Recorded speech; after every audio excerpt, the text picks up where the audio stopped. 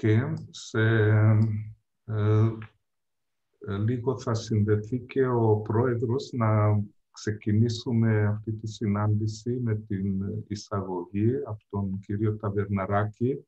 Εγώ θα ήθελα ως συντονιστής να σας καλωσορίσω σε αυτήν την συνάντηση που οργανώσαμε σήμερα. Ο σκοπός είναι, να, είναι η ενημέρωση, ενημέρωση ε, για την πανδημία, το COVID, την βιολογία, τα, ε, ε τα, τις, τα εμβόλια έναν, για το COVID, οτιδήποτε το θέμα μας είναι πολύ ανοιχτό και δίνουμε βάρος θα θέλαμε να, το, το, πιο, το πιο σημαντικό μέρος είναι οι ερωτήσεις οι δικές σας.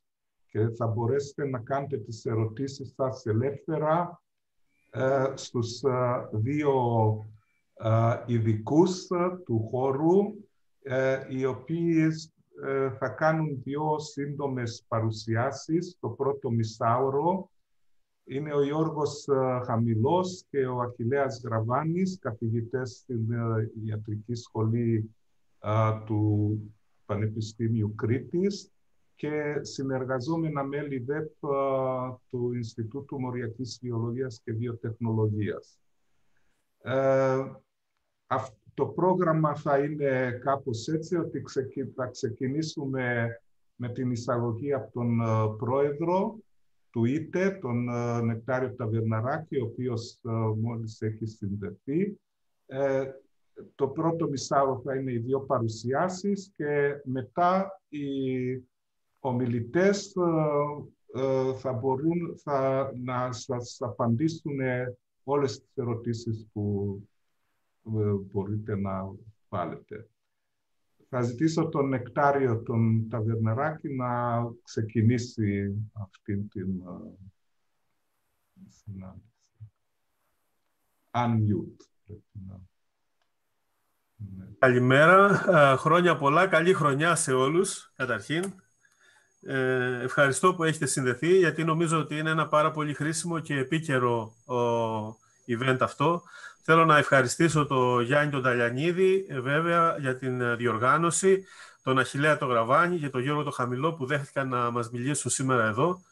Ε, νομίζω ότι είμαστε πολύ τυχεροί, γιατί έχουμε δύο από τους καλύτερους επιστήμονες στην Ελλάδα που μπορούν να μας κατατοπίσουν γύρω από αυτά τα θέματα ε, ως ε, συνεργαζόμενα μέλη του, του Ιδρύματος, του Ινστιτούτου Μοριακής Βιολογίας και Βιοτεχνολογίας ε, και βέβαια καθηγητές στην Ιατρική Σχολή του Πανεπιστημίου Κρήτης.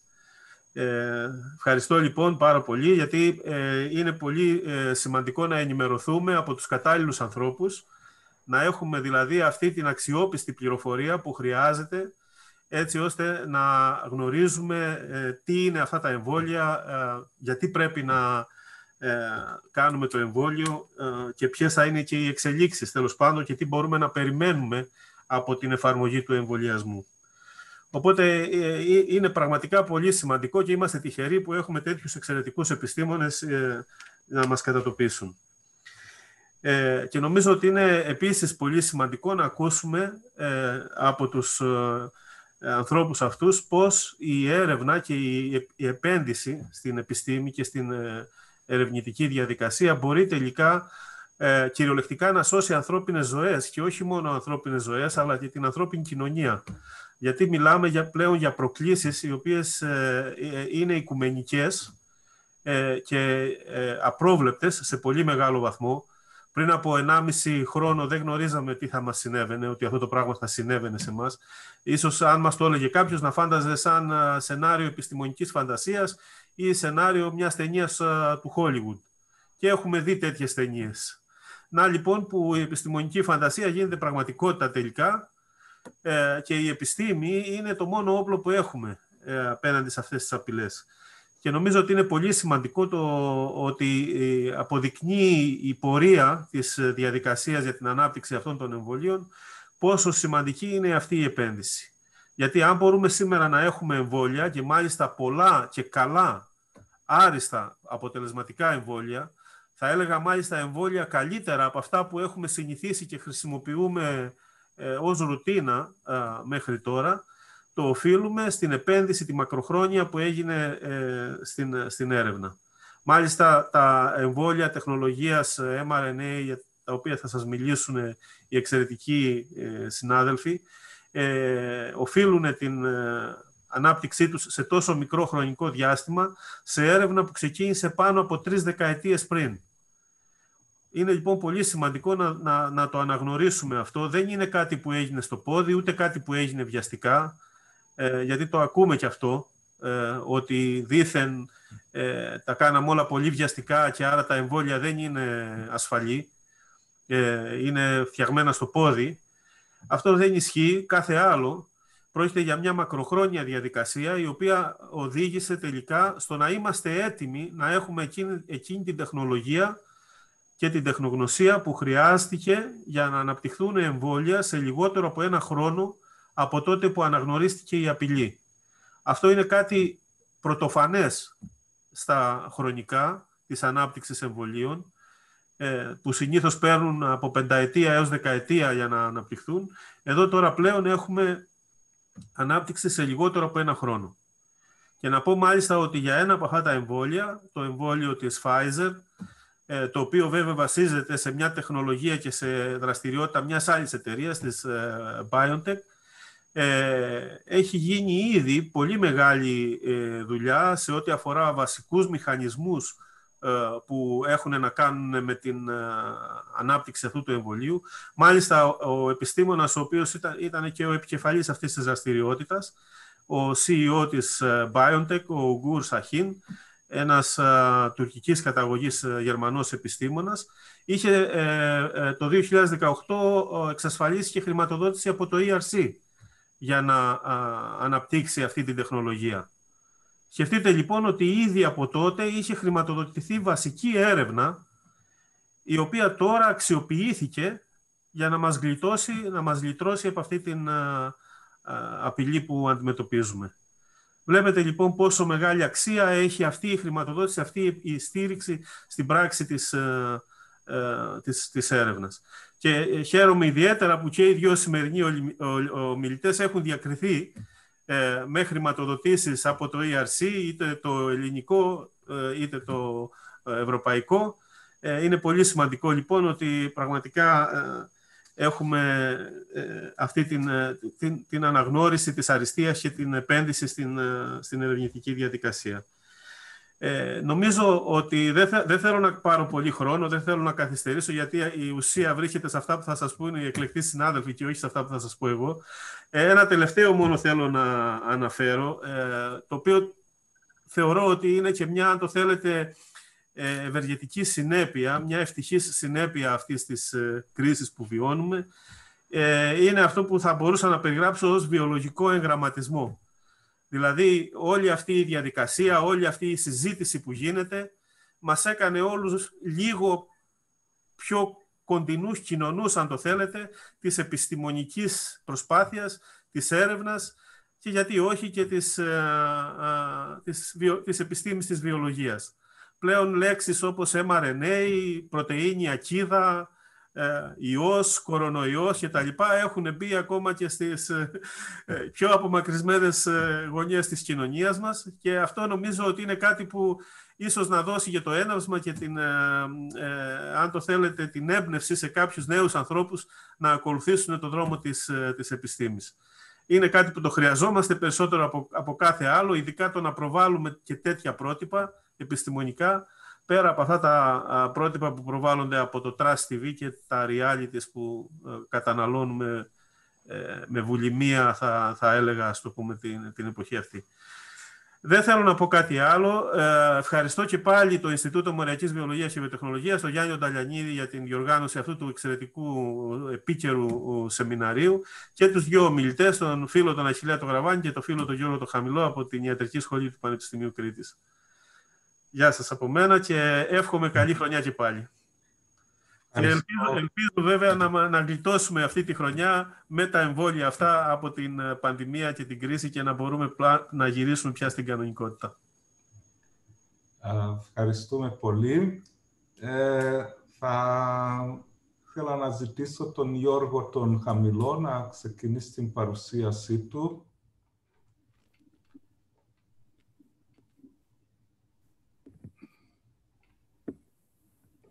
Ε, καλημέρα και από μένα. Χρόνια πολλά σε όλους. Ευχαριστώ για τα πολύ καλά λόγια και από τις δυο σας και ε, είναι εξαιρετική πρωτοβουλία να, να ενημερώσουμε για αυτό το επίκαιρο θέμα. Ε, είμαι λίγο αγχωμένος, δεν το κρύβω, γιατί είναι λίγο δύσκολο να, να, να εξηγήσει κανείς την, την ανασολογία της λίμωξης σε ένα πολύ ευρύ κοινό. Ωστόσο, ε, θεωρώ ότι θα είναι μια σύντομη ομιλία και θα ακολουθήσουν ερωτήσεις που θα μπορέσουμε να εξειδικεύσουμε, τις απο... να προσπαθήσουμε να απαντήσουμε σε ερωτήματα και στις απορίες των ανθρώπων που παρακολουθούν. Ε, προσπαθώ να, να προσεγγίσω από τη δική μου σκοπιά το, την νόσο COVID που προκαλείται από τον, τον νέο κορονοϊό που όλοι γνωρίζετε ε, και να αναδείξω μέσα από αυτό την αναγκαιότητα του, του εμβολιασμού ως τη, τη μόνη ρεαλιστική θεραπεία για να πούμε από τη, τη, την κρίση που έχουμε πλέξει όλοι μας ε, και να εξηγήσω γιατί τα, τα υπόλοιπα φάρμακα δεν αναμένεται να κάνουν ε, θαύματα στη, στη, στη, στην αντιμετώπιση της νόσου που σίγουρα θα βοηθάνε αλλά σίγουρα τελικά η λύση θα δοθεί από τον εμβολιασμό.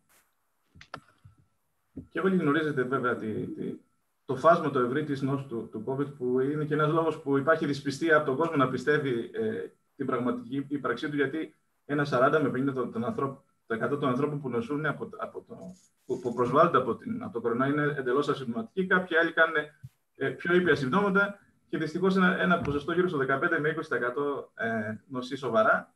Και κάποιοι από αυτούς που πηγαίνουν σε μονάδες διδακτικές καταλαβαίνετε ότι ανεβαίνει πάρα πολύ το ποσοστό μετά της κακής έκβασης, γύρω στο 40 με 50%. Ε, και αυτή η ετερογένεια στη, στην απάντηση σε αυτή τη, τη λίμωξη σημαίνει ότι πέρα από, το, από την παθογονική δράση του ιού υπάρχουν και άλλοι παράγοντες που έχουν να κάνουν κυρίως με το αμυντικό μας σύστημα στο πόσο καλά θα, θα, θα, θα είναι τα αποτελέσματα της ε, ε, έκβασης τη λίμωξη. Και από τη δική μου τη σκοπιά, αυτό που ε, προσπαθώ και να, να, να, να δω πιο καθαρά μέσα από αυτή την όσο είναι κάτι που το, το γνωρίζαμε και από άλλες λοιμώξει, ότι το, το πόσο καλά ουσιαστικά θα, θα, θα, θα, θα πάει κανείς εξαρτάται από το πόσο ε, μεγάλος θα είναι ο πολλαπλασιασμός του ιού μέσα στο σώμα του από αυτό που λέμε τη μολυσμωτικότητα του ιού, που είναι κάτι το οποίο μπορεί να το μετρήσει κανείς με, με, με μοριακούς τρόπους, το λεγόμενο υλικό φορτίο που έχετε εξοικειωθεί όλοι. Και αυτό προ, προφανώς θα προκαλέσει κάποια βλάβη στο, στον οργανισμό. Και το, το κατά πόσο καλά θα, θα πάει κανείς, προφανώς εξαρτάται και το πόσο καλή είναι η, η, η, άμυνά του, πόσο καλή θα είναι η, η απάντηση του νοσοποιητικού του, η λεγόμενη φλεγμονή, η καλή φλεγμονή που θα μπορέσει να περιορίσει γρήγορα τον ιό να, ε, να αναπτυχθεί στο σώμα αλλά και οι δύο συνιστώσεις αυτές ουσιαστικά ε, ταυτόχρονα ε, μπορούν να, να, έχουν πολύ κακά αποτελέσματα ε, και να προκαλέσουν βλάβη στους ιστούς και ο ιό και, και η άμυνα δυστυχώς ε, μπορεί να προκαλέσουν αυτό που λένε ε, μια ε, βλάβη. Και εκεί είναι ένας, ένα μαύρο κουτί, ένας παράγοντας που δεν τον έχουμε καταλάβει πολύ καλά, το πόσο ανθεκτική είναι η ιστή μας, ε, ο οργανισμός μας στη βλάβη που προκαλείται τόσο από τον ιό, όσο και από, το, από, το, από την υπερβολική ανασωλητική απάντηση. Ε, αυτό που οι πολλοί ερευνητές του το γνωρίζουν πολύ καλά τις τις αντοχές των ιστών, την ικανότητα των κυτάρων να ανταπεξέλθουν στο, στο, στο μεταβολικό στρες. Είναι ένας παράγοντας που δεν είναι εύκολο να μετρηθεί, αλλά είναι πολύ σημαντικός για, τελικά για την έκβαση της νόσου, για το πόσο σοβαρές θα είναι οι βλάβες που θα αφήσει ο, ο, ιός, για το πόσο καλά θα, θα είναι τα αποτελέσματα των θεραπείων που θα δώσει κανείς. Και ανάλογα με τα στάδια της νόσου αυτήν είναι και τα, και τα ε, θεραπευτικά σχήματα που προτείνει κανείς. Προφανώς στην αρχική φάση της λίμωξης, όταν έχεις ένα ε, έντονο υλικό πολλαπλασιασμό, έχει νόημα να δώσεις γρήγορα αντικά φάρμακα και πραγματικά θα δείτε ότι στα πειραματόζα το Remdesivir, μια σειρά από άλλου αναστολή ε, του πολλαπλασιασμού του έχουν εξαιρετικά αποτελέσματα, 100% προστασία. Στην κλινική πράξη δυστυχώς αυτό είναι το, ένα στάδιο που δεν το βλέπουμε συχνά. Ο ασθενής έρχεται πολύ αργότερα, 7 με 8 μέρες μετά, οπότε τα αντικά φάρμακα δεν δουλεύουν τόσο καλά έχετε ακούσει για εξωτερικά δυσώματα, για θεραπείες με, με, με, με ορό ε, από ασθενείς που έχουν αναρρώσει. Όλα αυτά ε, είναι θεωρητικά πολύ καλά και αυτά δυστυχώς για, για, να δουλέψουν καλά πρέπει να, να χορηγηθούν πολύ πολύ νωρίς. Και μάλιστα προχθές είχε μια πολύ σημαντική μελέτη ότι αν δώσει ορό στον άρρωστο στο σπίτι του, 50% έχει τις πιθανότητες να πάει ε, να γλιτώσει από, τη, από τις επιπλοκές της νόσου, που είναι πολύ σημαντικό, αλλά πόσο πρακτικό είναι να το κάνει κανείς. Το δεύτερο στάδιο που έχεις την, την, την, την έντονη ανοσολογική διέλυση, εδώ έχει νόημα προφανώς να, να, να προσπαθήσεις να τροποποιήσεις τη φλεγμονή και εδώ θα έχετε ακούσει για την κορτιζόνη, πόσο καλό φάρμακο είναι, επειδή ακριβώς μπλοκάρει τη, τη, τη, τη μεγάλη φλεγμονώδη απάντηση σε αυτούς που έχουν σοβαρή νόσο. Και αυτό ε, οδηγεί σε πολύ σημαντικά ε, αποτελέσματα σε ό,τι αφορά την έκβαση. Ένα 30 με 40% των ανθρώπων που παίρνουν κορτιζόνη πάνε πολύ καλά και ε, γλιτώνουν από τις ε, σοβαρές επιπλοκέ.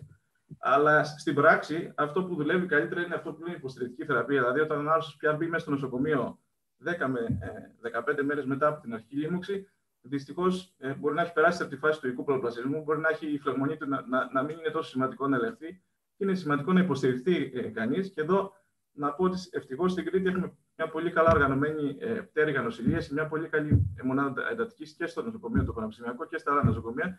Το αποτέλεσμα της, του καλού support εδώ το, θα το δείτε στα, στα ποσοστά ε, επιβίωσης των ανθρώπων και στην Κρήτη. Σας δίνω μια πληροφορία που είναι σημαντική και είναι μια, ένα, ένα μήνυμα ε, ελπίδας. Ε, η, η, η πληθυνσιμότητα στους αρρώστου που μπαίνουν στο νοσοκομείο είναι γύρω στο 20% χοντροειδό και στη μονάδα πάει στο 50%. Στην Κρήτη, ο, ο μέσος όρος είναι στο 3 με 4% τη θνησιμότητα, που είναι ένα πολύ ε, καλό αποτέλεσμα και έχει να κάνει με το πόσο καλή είναι αυτό που λέμε υποστηρικτική θεραπεία και λιγότερο με το πόσο καλά φάρμακα πήρε κανείς. Αλλά στη βάση αυτού που σας είπα, θα δείτε ότι τα εμβόλια πραγματικά είναι, ε, επειδή χτυπάνε ακριβώς στην πρόληψη, είναι το, το μόνο φάρμακο που, που, που, θα κάνεις πρόσληψη της νόσου, ε, είναι η πιο αποτελεσματική θεραπεία για να, για να δίνει κανείς. Τώρα, η παθογένεση της νόσου είναι λίγο πολύ εγκυκλοπαιδικά γνωστή σε όλους σας. Ωστόσο, ε, ε, υπενθυμίζω ότι στην αρχική φάση που έχουμε μια, ε, ε, ένα πολλαπλασιασμό του, του ιού στα επιφύλια στην αρχή του ανώτερου πνευστικού, εδώ δεν έχει συμπτώματα κανείς. Είναι η φάση του έντονου ειδικού πολλαπλασιασμού. Αν μπορείς να δώσεις φάρμακο να το μπλοκάρεις, προφανώς είναι το καλύτερο. Πιο πολλές φορές είτε δεν το γνωρίζεις, γιατί δεν έχει συμπτώματα, είτε έχεις κάποια ήπια συμπτώματα τα οποία τα παραγνωρίζεις. Και περνάς σε μια δεύτερη φάση που ο ιό ε, αναπτύσσεται πλέον, παραπλασιάζεται στον πνεύμονα και εκεί πέρα αρχίζει μια έντονη φλεγμονώδης απάντηση από την έμφυτη ανοσία στην αρχή, μετά αργότερα από την τάφη ανοσία. Εδώ έχει μια ε, φλεγμονή που σε ορισμένου ασθενεί εξελίσσεται λίγο ε, πιο κακά και μπαίνει ένας καταράκτη κυταροκοινών που θα, που θα έχετε ακούσει, ένας φαύλος κύκλος υπερβολικής ανασωλική διέγερσης, η οποία προκαλεί επιπλοκή στους ιστούς, προκαλεί θρομβώσεις στα, στα μικρά αγκαία, βλάβη στο ενδοθήλιο και ουσιαστικά νέκρωση ε, ε, μια σειράς από, από ιστούς. Και ακριβώς επειδή ο, ο, ο ιός αυτός έχει ένα ιδιαίτερο τροπισμό στα ενδοθήλια, φαίνεται ότι υπάρχει μια πολύ συστηματική προσβολή που θα ακούσετε στις εφημερίδες. Οι ασθενείς που ενώ κάνουν λίμωξη στον πνεύμα να καταλήγουν με κεφαλικά επεισόδια, καταλήγουν με βλάβη στα νεφρά, καταλήγουν με βλάβη στην καρδιά. Όλο αυτό οφείλεται περισσότερο στη, στη, στην κακή ανασολογική απάντηση και στην ικανότητα του ιού να πολλαπλασιάσει και να προκαλεί βλάβη στα αγκία σε, διάφορους, ε, σε διάφορα όργανα στόχου. Και ε, εδώ πάλι ουσιαστικά είναι η υποστήριξη που, που, που να, μπορεί να κάνει κανείς και το, αυτό το μαύρο κουτί που σας έλεγα, το πόσο ε, ανθεκτική είναι η ιστή του, ε, του κάθε ενός μας στο να ε, ανταπεξέρχονται σε μια βλάβη που προέρχεται είτε από τον ιό, είτε κυρίως από την υπερβολική φλεγμονώδη απάντηση. Είναι κάτι το οποίο δεν το έχουμε καταλάβει καθόλου καλά.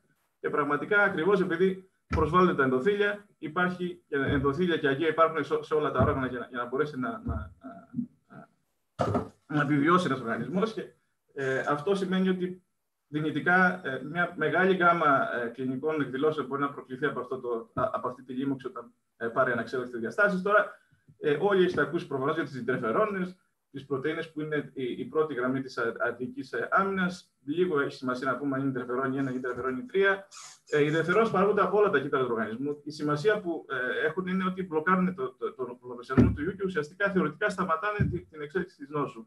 Όμως αυτό πρέπει να γίνει έγκαιρα για να έχει καλό αποτέλεσμα κανείς. Και επιπλέον ενδιαφέρον σε ένα δεύτερο στάδιο ε, είναι ενορχιστρώνουν την ανασωπητική απάντηση. Βοηθάνε τα υπόλοιπα κύτταρα του ανασωπητικού να ενεργοποιηθούν σωστά και να κάνεις καλή δουλειά και να έχεις μετά τη δημιουργία αυτού που λέμε επίκτητη ανοσία και μια πολύ καλή ε, ε, απάντηση μνήμης σε, σε, σε, επόμενη ε, λίμωξη. Όμως πάρα πολλοί και οι κοροναίοι οι προηγούμενοι και οι κοροναίοι της κοινότητας και το, ο μέρος που θα έχετε ακούσει και ο SARS, αλλά και ο, ο, ο, ο τωρινός κοροναϊός, προφανώς για να μπορέσουν να πολλαπλασιαστούν στα κύτταρα και να αναπτυχθούν και να κάνουν τη λίμωξη, έχουν δυνατότητα να μπλοκάρουν ε, το μονοπάτι της παραγωγής των ιδιαφερνών σε πάρα πολλά στάδια και επίσης έχουν δυνατότητα να μπλοκάρουν και την ιδιότητα τη δράση των ιδιαφερνών στους υποδοχή τους και με αυτόν τον τρόπο κατά, κατά κάποιο τρόπο ξε, ξεφεύγουν από την επιτήρηση της ιδιαφερόνη και ε, ε, δεν έχουμε τόσο και, και σε πολλές περιπτώσεις έχει αυτό το, το, την κακή έκβαση μια, μια λίμωξη η οποία ε, είναι πιο ε, δύσκολο να βρεναριστεί. Στη δεύτερη φάση τώρα θα έρθουν τα διαλυτικά μας κύτταρα, τα οποία θα, είναι, ε, θα πάρουν τα αντιγόνα από, από, τον, από τον ιό, κυρίως από την ε, πρωτενη ακίδα που έχετε ακούσει, αλλά και από άλλες πρωτενε, και θα ε, ενεργοποιήσουν κάποια άλλα λεμφοκύτταρα, κυρίως τα τάφ λεμφοκύτταρα, τα οποία με τη βοήθεια των β' λεμφοκύτταρων θα παράγουν τα, τα περίφημα αντισώματα, τα οποία ε, θα μας προστατεύσουν σε επόμενη λίμωξη. Και το πόσο θα, θα διαρκέσει η, η ανοσία μας, που είναι ένα ερώτημα που θα ρωτάμε πολύ, θα, το, ε, προσπαθώ, θα προσπαθήσω αργότερα να σας ε, το αναλύσω όσο, όσο με τα δεδομένα που υπάρχουν. Ε, και αν συνοψίσουμε μια φυσιολογική ανασολογική απάντηση που στους περισσότερους από εμάς, αν έρθουμε στο επόμενο με τον κορονοϊό, σίγουρα θα υπάρχει. έχει να κάνει με τις συντερφερόνε που θα μπλοκάρουν τον, τον ανεξέλεγκτο πλασιασμό του ιού, έχει να κάνει με άλλους μηχανισμούς που θα έχουν να κάνουν με, την, με, με τα μακροφάγα μας που θα έρθουν και θα φάνε τα κύτταρα που έχουν μολυνθεί και θα είναι έτοιμα να πεθάνουν, και έχουν να κάνουν και με την επίκτητη ανοσία που σχηματίζεται περίπου μια, δύο εβδομάδες μετά, η οποία μέσω των αντισωμάτων εξουδετερώνει τον ιό που ε, δεν έχει ε, καταφέρει ο, ο υπόλοιπος αμυντικός ε, μηχανισμός να τον εξουδετερώσει, και τα CDA, τα κυταροδοξικά τα τα οποία θα σκοτώσουν τα μολυσμένα κύτταρα και με αυτόν τον τρόπο θα, θα, θα μπλοκάρουν το προβασιασμό του ιού. Και μια φυσιολογική ανοσολογική απάντηση προφανώς ε, είτε θα έχει αποτέλεσμα ελάχιστα συμπτώματα, είτε μια καλή έκφραση της λίμωξης. Και εδώ πέρα ακόμη και το περιβάλλον παίζει ρόλο στο πόσο καλή είναι η, η νοσολογική απάντηση. Είναι ενδιαφέρον γιατί στην Κρήτη είναι ε, καλό που έχουμε ψηλές θερμοκρασίες και στο Ηράκλειο έχουμε και ψηλή υγρασία, γιατί φαίνεται ότι και η ενεργοποίηση της ε, παραγωγής τερεφερόνη αλλά και η δράση της τερεφερόνη επηρεάζεται πάρα πολύ ε, από την ε, θερμοκρασία και μάλιστα ενδεχομένως αυτό που λέγανε παλιά οι γιαγιάδες ότι ε, μην βγεις έξω στο κρύο και θα, θα αρπάξεις κάποια λίμωξη, δεν είναι ότι η ύλη πολλαπλασιάζεται τόσο πολύ καλύτερα σε, σε χαμηλές θερμοκρασίες, είναι ότι τα συστήματα της άμυνάς μας, κυρίως της έμφυτης ανοσία, η παραγωγή της εντερεφερόνη και η δράση της εντερεφερόνη φαίνεται ότι. Ε, αλλά και άλλοι μηχανισμοί που έχουν να κάνουν με, με, ε, με την, το, την αναστολή της, παρα, της ε, παραγωγής του ιού δοκιτάρια δουλεύουν πάρα πολύ καλά σε, σε όπτιμα θερμοκρασίες 35-37 βαθμών ε, και όχι τόσο καλά σε πιο χαμηλές θερμοκρασίες. Γι' αυτό και ο χειμώνα είναι πάντα ε, ζορίζει και την άμυνά μας, ζορίζει και ευνοεί και τον ιό ενδεχομένως. Τώρα, σε περίπτωση που τα πράγματα πάνε άσχημα και καταλήξει κανείς να πάει στο νοσοκομείο με πολύ μεγάλη φλεγμονή, που αυτό συμβαίνει αρκετές μέρες μετά, εδώ τι γίνεται, έχει μπλοκαριστεί εντελώς η, η παραγωγή εντερφερόνη στα αρχικά στάδια και έχουμε μια καθυστερημένη παραγωγή interference όταν πλέον ο ιός έχει κάνει τον κύκλο του και έχει πολλαπλασιαστεί σε, σε διάφορα όργανα. Και αυτό ε, ουσιαστικά τι συμβαίνει ότι παίρνεις στα κακά αποτελέσματα της της, της παραγωγής της interference, που είναι μια ανεξέλεκτη ε, ανασολογική απάντηση, μια υπερβολική διέλευση κυτάρων όπως είναι τα μακροφάγα μας ή άλλα μυϊκά φαγοκύτταρα που έρχονται στην περιοχή που υπάρχει ο ιός και αρχίζει μια απορρίθμιση μιας ε, ανεξέλεκτης φλεγμονώδου απάντησης και επιπρόσθετα υπάρχει μια σημαντική περίπτωση τα, τα β' λεμφοκύτταρα που ε, δημιουργούν αντισώματα να ενεργοποιούν ακόμα περισσότερο αυτό το φαλοκύκλο της λεμονής ε, και να δημιουργούν αυτό που λέμε το, το καταράκτη της λεμονής, το, το cytokine storm, όπως το διαβάζετε στις εφημερίδες. Και ε, αυτή η φλεγμονή προφανώς έχει ε, άμεση επίπτωση, διότι προκαλεί βλάβη στα, στα ενδοθήλια, προκαλεί ένα καταράκτη θρομβώσεων και αρχίζουν τα, χαλάνε όλα τα, τα, τα, τα όργανα, το μικροπεριβάλλον, η, η, η αγγίωση των ιστών, ε, αρχίζει ε, ο κυταρικός θάνατος και, και, αρχίζει μια διαδικασία ε, νέκρωσης και ανεπάρκειας οργάνων. Και όταν αυτό αφορά πολλά όργανα, καταλαβαίνετε ότι ε, συνήθως η έκβαση είναι, ε, δεν είναι καλή. Τώρα, αυτό που θα ε, ε, κάνω έμφαση στα τελευταία λεπτά της ομιλίας μου είναι το παράδοξο που βλέπουμε στις σοβαρές λοιμώξεις να έχουμε υψηλό τίτλο αντισωμάτων, που αν θα περίμενε κανείς ότι θα είναι προστατευτικά όλα, θα έπρεπε να, να μην οδηγούν σε, σε, σε κακή έκβαση στον άρρωστο. Και πραγματικά θα, ε, ο λόγος που συμβαίνει αυτό είναι και ο, ο, το μεγαλύτερο άγχος που είχαμε ε, πριν τις ε, μελέτες των εμβολίων. Μήπως κάποια από τα αντισώματα που δημιουργούνται δεν έχουν προστατευτική δράση για τον ιό, διότι τα αντισώματα φυσιολογικά για να είναι ε, προστατευτικά πρέπει να εξοδετερώνουν τον ιό, να, να εμποδίσουν την ικανότητά του να, να μπαίνει μέσα στα κύτταρα. Αυτό είναι το ιδανικό σενάριο. Όταν έχεις αυτό που είναι προστατευτικά αντισώματα, ο τρόπος που το εκφράζεις μετράς ε, αν ε, εμποδίζουν την, την ικανότητα του ή να πολλαπλασιαστεί στι κυτταρικέ σειρές υπάρχουν δύο άλλα σενάρια, τα οποία είναι τα κακά σενάρια που ε, ήταν ο φόβος όλων των ανοσολόγων όταν πρωτοβγήκαν τα εμβόλια. Μήπως κάποια από τα σώματα αυτά, ενώ κολλάνε πάνω στον ιό, ε, αντί να εμποδίζουν την είσοδο να την επιτείνουν μέσω ειδικών υποδοχών που υπάρχουν στα φαγοκύτταρα και με αυτόν τον τρόπο να, να λειτουργούν σαν δούροι ύπη που να ευνούν το προγραμματισμό του ιού. Ή ένα δεύτερο σενάριο που και αυτό είναι έτσι, ε, πολύ ανησυχητικό, μήπως κάποια από τα αντισώματα αυτά ενεργοποιούν υποδοχές που υπάρχουν στα μακροφάγα μα, τα FCG ριστέφροστα, οι οποίοι είναι, ε, οδηγούν σε μια πολύ μεγάλη ανοσολογική διαρρέση και με αυτόν τον τρόπο, σε ένα περιβάλλον που υπάρχει μια πολύ ε, έντονη φλεγμονή, να έχει ένα επιπλέον ε, ε, ερέθισμα το οποίο είναι, καταλαβαίνετε, μπορεί να έχει καταστροφικές συνέπειες. Φαίνεται ότι αυτό το σενάριο στη φυσική λίμωξη σε κάποιους ασθενείς δυστυχώς επιβεβαιώνεται και αν θα δείτε ε, σε αρρώστου που νοσούν σοβαρά, οι τίτλοι των αντισωμάτων, των ολικών αντισωμάτων, είναι πάρα, πάρα πολύ υψηλοί σε σχέση με αυτούς που είναι ε, ασυντοματικοί ή που νοσούν ήπια. Και αν θα δείτε, ενώ υπάρχει μια αντιστοιχία της σοβαρότητας της λίμωξη με τον τίτλο των αντισωμάτων, τα, τα προστατευτικά αντισώματα, τα εξουδετερωτικά αντισώματα είναι πολύ χαμηλά σε αυτούς που νοσούν πάρα πολύ βαριά. Και βλέπετε ότι αυτοί που έχουν υψηλούς τύπους ε, προστατευτικών αντισωμάτων πραγματικά προστατεύονται απόλυτα από τη λίμωξη, αλλά φαίνεται ότι είναι λίγοι από αυτούς που, που, ε, που νοσούν σοβαρά. Άρα λοιπόν ε, το συμπέρασμα είναι ότι η φυσική ε, ανοσία σε πολλούς ασθενείς καταλήγει σε παραγωγή αντισωμάτων που δεν έχουν αυτό το, που λέμε την εξοδοτική δράση και ενδεχομένως να ανισχύουν ακόμα και την, την, αυτό που λέμε την ανεξέλεκτη φλεγμονή. Είναι αυτό το, στα αγγλικά μεταφράζεται antibody dependent enhancement και συμβαίνει με πάρα πολλά ε, ε, ε, παθογόνα και με κάποια εμβόλια στο παρελθόν. Και απόδειξη γι' αυτό είναι και, και άλλες μελέτες που έχουν βγει πρόσφατα ότι ε, μια ειδική κατηγορία αντισωμάτων που δεν έχουν γλυκοζηλίωση σε μια συγκεκριμένη περιοχή φαίνεται ότι ε, επάγουν πολύ έντονες φλεγμονώδει αντιδράσεις. Δεν θέλω περισσότερο να το αναλύσω, μπορούμε στις ερωτήσεις να το, να το εξειδικεύσουμε. Ε, το, το, το bottom line είναι αυτοί που νοσούν σοβαρά. Κάποιοι από αυτούς, αρκετοί από αυτούς έχουν αντισώματα που δεν κάνουν τη δουλειά που πρέπει να γίνεται φυσιολογικά, να εξουδετερώνουν τον ιό, αλλά επάγουν αυτή την, την ενεργοποίηση των μακροφάγων που οδηγεί στο φαύλο κύκλο της φλεγμονή.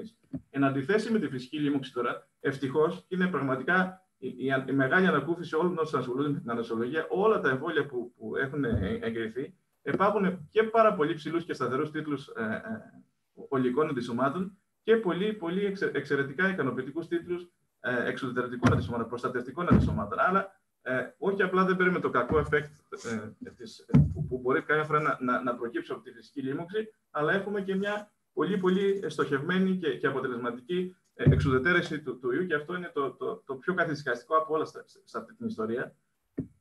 Σας δείχνω κάποια ε, αντιστοίχηση του τι συμβαίνει με τη φυσιολογική λίμωξη στους ασθενείς στην Κρήτη και αυτό είναι μια μελέτη που οργανώσαμε στο νοσοκομείο για να παίρνουμε αντισώματα από ανθρώπους που έχουν αναρρώσει και να τα βάζουμε σε, σε, σε ασθενείς που έχουν ανάγκη και έχουν σοβαρή νόσο. Και θα δείτε ότι αυτοί που θα νοσήσουν φυσιολογικά και δεν θα πάνε να κάνουν το εμβόλιο, ένα 20% δεν θα κάνει καθόλου προστατευτικά αντισώματα, που σημαίνει ότι θα έχει πιθανότητα στο μέλλον να κάνει μια δεύτερη λίμωξη. Και ένα 30 με 40% θα έχει κάποια αντισώματα που πιθανόν να είναι προστατευτικά, αλλά σίγουρα δεν είναι σε, σε πολύ υψηλούς τίτλους για να μπορεί κανείς να, να, να, τα χρησιμοποιήσει για παθητική ενωσοποίηση, να τα δώσει δηλαδή σε έναν ασθενή και μάλιστα ακριβώς επειδή ε, αυτό το αποτέλεσμα είναι, ε, ας πούμε, δεν είναι τόσο ε, ε καλό, ε, στο μέλλον σκεφτόμαστε από αυτούς που θα κάνουν εμβολιασμό και πρώτος εγώ θα είμαι εθελοντής και ο κύριος Γαβάνης φαντάζομαι, θα μπορούν να δίνουμε αντισώματα από, από, μετά την ανοσοποίησή μας από το εμβόλιο για, για να χρησιμοποιηθούν στο μέλλον σε ασθενείς που ενδεχομένως θα τα χρειαστούν.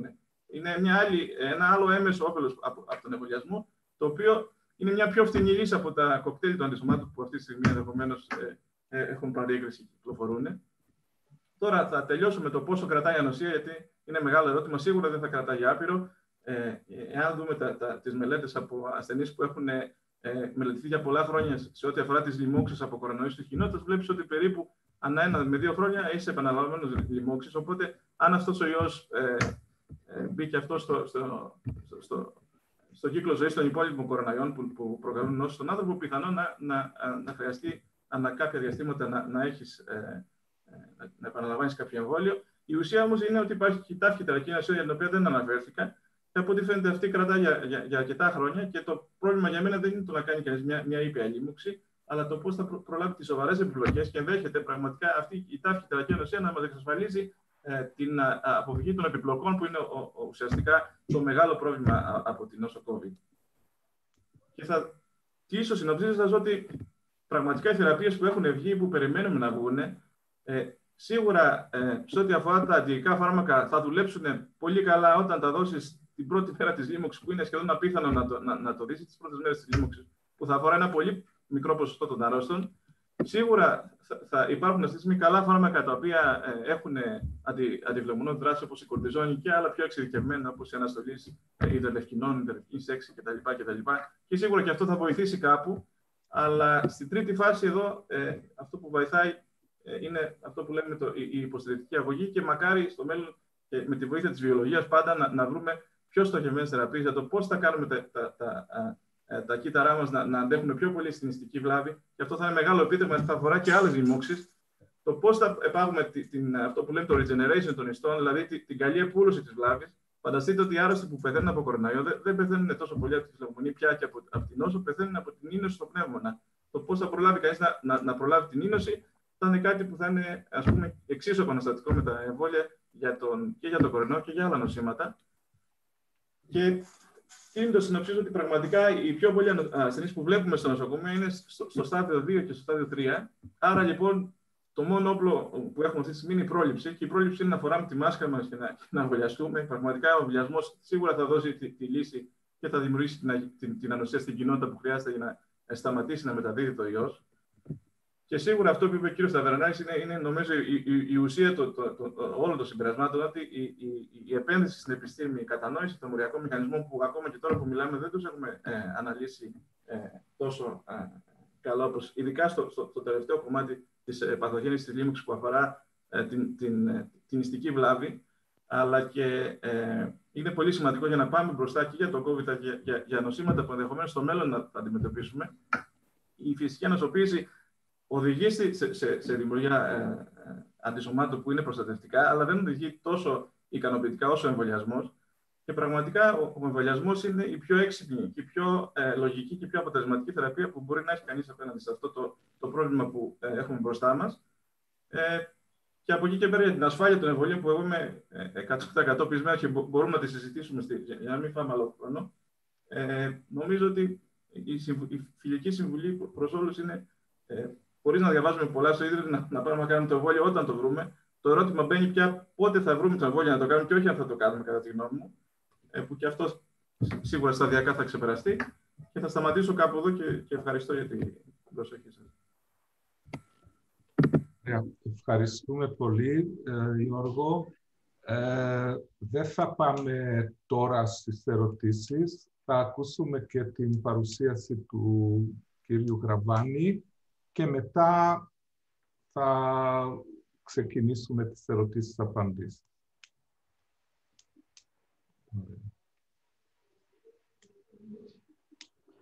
Ε, καλημέρα και από μένα και καλή χρονιά σε όλους, κυρίως με ασφάλεια και υγεία, μετά από αυτό που είδαμε τον προηγούμενο χρόνο.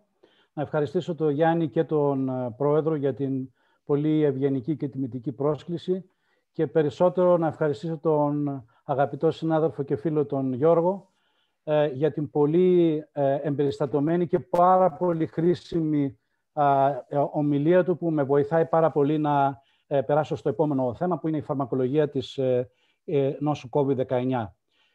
Η παρουσίασή μου θα κρατήσει γύρω στα 15 λεπτά και έχει τα εξής τρία κομμάτια. Πρώτον, θα παρουσιάσω μία σύνοψη της προσπάθειας που έγινε τον τελευταίο χρόνο να αντιμετωπίσουμε αυτό το τεράστιο πρόβλημα. Το δεύτερο, θα εστιάσω στην φαρμακολογική παρέμβαση στην ανοσία με τα εμβόλια και τα μονοκλονικά αντισώματα και θα τελειώσω με τις προσπάθειες που γίνονται που δεν έχουν ακόμη αποδώσει, αλλά θα αποδώσουν μέσα στο προ... προφανώς στον επόμενο χρόνο, αλλά ίσως και μέσα σε αυτόν τον χρόνο, να φτιάξουμε καινούργια αντιϊκά φάρμακα, πολύ δύσκολη ιστορία, ώστε να έχουμε τη δυνατότητα να ελέγχουμε κάπως την λίμωξη, όπως είπε και ο Γιώργος, στα πρώτα στάδια σε περιπατικούς ασθενείς στο σπίτι μέσα σε ένα χρόνο, όπως είπε και ο πρόεδρος, έγινε κάτι το οποίο δεν έχει προηγούμενο στην ιατρική ε, ε, επιστήμη, στις βιοεπιστήμες. Καταφέραμε να χαρακτηρίσουμε το γενετικό υλικό του ιού, να χαρακτηρίσουμε τη χημική σύσταση, δηλαδή να ξέρουμε την κρυσταλλική δομή των δύο βασικών ενζήμων που χρησιμοποιεί ο ιός όταν μας μολύνει για να αναπαράξει τον εαυτό του, την πρωτεάση και την πολυμεράση. Μάθαμε πάρα πολλούς από τους κυταρικούς και μοριακούς μηχανισμούς με, τον οποίο, με τους οποίους ο ιός συνδέεται με τα κύτταρά μας και αλλάζει, αλλοιώνει την ε, φυσιολογική συμπεριφορά πολλών συστημάτων, όπως πολύ εύστοχα παρουσίασε ο Γιώργος. Α, ξέρουμε πάρα πολλά από τα ε, στοιχεία τα κλινικά και την πολυτροποποιητική δράση που έχει ο ιός στα διάφορα βιολογικά συστήματα και αυτό μας έδωσε τη δυνατότητα να πάμε ταχύτατα σε εστιασμό ε, την, ε, της προσπάθειας να αναπτύξουμε φαρμακολογικές μεθόδους, ε, εργαλεία για να μπορέσουμε να ελέγξουμε τη λίμωξη ό,τι βλέπετε σε αυτή τη διαφάνεια και έχει πράσινο χρώμα, την οποία μπορείτε να την πάρετε, είναι στη διάθεσή σας όποιος θέλει, ε, είναι πράγματα τα οποία έχουμε ήδη μπροστά μας, τα χρησιμοποιούμε καθημερινά και είναι, έχουν βοηθήσει πάρα πολλούς ε, ασθενείς. Έχουμε δύο κατευθύνσεις στην φαρμακολογία του COVID. Την προφύλαξη με τα εμβόλια και τη θεραπεία. Η θεραπεία έχει δύο άξονες. Μία, έναν άξονα που εστιάζει στον ιό αυτό καθεαυτό και αναφέρομαι σε αντιοικές παρεμβάσεις ε, και βέβαια μια δεύτερη, ένα δεύτερο άξονα που εστιάζει στον άρρωστο και στα προβλήματα τα τεράστια που δημιουργεί η λίμωξη, όπως ε, παρουσίασε ο Γιώργος.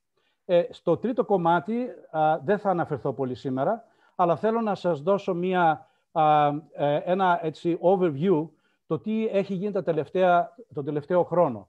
Έχουμε ήδη αναπτύξει τουλάχιστον 2.500 κλινικές δοκιμές μέσα σε ένα χρόνο που έχουν ελέγξει είτε παλιά φάρμακα, αυτό που ονομάζουμε στη φαρμακολογία repurposing, ε, που ξέρουμε την τοξικότητά τους γιατί χρησιμοποιούνται για άλλες ενδείξεις. Άρα μπορούμε να πάμε γρήγορα να τα χρησιμοποιήσουμε εφόσον είναι δραστικά στη λίμωξη, σε διάφορα προβλήματα της λίμωξης. Ε, τέτοια φάρμακα είναι τα κορτικοστροειδή, είναι οι ιντερφερόνε, τις οποίες αρχίζουμε να τις δίνουμε και τοπικά μέσα στο πνεύμονα με, με, με εισπνοές. Είναι αντισώματα κατά διαφόρων παραγόντων που σχετίζονται με, την, με τον έλεγχο της ε, φλεγμονής, ο υποδοχές τελευκίνης 6, παράγωγα του, του συμπληρώματος στο CI5, παράγωγα που σχετίζονται με την δράση του ε, μορίου AC2 που είναι ο υποδοχές ο κυταρικός. Έχουμε διάφορες μικρές ουσίες από το στόμα ή αντισώματα τα οποία ελέγχουν διάφορα μονοπάτια, κυτα, ε, κυταρικά μονοπάτια της φλεγμονής και όλα αυτά δημιουργούν μια πολύ σημαντική πληροφορία ώστε τα επόμενα ένα με δύο χρόνια να τα ε, κάνουμε ακόμη πιο αποτελεσματικά για να μπορέσουμε να βοηθήσουμε αυτό που είπε ο Γιώργος, τους βαρέους πάσχοντες, που είναι το μεγάλο πρόβλημα. Α, τώρα, στο κομμάτι της ε, ε, ε, θεραπείας έχουμε ήδη τα αντισώματα τα οποία έχουν ε, ήδη πάρει άδεια επίγουσης ε, χρήσης και θα τα δούμε λίγο παραπέρα. Στο επίπεδο του, των εμβολίων, μέσα σε ένα χρόνο, έχουμε αναπτύξει διεθνώς 300 πειραματικά εμβόλια. 60 είναι σε κλινικές δοκιμές φάσης 1, 2, 3 στους ανθρώπους. 12 από αυτά είναι σε φάση 3, δηλαδή τους επόμενους 2 με 3 μήνες θα έχουμε τα αποτελέσματα ασφάλειας και αποτελεσματικότητας και τρία από αυτά, ε, τουλάχιστον στον κόσμο τον δικό μας, ας πούμε, τον, της Ευρώπης, Αμερικής κτλ., που έχουμε μεγαλύτερη πληροφόρηση, ε, είναι ήδη με άδεια επίγουσας ε, χρήσης ε, και αναφέρομαι στα εμβόλια της Moderna, της Pfizer και της ε, AstraZeneca.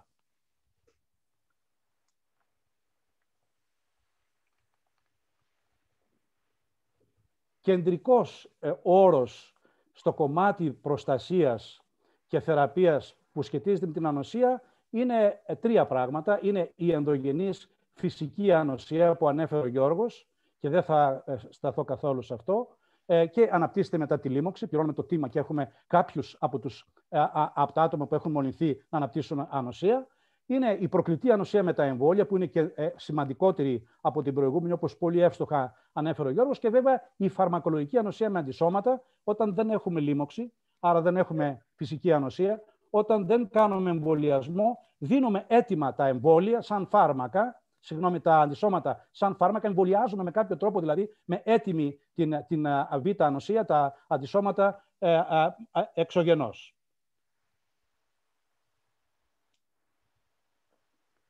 Ε, δημοσιεύτηκε πριν λίγες μέρες, δύο-τρεις μέρες, ένα πολύ ενδιαφέρον άρθρο στο Science που περιγράφει την φυσική ανοσία, την ενδογενή ανοσία στα άτομα που έχουν ε, μολυνθεί από τον ιό και το αναφέρω μόνο, ο, ο Γιώργος το ανέφερε με πολύ ε, ε, λεπτομέρεια, αναφέρω μόνο να σας μείνει σαν μήνυμα ότι η φυσική ανοσία μπορεί να μην είναι τέλεια, αλλά υπάρχει και μάλιστα φαίνεται ότι υπάρχει φυσική ανοσία και στο επίπεδο της χημικής με ύψιλο ανοσίας των β' ε, κυτάρων και των αντισωμάτων, τουλάχιστον για 8 με 9 μήνες. Και ένα κάτι που είναι πιο ενδιαφέρον κατά τη γνώμη είναι ότι φαίνεται ότι υπάρχει και κυταρική ανοσία, δηλαδή η ανάπτυξη τάφ κυταροτοξικών λεφοκυτάρων. Τα πρώτα, τα αντισώματα, εστιάζουν στον ιό και τον μπλοκάρουν. Τα δεύτερα δεν εστιάζουν στον ιό, αλλά στα κύτταρά μας, τα οποία είναι τα εργοστάσια παραγωγής μέσα στο σώμα του ιού, ε, τα οποία πρέπει να θανατωθούν ώστε να σταματήσει αυτός ο φαύλος κύκλος.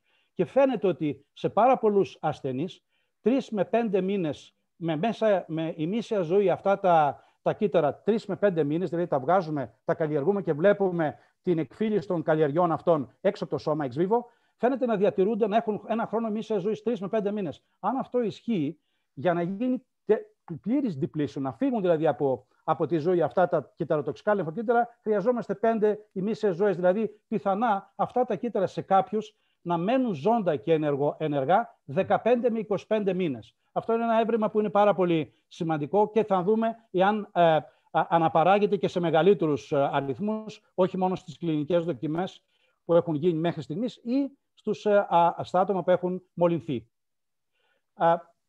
Η διαφάνεια περιγράφει όλες τις τεχνολογίες που έχουμε στα χέρια μας για την ανάπτυξη εμβολίων, για την ανάπτυξη δηλαδή της, ε, ε της επαγώγημης ανοσίας.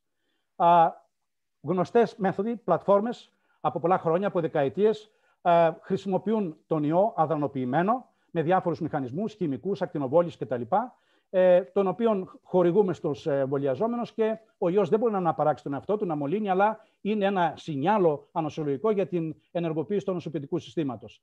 Υπάρχουν ήδη εμβόλια τα οποία έχουν χρησιμοποιηθεί κλινικά και χρησιμοποιούνται. Είναι αυτά στην Κίνα, της Sinovac και της ε, Sinopharm, τα οποία έχουν ε, ήδη κάποια αποτελεσματικότητα. Δεν έχουμε καλή πληροφόρηση ακόμη στην κοινότητα πόσο αποτελεσματικά είναι, αλλά είναι βέβαιο ότι ε, οι επόμενοι μήνες θα μας δώσουν ενδιαφέροντα δεδομένα. Ένας δεύτερος τρόπος, μια δεύτερη πλατφόρμα, είναι να χρησιμοποιούμε κομμάτια ανοσολογικά, δηλαδή πρωτεΐνες από το, από το καψίδιο, από το έξω περίβλημα του ιού, τα, οποία, τα, τα κομμάτια αυτά δεν έχουν το γενετικό υλικό του ιού, είναι πιο καθαρά, τα χορηγούμε και ενεργοποιούν το νοσοποιητικό σύστημα και παράγουν αντισώματα. Τέτοιο εμβόλιο είναι το εμβόλιο της Sinovac, της Novavax, ε, το οποίο ε, τους επόμενους μήνες ε, θα, θα έχουμε την, τα αποτελέσματα της κλίνης δοκιμής φάσης 3 για να δούμε πώς πάει. Η φάση 1 και 2 φαίνεται να έχει καλά αποτελέσματα όσον αφορά την ασφάλεια και την, και την αποτελεσματικότητα. Και ερχόμαστε στα, στις πιο καινούργιες πλατφόρμες.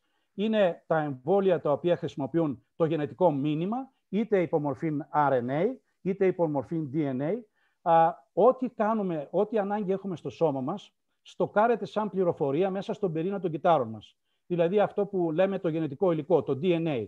Το DNA είναι ένα πολύ α, δυνατό και πολύ α, σταθερό υλικό, γιατί έτσι πρέπει να είναι για να διατηρείται αυτή η μνήμη από το ένα κύτταρο στο άλλο όταν διαρρείται και στις επόμενες γενιές. Και κατά συνέπεια είναι ένα υλικό το οποίο είναι μόνιμα μέσα στα κύτταρά μας.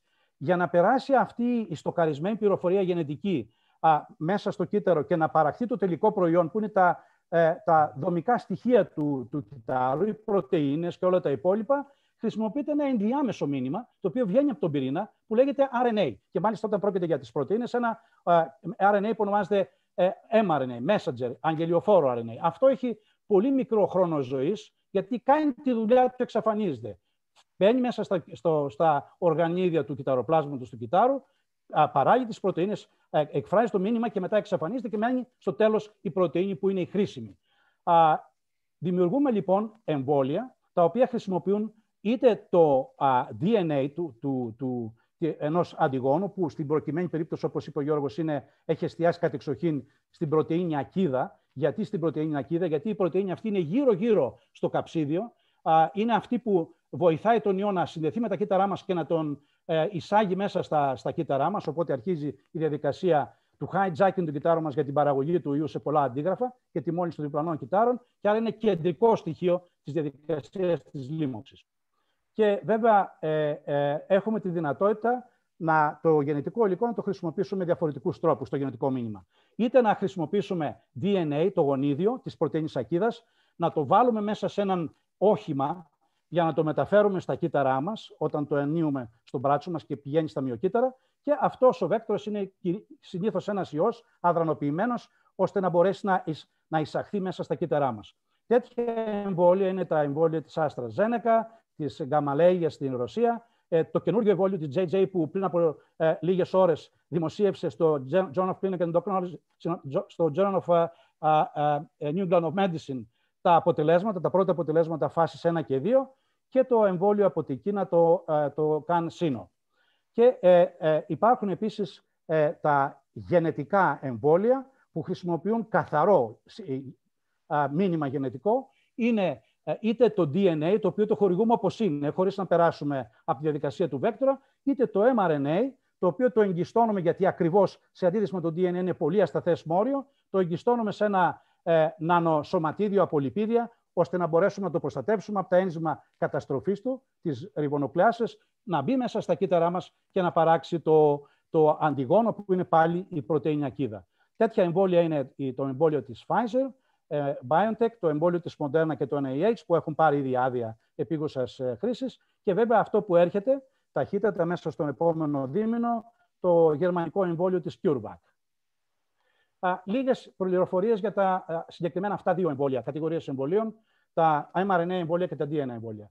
Το εμβόλιο της, ε, τα εμβόλια της Pfizer και της Moderna ε, έχουν το πλεονέκτημα να έχουν ένα σταθές ε, υλικό ανοσοποίησης, ένα flash μόριο, ε, λειτουργεί ως μέσα στο σώμα μας για, για λίγο χρονικό διάστημα και εξαφανίζεται, αφού παραχθεί η πρωτεΐνη του αντιγόνου και ενεργοποιήσει το νοσοποιητικό σύστημα. Έχει σταθεροποιηθεί μετά από δουλειά τουλάχιστον ε, πέντε χρόνων με ένα νουκλεοτίδιο, με ένα νουκλεοσίδιο το οποίο σε αντίθεση με το φυσικό νουκλεοσίδιο το κάνει λίγο πιο σταθερό, τόσο σταθερό ώστε να μπορέσουμε να το μεταφέρουμε.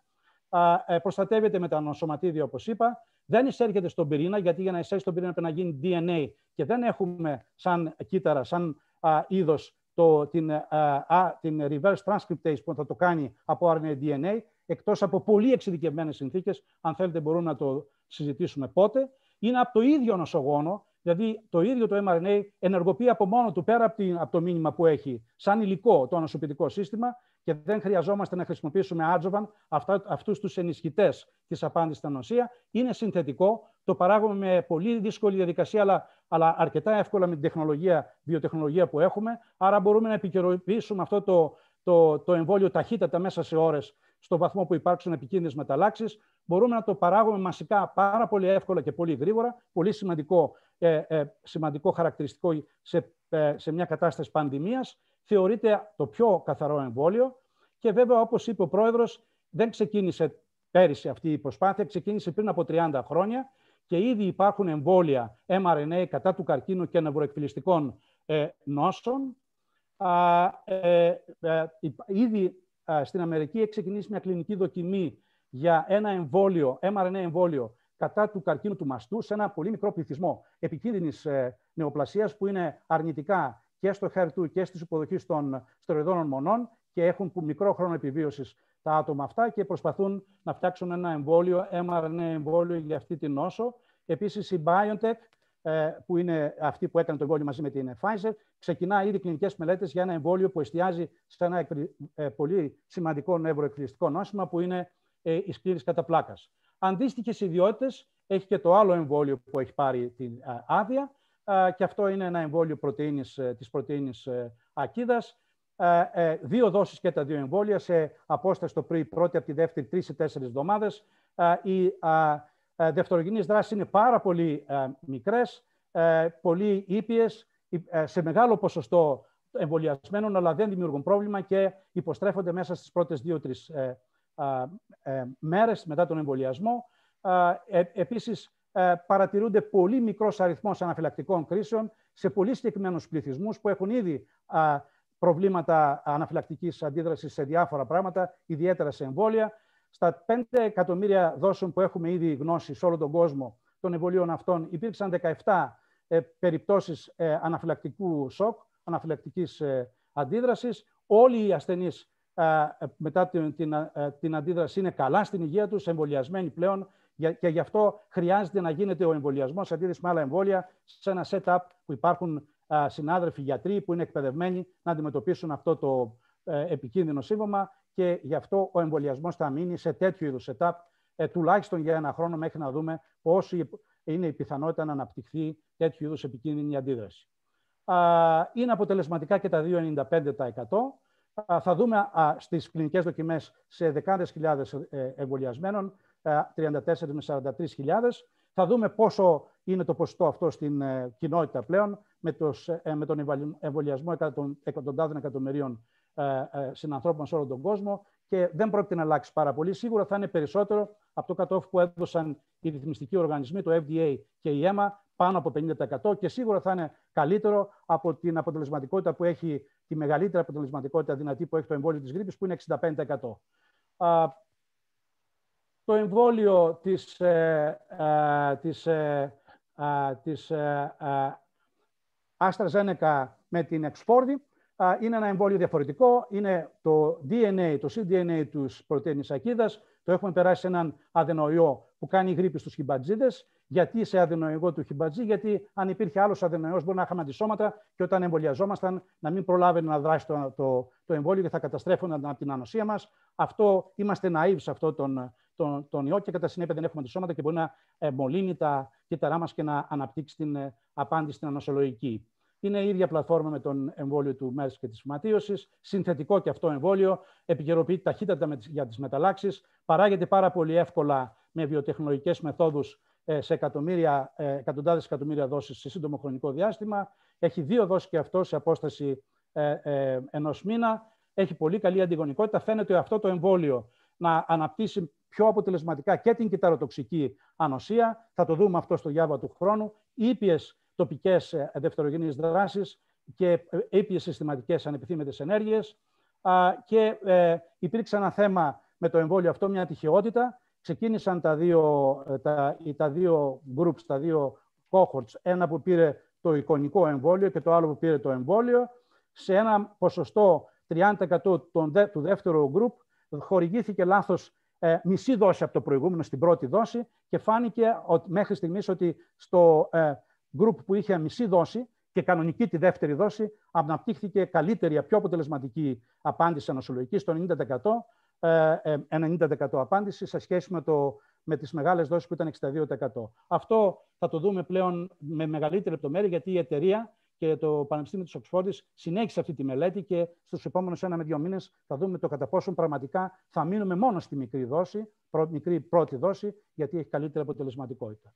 Ε, μεγάλο ερώτημα ε, αν αυτά τα πράγματα έγιναν στο πόδι και κατά συνέπεια είναι όλα επικίνδυνα. Μεγάλο λάθος, διότι πρώτον ε, είναι η πρώτη φορά που έχει γίνει τέτοια προσπάθεια για ανάπτυξη μιας, ε, ε, ενός εμβολίου μιας πανδημίας, σε μια πανδημία, τουλάχιστον τελευταία 100 χρόνια. Αυτό δημιούργησε τεράστια πίεση σαν πρόβλημα, μεγάλο πρόβλημα σε όλο τον κόσμο δημόσιας υγείας, ενεργοποίησε τον ιδιωτικό τομέα, τη βιομηχανία, τους επενδυτές, ενεργοποίησε τα κράτη, τις κυβερνήσεις, ενεργοποίησε τα ερευνητικά εργαστήρια, τα πανεπιστήμια που δουλεύουν στο συγκεκριμένο αντικείμενο. Ε, βέβαια, ε, πίεσε πάρα πολύ και τους ρυθμιστικούς οργανισμούς αδειοδότησης, όπως ο FDA, όπως ο ΕΜΑ και οι εθνικοί αντίστοιχοι ρυθμιστικοί οργανισμοί. Και όλα αυτά πήγαν πάρα πολύ γρήγορα γιατί έγινε ε, ε, παράλληλη δουλειά των κλινικών φάσεων 1, 2 και 3 με, σύγχρο, με σύγχρονη ενεργοποίηση, θα έλεγα, εκατοντάδων χιλιάδων ερευνητών, κλινικών, βασικών επιστημόνων και επιστημόνων άλλων ε, συναφών επιστημών, όπως τα, ε, οι επιστήμες των υλικών, οι, επιστήμες των, οι υπολογιστικές επιστήμες, για να γίνουν οι κλινικές δοκιμές ταχύτατα, με ασφάλεια και βέβαια να ε, ελαττωθεί ο χρόνος που α, χρειαζόμαστε για να κάνουμε τέτοια εμβόλια. Ένα πράγμα που θέλω να θυμόσαστε είναι από εδώ και πέρα, λόγω του ότι έγινε αποτελεσματική αυτή η τεράστια προσπάθεια, δεν θα είναι η ίδια πλέον τα, οι κλινικές δοκιμές νέων φαρμάκων και για άλλα νοσήματα σημαντικής ε, ε, παρέμβασης στην, ε, στη δημόσια υγεία, όπως τα νεοπλασματικά νοσήματα, τα νευροεκφυλιστικά, τα νοσήματα του, του μεταβολισμού, όπως σαχαρόδης διαβήτης, γιατί πλέον οι σύνδεσμοι των ασθενών έχουν ένα καλό παράδειγμα ότι αυτό μπορεί να δουλέψει και κατά συνέπεια θα πιέζουν πλέον οι εταιρείες, ρυθμιστικού οργανισμού και τις κυβερνήσεις να, να γίνονται πλέον αυτές οι προσπάθειες ταχύτερα και να μην χάνεται χρόνος.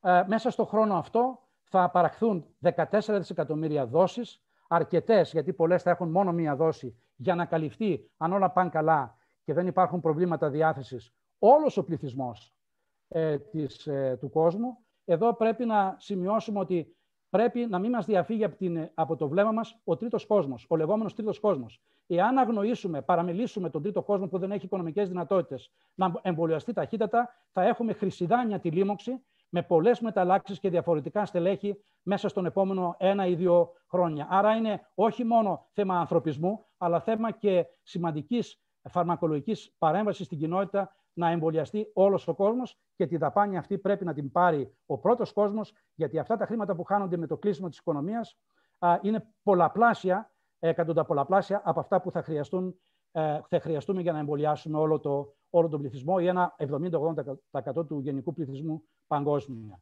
Οι δόσεις που θα έρθουν στην Ευρώπη, και άρα αρκετές σε εμάς, είναι 2,3 δισεκατομμύρια δόσεις το 2021 από την Ευρωπαϊκή Επιτροπή και μάλλον από αυτά 25 εκατομμύρια δόσεων θα έρθουν στη χώρα μας. Ε, να ε, ε, συνεχίσω με, τα, με την φαρμακολογική ανοσία, τα μονοκλονικά αντισώματα, η διαδικασία που ε, έγινε ε, να χρησιμοποιήσουμε πλάσμα, όπως είπε ο Γιώργος, από ανανύψοντες ασθενείς που είχαν ε, ανοσία ήδη και είχαν αντισώματα, μας έδωσε και ένα άλλο παραπροϊόν, πολύ ενδιαφέρον όμως. Απομονώσαμε με διάφορες τεχνικές τα μονοκλονικά αντισώματα συγκεκριμένους πληθυσμούς αντισωμάτων κατά της πρωτεΐνης ακίδας από αυτούς τους ασθενείς.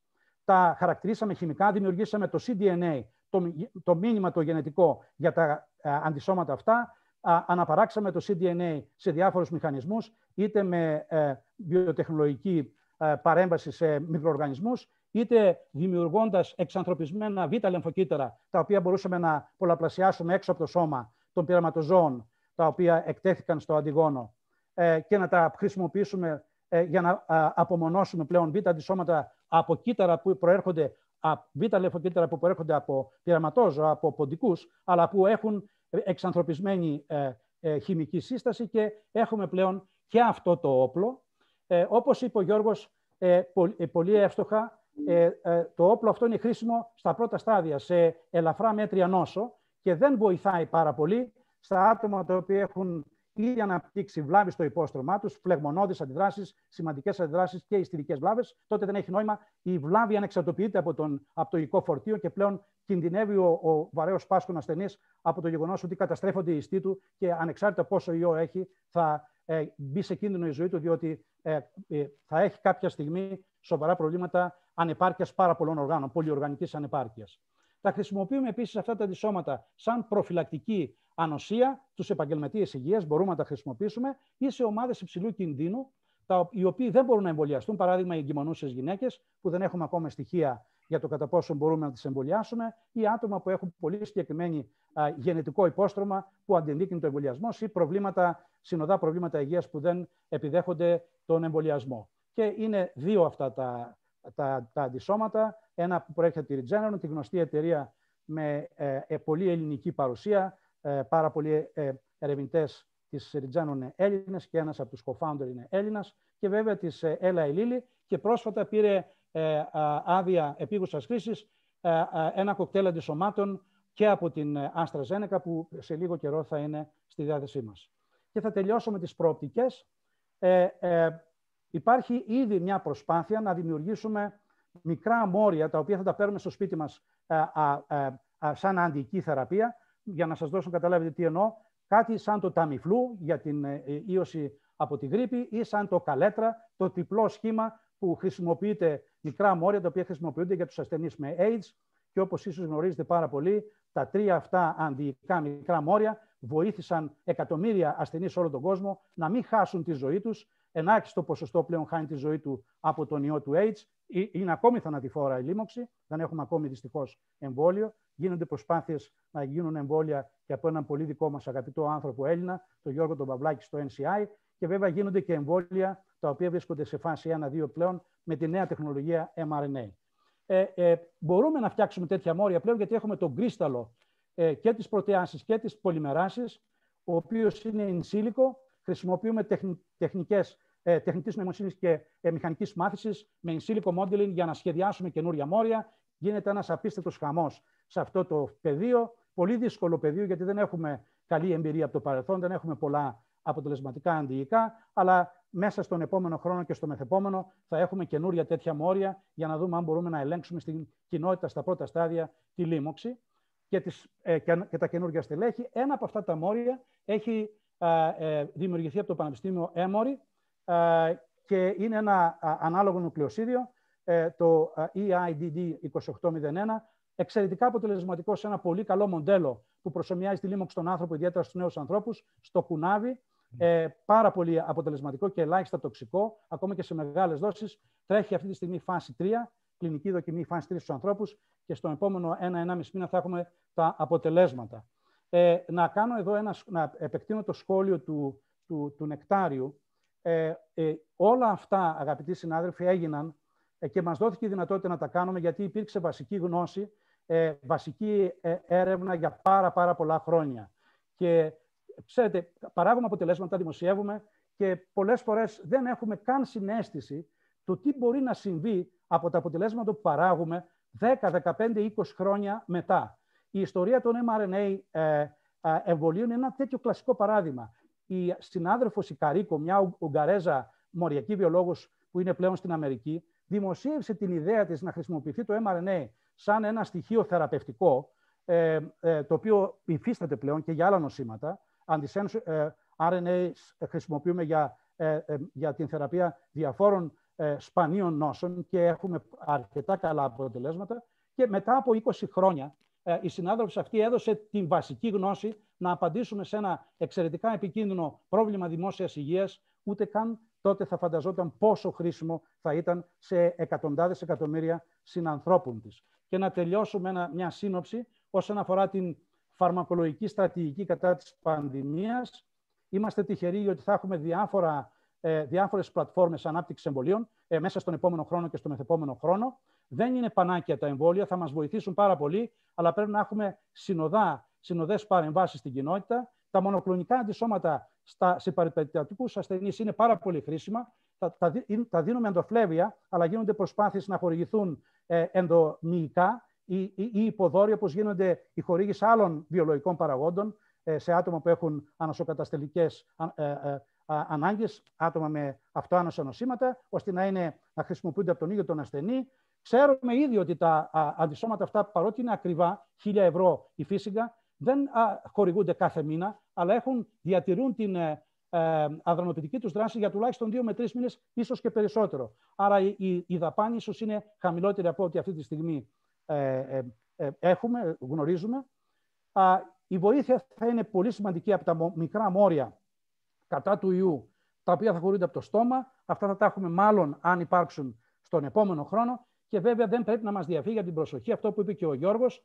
Η βασική μας προσπάθεια να ελέγξουμε την πανδημία στην κοινότητα με, τα, με την χρησιμοποίηση της μάσκας των αποστάσεων και της προσωπικής υγιεινής τουλάχιστον για, όλον το, για, για το τρέχον έτος, ε, διότι αυτό δεν έχει μόνο σημασία στο να μας προστατεύσει, αλλά δεν δίνει χώρο στον ιό να πολλαπλασιαστεί ακόμη περισσότερο η παρουσία του στην κοινότητα και να του δώσουμε τη δυνατότητα μεταλλαξιογένεσης πολύ πιο απο, ε, αποτελεσματικής.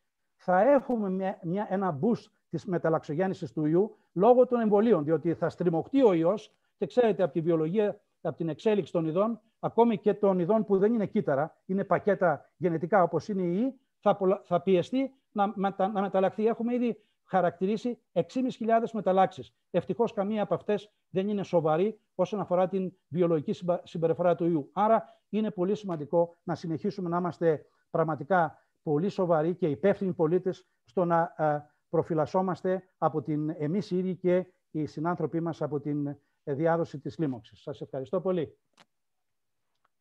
Α, ευχαριστούμε πολύ, Αχιλέα. Ε, να πάμε αμέσως στο δεύτερο μέρος με τις ερωτήσεις και απαντήσεις. Ε, με δύο τρόπους μπορείτε να κάνετε ερωτήσεις. Το ένα είναι να σηκώσετε χέρι και εγώ θα σας επιλέξω όταν ε, δω το χέρι σας και το άλλο να γράφετε τις ερωτήσεις σας στο chat. Ήδη έχουν μαζευτεί ε, κάποιες ερωτήσεις στο chat και θα ήθελα να ξεκινήσω με αυτές. Η πρώτη ερώτηση είναι αν όλα τα εμβόλια που έχουν πάρει έγκριση ε, που έχει παραγγείλει η χώρα μας παράγουν υψηλούς τίτλους εξουδετερωτικών ωφέλιμων αντισωμάτων. Κάποιες ερωτήσεις μπορείς να λέμε ναι ή όχι, γιατί ακούσαμε στις παρουσιάσεις. Ναι. Θέλετε να απαντήσω εγώ; Ναι. ναι. Κοιτάξτε, για, να περάσει ένα εμβόλιο στη, στην τρίτη φάση για να κρυθεί αποτελεσματικότητα, έχει περάσει από την πρώτη και τη δεύτερη φάση όπου γίνεται έλεγχος ασφάλειας και έλεγχος κατά πόσο είναι, επάγονται οι τίτλοι εξωτερικών αντισωμάτων και όλα τα εμβόλια νέα που έχουν κυκλοφορήσει έχουν, παράγουν πολύ υψηλούς τίτλους ε, εξωτερικών αντισωμάτων και δεν παράγουν τα άλλα τα αντισώματα που είχαν φέρει στην ομιλία μου, τα οποία ε, πολλές φορές μπορεί να πάγουν τη λίμωξη. Το οποίο είναι κάτι πολύ σημαντικό, γιατί σε άλλα εμβόλια αντίστοιχα στο παρελθόν, όπως έχουν να κάνουν με το δάγιο πυρετό, με, με, το, με, με μια σειρά από παθογόνων, μπορώ να σα πω, δεν καταφέραμε να βγάλουμε εμβόλια σε τρίτη φάση ακριβώς επειδή δεν ε, επαχθήκαν αρκετές ποσότητε ε, εξουδετερωτικών αντιζωμάτων και είχαμε αντίστοιχα αποτελέσματα. Οπότε αυτό είναι κατηγορηματικά ναι, ότι, ότι είμαστε απόλυτα κατηγορηματικοί σε αυτό. Ωραία. Ε, πριν συνεχίσω με τις ερωτήσεις στο chat, θα ζητήσω τον Πέτρος M, που σήκωσε το χέρι, να κάνει unmute και να κάνει την ερώτηση του.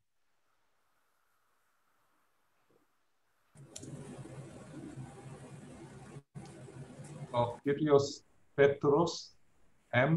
Ε, συγγνώμη, συγγνώμη, έκανα λάθος. Συγγνώμη. Κάνατε λάθος. Ωραία. Συνεχίζω τότε το, από το chat. Α, δημοσιεύτηκε έρευνα τον Νοέμβριο που ανέφερε ότι, κορτικο, ότι τα κορτικοστεροειδή είναι αμφιλεγόμενα στη χρήση τους. Πρόκειται για κάποια κατηγορία τέτοιων φαρμάκων που αναφέρεστε; Η οποία, είναι, η οποία να είναι 100% αποτελεσματική. Ε, θα απαντήσω εγώ, Γιάννης, σε αυτό. Ναι. Όπως ανέφερε ο Γιώργος, τα κορτικοστεροειδή έχουν βοηθήσει πάρα πολλούς ασθενείς, αλλά όχι όλους τους ασθενείς. Έχουν βοηθήσει τους ασθενείς οι οποίοι έχουν αναπτύξει φλεγμονώδη αντίδραση και χρειάζεται να την καταστήλουμε. Εάν τα κορτικοστεροειδή τα δώσουμε πρώιμα, τότε που αναπτύσσεται η ανοσία, κάνουμε ανοσοκαταστολή, πρώιμη ανοσοκαταστολή και τότε αντίθετα βοηθάμε τη λίμωξη. Άρα αυτή η ιδέα ότι δίνουμε κορτικοστεροειδή ανεξέλεκτα σε όλους είναι λάθος. Την, την επιλογή του κορτικοστεροειδούς και πότε θα την πάρει και σε τι χορήγηση θα την πάρει ο θεράπων γιατρός ο οποίος ξέρει ακριβώς, Γιάννη, ποια είναι η κατάσταση τόσο σε επίπεδο ίωσης αλλά και σε επίπεδο ε, ε, επιπλοκών στο συγκεκριμένο ασθενή. Άρα είναι αποτελεσματικά σε πολλοί, πολλούς ασθενείς, 50 ίσως και παραπάνω τα 100 των βαρέως πασχόντων και, που έχουν αναπτύξει ανοσία, ε, ε, που έχουν αναπτύξει ε, φλεγμονή, αλλά αυτό είναι κάτι το οποίο δεν είναι blindly taken. Πρέπει ο θεράπων γιατρός να αποφασίσει πότε θα τα δώσει και σε ποιους. Ωραία. Σχετική ερώτηση είναι η επόμενη. Άτομα με ιδιοπαθές υπεριοσυνοπτικό σύνδρομο με συστηματική προσβολή πνεύμονα υποκορτιζόνη εδώ και χρόνια εμβολιάζονται; Βεβαίως. Να, να απαντήσω να συμπληρώνει και ο Ζραβάνης αν θέλει. Δεν υπάρχει καμία αντένδειξη σε κανένα ασθενή. Δεν έχουν βγει επίσημα οι εθνικές ε, κατευθυντήρε οδηγίες, αλλά οι παγκόσμιες οδηγίες από το CDC, από τον Αμερικάνικο Αντίστοιχο Οργανισμό, και οι οδηγίες που θα βγουν σε, σε, σε λίγες μέρες από ε, τον, τον δικό μας Εθνικό Οργανισμό δεν αποκλίνουν κανέναν από τον εμβολιασμό. Και ακόμα και τα πιο, τα άτομα που έχουν σοβαρή ανοσοανεπάρκεια, όπως οι άρρωστοι που έχουν κάνει μεταμόσχευση μυελού, στον μεταμόσχευση συμπαγών οργάνων, που παίρνουν σοβαρά πολύ πιο ανασοκαταστατικές θεραπείες από την ε, μικρή δόση κορτιζόνη που μπορεί να παίρνει ένας ε, τέτοιος ασθενής, ε, εμβολιάζονται γιατί ακριβώς η, η, η, η νόσος και οι επιπτώσεις της νόσου ένα τέτοιο άνθρωπο είναι πολύ πιο ε, καταστροφικές από το, ε, από, το, από το εμβόλιο πρώτον.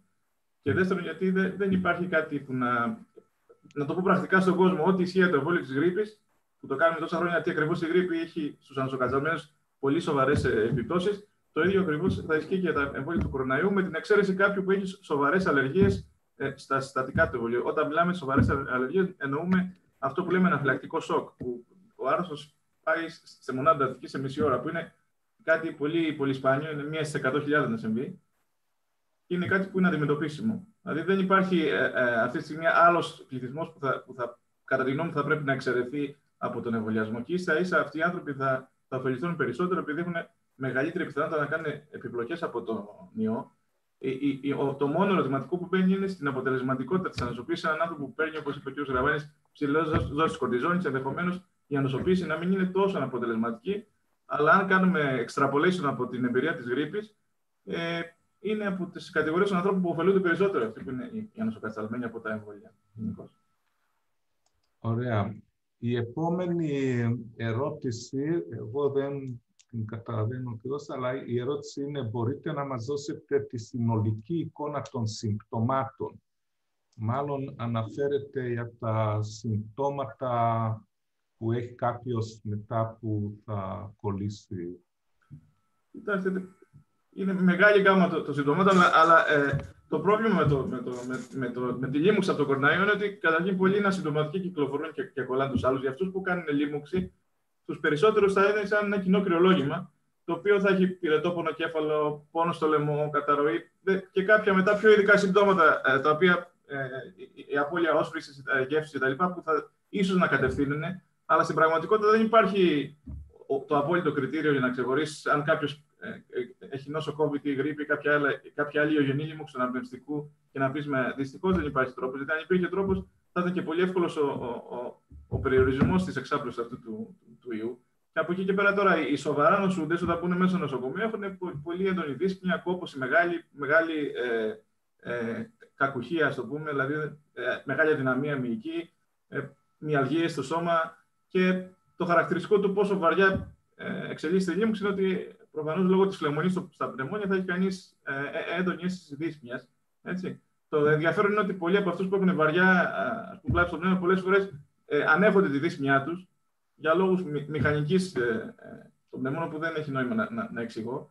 Και από εκεί και πέρα ε, αυτή η νόσος έχει πολλές φάσεις. Δηλαδή, όταν μπει κάποιος μέσα στη, σε μια μονάδα εντατική, για να ξέρουμε και τις επιπτώσεις, είναι ένας γολογοθά γιατί ε, αντιμετωπίζεις δευτερογενείς λοιμώξει, εξαρτάσαι από τον αναπνευστήρα, είναι πολύ δύσκολο να αποσυλλονιθεί. Βγαίνεις με, με πολύ μεγάλη απώλεια μυϊκής μάζας. Η αποκατάστασή σου είναι, ε, ας το πούμε, μακροχρόνια. Και ένα επίσης ενδιαφέρον που τα, μπορεί και ο κύριος Γραβάνης να το σχολιάσει είναι ένα πολύ μεγάλο ποσοστό των ανθρώπων που, αναρώ, που ε, αναρώνουν από την νόσο ουσιαστικά μετά έχουν κάποια άλλα χρόνια προβλήματα τα οποία είναι ενδιαφέροντα, δεν τα έχουμε ξαναδεί σε, σε, σε άλλους ιού τόσο πολύ. Ε, κάποιο τύπο αυτοάνωση επιπλοκές, κάποια. Ε, ακούσα για, για πολλές ε, ε, περίεργες ε, επιπτώσεις που ενδεχομένως να έχουν κάνει με, το, με, την, ε, ας το πούμε, με μια φλεγμονώδη απάντηση που, που, που, που παραβαίνει πίσω. Ναι. Ε, να προσθέσω, Γιώργο, το εξής και ε, ε, ορμόμενος από το τελευταίο σου σχόλιο. Είναι εξαιρετικά σημαντικό να υπογραμμίσουμε και οι δυο ότι πρέπει να κάνουμε μεγάλη προσπάθεια να μείνουμε μακριά από τον ιό. Όχι με την έννοια δεν πειράζει, εντάξει, θα είμαστε ασυμπτωματικοί, είμαστε νέοι άνθρωποι, δεν ξέρουμε τις μακροχρόνιες επιδράσεις του ιού σε πάρα πολλά συστήματα. Για παράδειγμα, στο χώρο το δικό μας έχουν συσχετιστεί προβλήματα ε, ψυχοσικών εκδηλώσεων, προβλήματα που σχετίζονται με το αγκιακό σύστημα στον εγκέφαλο, μικροαιμορραγίες που μπορούν να σχετίζονται long term με προβλήματα που σχετίζονται με τη λειτουργία του, του, του, του, της εγκεφαλικής ουσίας και νευροεκφυλιστικές διαδικασίες. Ε, ξέρουμε, για παράδειγμα, ότι ε, σε ορισμένα άτομα ε, νεότερης ηλικίας αναπτύχθηκαν ανοικές αντιδράσεις που δεν ήταν συμβατές με άλλου είδους ε, ε, ε, νόσηση. Άρα πρέπει να προστατευτούμε, πρέπει να προφυλαχτούμε, ώστε να μην έρθουμε σε επαφή με τον, με, με τον ιό. Ναι, Ευχα... ωραία. Επόμενη ερώτηση για την, αφορά την βιταμίνη D.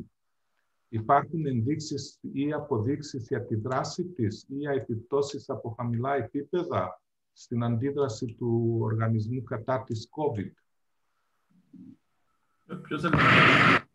Ε, θα πω κάτι εγώ, Γιώργο, και συμπληρώνεις αν ναι. θέλεις και εσύ. η βιταμίνη D είναι γνωστό ότι η μορφή της η ενεργός ε, μετατρέ... χρειάζεται το δέρμα μας για να μετατραπεί και ηλιοφάνεια. Ε, στη χώρα μας αυτό δεν είναι σαν πρόβλημα. Είναι πρόβλημα όμως σε άλλες χώρες, όπου έχουν μια υποβιταμίνωση και χρειάζονται συμπλήρωμα. Η βιταμίνη D, ιδιαίτερα η D3, η 1,25 βιταμίνη D3, είναι πάρα πολύ σημαντική για πολλά συστήματα. Δεν είναι μόνο ένα supplement, αλλά είναι, έχει χαρακτηριστικά ε, περισσότερο ορμονικά χαρακτηριστικά. Και ένα από τα συστήματα στα οποία ε, επιδρά και είναι πολύ σημαντικός παράγοντας είναι το ανασωπητικό σύστημα. Κατά συνέπεια έχουν υπάρξει ε, ε, προτάσεις να, σε άτομα τα οποία δεν έχουν καλή ε, ε συγκέντρωση βιταμίνης D3 στο, στο αίμα, στο σώμα τους, να παίρνουν συμπληρώματα βιταμίνης D3.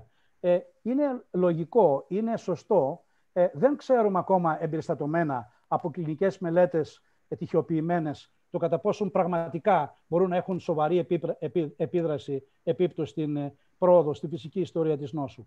Αλλά ε, νομίζω ότι και για άλλους λόγους, άτομα τα οποία μένουν πολύ ε, για μεγάλο χρονικό διάστημα σε σκοτεινό μέρος, ε, έχουν διαπιστωμένη εργαστηριακά ελαττωμένη συγκέντρωση βιταμίνης D3, καλό είναι να κάνουν supplementation. Ναι. Ωραία. Το επόμενη ερώτηση, τα λιπίδια μεταφοράς του mRNA από τι αποτελούνται και ποιο είναι το μέγεθος του LNP. Ε, το LNP είναι lipid nanoparticles. Ε, ναι, το... Είναι κάποια να, να, να, Και ναι. έχουν, έχουν, ε, δεν θυμάμαι ακριβώς τη σύσταση, αλλά αν μπουν στο, στη δημοσίευση Α μου στείλουν ένα email αυτοί που έχουν ρωτήσει για να του στείλω το, το paper και να δουν τη σύσταση ακριβώς. Ναι, ναι, ωραία.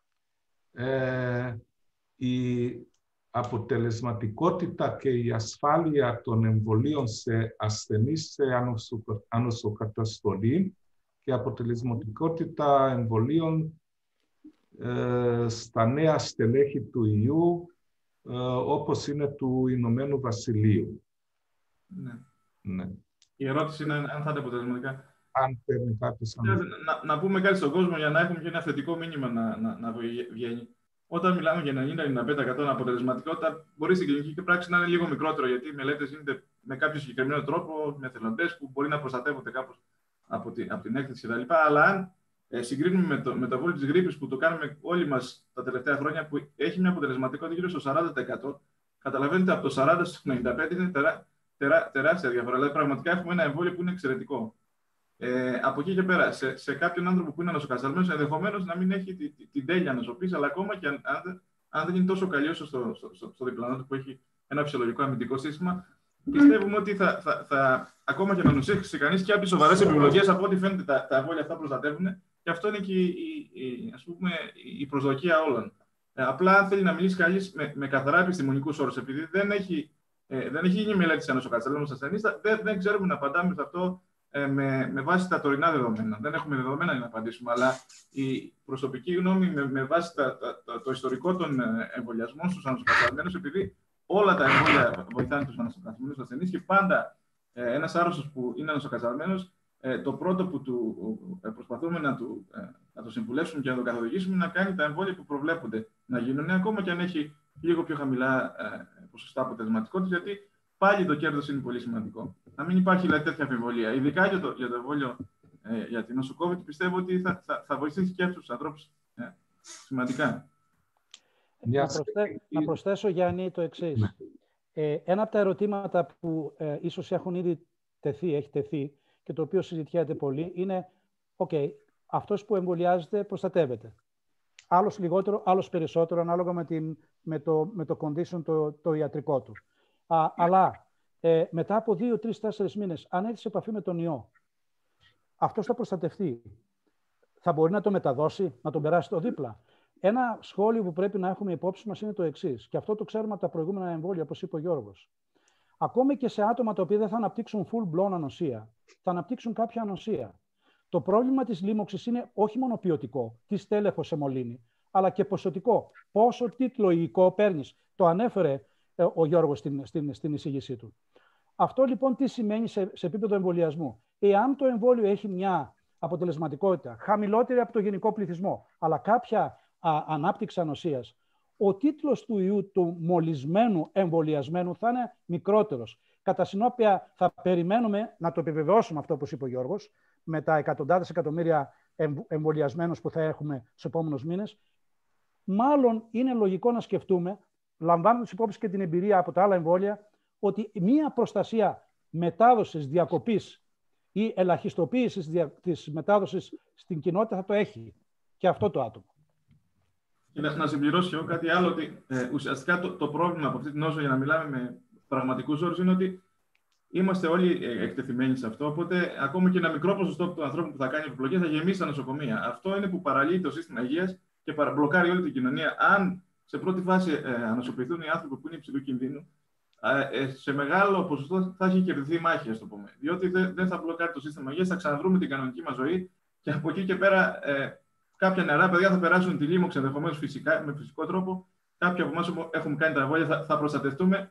Τώρα το αν μεταδίδει ένας στον άλλο ή αν αυτός ο ιός κάνει ένα κύκλο κάθε χρόνο ή κάθε δύο χρόνια που λένε, είναι κάτι το οποίο μας ενδιαφέρει λιγότερο. Μας ενδιαφέρει αυτή τη στιγμή να, να, να ξαναβρούμε την κανονική ζωή. Ο μόνος τρόπος για να βρούμε την κανονική ζωή, να, να πάψει ο κόσμος να παίρνει με, με σοβαρές επιπλοκές στα νοσοκομεία τώρα, τους επόμενους μήνες, είναι να, να γίνει το εμβόλιο. Είναι πολύ σημαντικό. Αυτό σαν, σαν γενικό μήνυμα. Ωραία. Μια σχετική, άλλη σχετική, ε, ερώτηση σχετικά με την ε, ανοσοκαταστολή. Ασθενής με ανοσοκαταστολή εμπρά συνιστάται η πάυση της δοσολογίας; Ε, η πάυση; Η πάυση της, ε, του, της, του, του, φαρ, της αγωγής, φαρμακευτικής αγωγής. Α, αυτό είναι καλή ερώτηση. Κοιτάξτε, ναι. αυτό που κάνουμε στους μεταμοσχευμένους και στους ανθρώπους που έχουν ας πούμε, χημειοθεραπεία με χαμηλά λευκά, περιμένουμε ε, τη φάση που θα ελαττωθεί η δόση ας πούμε, της κορτιζόνης, αν παίρνει πολύ ψηλές δόσεις κορτιζόνης, ή τη φάση που θα έχουν ανακάμψει τα, τα λευκά. Αυτά είναι πιο εξειδικευμένα. Θέλουν ε, οι άνθρωποι και έχουν απορίες, μπορεί ή να μας στείλουν email και τηλέφωνο να, να, να, το εξηγήσουμε λίγο πιο αναλυτικά, αλλά υπάρχει τρόπος, όπως όλα τα εμβόλια, υπάρχει τρόπος να τα χορηγήσει κανείς σε έναν άνθρωπο που έχει ε, ανασοκαταστολή, και αυτό το εμβόλιο θα, θα χορηγείται με τον ίδιο τρόπο που, που, που κάνει ο, ο ανασοκατασταμένος άρρωστος στο εμβόλιο της γρήπης, το εμβόλιο για το πνευμονιάκο, που είναι, δεν θα είναι κάτι διαφορετικό σαν, σαν, σαν τρόπος χορήγησης. Δηλαδή αυτό είναι. Και επίσης κάτι άλλο, για να μην τρομοκρατούνται αυτοί οι άνθρωποι που είναι ανασοκατασταλμένοι, μην νομίζουν ότι έχουν πολύ ε, μεγαλύτερες πιθανότητες από, από εμάς τους υπόλοιπους να νοσήσουν πιο βαριά από το COVID, γιατί δεν έχει αποδεχτεί από τις μελέτες αυτό που έχει αποδεχτεί από την επιδημιολογία της νόσου. Η ηλικία και οι μεταβολικοί παράγοντε είναι αυτοί που είναι το, το πιο σημαντικό για να κάνεις βαριά νόσο, παρά αν, αν παίρνεις, ας πούμε, κορτιζόνη ή ερματολογικά φάρμακα. Ή, ε, αυτό είναι. Η επιδημιολογία το έχει ξεκαθαρίσει. Άρα να μην, να μην πανικοβάλλονται ότι αν θα κολλήσουν θα είναι για αυτούς κάτι καταστροφικό χωρίς να περάσουν το μήνυμα ότι πρέπει να κυκλοφορούν, να κυκλοφορούν χωρίς προφυλάξεις, αλλά να μην αισθάνονται ότι είναι ας το πούμε, πολύ πιο ευάλωτοι από, ότι, από τον υπόλοιπο κόσμο, ότι δεν, δεν είναι ε, αυτό επιστημονικά απόλυτα βεβαιωμένο. Και ο λόγος είναι ότι η μεγάλη φλεγμονή που, που, που, που προκαλεί αυτός ο, ο, ο ιό στους ανθρώπους που πάνε κακά, σε αυτούς θα είναι ίσως λίγο πιο ε, ας πούμε. Ναι. Ναι αυτό απαντάει και, δηλαδή νομίζω έχει και η επόμενη απαντηθεί ότι σε άτομα με αυτοάνωσα προτείνεται ο, ο εμβολιασμός για τον ιό. Δηλαδή αυτά είναι τα άτομα. Ναι, βεβαίως. Ναι. Θα προταθεί, κοιτάξτε, δεν έχει βγει επίσημη οδηγία. Αυτό θα, θα βγει και από τις εταιρείες του θα βγει οδηγία και προφανώς θα, θα, θα, θα κάνουν και αυτοί το εμβόλιο. Όπως ακριβώς κάνουν το, το εμβόλιο της γρήπης, θα είναι η ίδια οδηγία και το εμβόλιο του, του κοροναϊού. Ε, έχουν ήδη, Γιάννη, ε, απαντήσει αυτό επίσημα με ανακοίνωση πριν 20 μέρες η Αμερικάνικη Εταιρεία Νοσολόγων. Και έχουν κάνει guidelines τα οποία υπάρχουν ήδη στην Ελλάδα και περιμένουμε από τους ανοσολόγους, αυτό λέει ο Γιώργος, και στην Ελλάδα, δεν ξέρω αν έχει γίνει ήδη, να συζητήσουν την, ε, τα guidelines αυτά και θα τα έχουμε σύντομα, αν δεν τα έχουμε ήδη από την Επιτροπή. Ε, μια άλλη ερώτηση, γιατί τα δύο mRNA εμβόλια έχουν τόσο μεγάλη διαφορά στις θερμοκρασίες συντήρησης; Τεχνικό θέμα καθαρά. Τεχνικό Να πω μόνο ένα πράγμα, ότι η, η Pfizer αυτή τη στιγμή ε, έχει δώσει μεγάλη προσοχή στο να κάνει το, την φαρμακοτεχνική μορφή του εμβολίου της πιο εύχρηστη και επειδή είναι μεγάλο, μεγάλη εταιρεία, να είστε βέβαιοι, Γιάννη, ότι μέσα στους επόμενους μήνες θα έχει αντίστοιχη φαρμακοτεχνική μορφή όπως και η Μοντέρνα.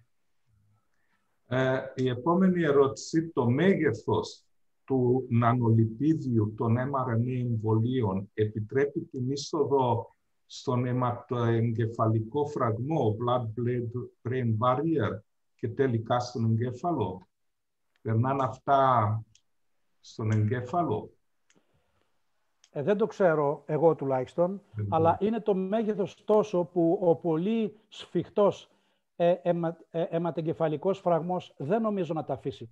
Ε, παίρνοντας υπόψη μου την υπάρχουσα βιβλιογραφία για τη χρησιμοποίηση ειδικών nanoparticles για να περάσουμε χημοθεραπευτικά μέσα στον εγκέφαλο, είναι μια τεράστια προσπάθεια για πολλών χρόνων που ακόμη είναι στα σπάργανά της. Άρα θα εκπλαγώ πολύ αν αυτό το, αυτό το νανοσωματίδιο κάποιων αρκετών ε, nanometers έχει δυνατότητα να περάσουμε στον εγκέφαλο. Ναι. Ε, μια, πάλι πάμε σε ασθενείς με ανοσοκαταστολή.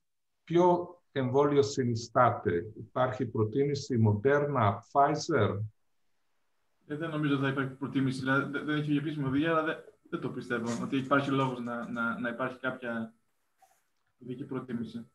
Ωραία. Συγκεκριμένα και ασφαλή και η επόμενη ερώτηση αφορά την ομάδα αίματος. Όσοι ανήκουν σε ομάδα αίματος 0 διατρέχουν μειωμένο κίνδυνο από την COVID. Ναι, εντάξει. Έχουν ένα 10% καλύτερη πιθανότητα να τα απεξέλθουν. Απλά που θέλουν το μήνυμα που πρέπει να μείνει ότι οι άνθρωποι που νοσούν βαριά ε, δεν έχουν τόσο πολύ. Ίσως υπάρχει ένα γενετικό κομμάτι που δεν το έχουμε απόλυτα αποσαφηνίσει, αλλά είναι ουσιαστικά το κομμάτι της μεγάλης ηλικίας και των, των, των μεταβολικών προβλημάτων. Δηλαδή, άνθρωποι με καρδιακά νοσήματα, χρόνια βλάβη στο ενδοθήλιο, χρόνια πνευμονικά νοσήματα, ε, προκαλούνται από το κάπνισμα, για παράδειγμα, ή από άλλα νοσήματα του πνεύμου. Αυτοί είναι πιο πολλοί που, που, που κινδυνεύουν από τις επιπλοκές της COVID.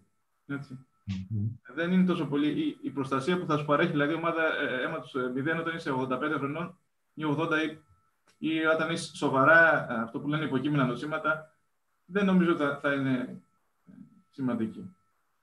Να αισθάνεσαι δηλαδή λίγο καλύτερα, Εντάξει, με το να ξέρεις ότι έχεις λίγο πιο μικρές πιθανότητες.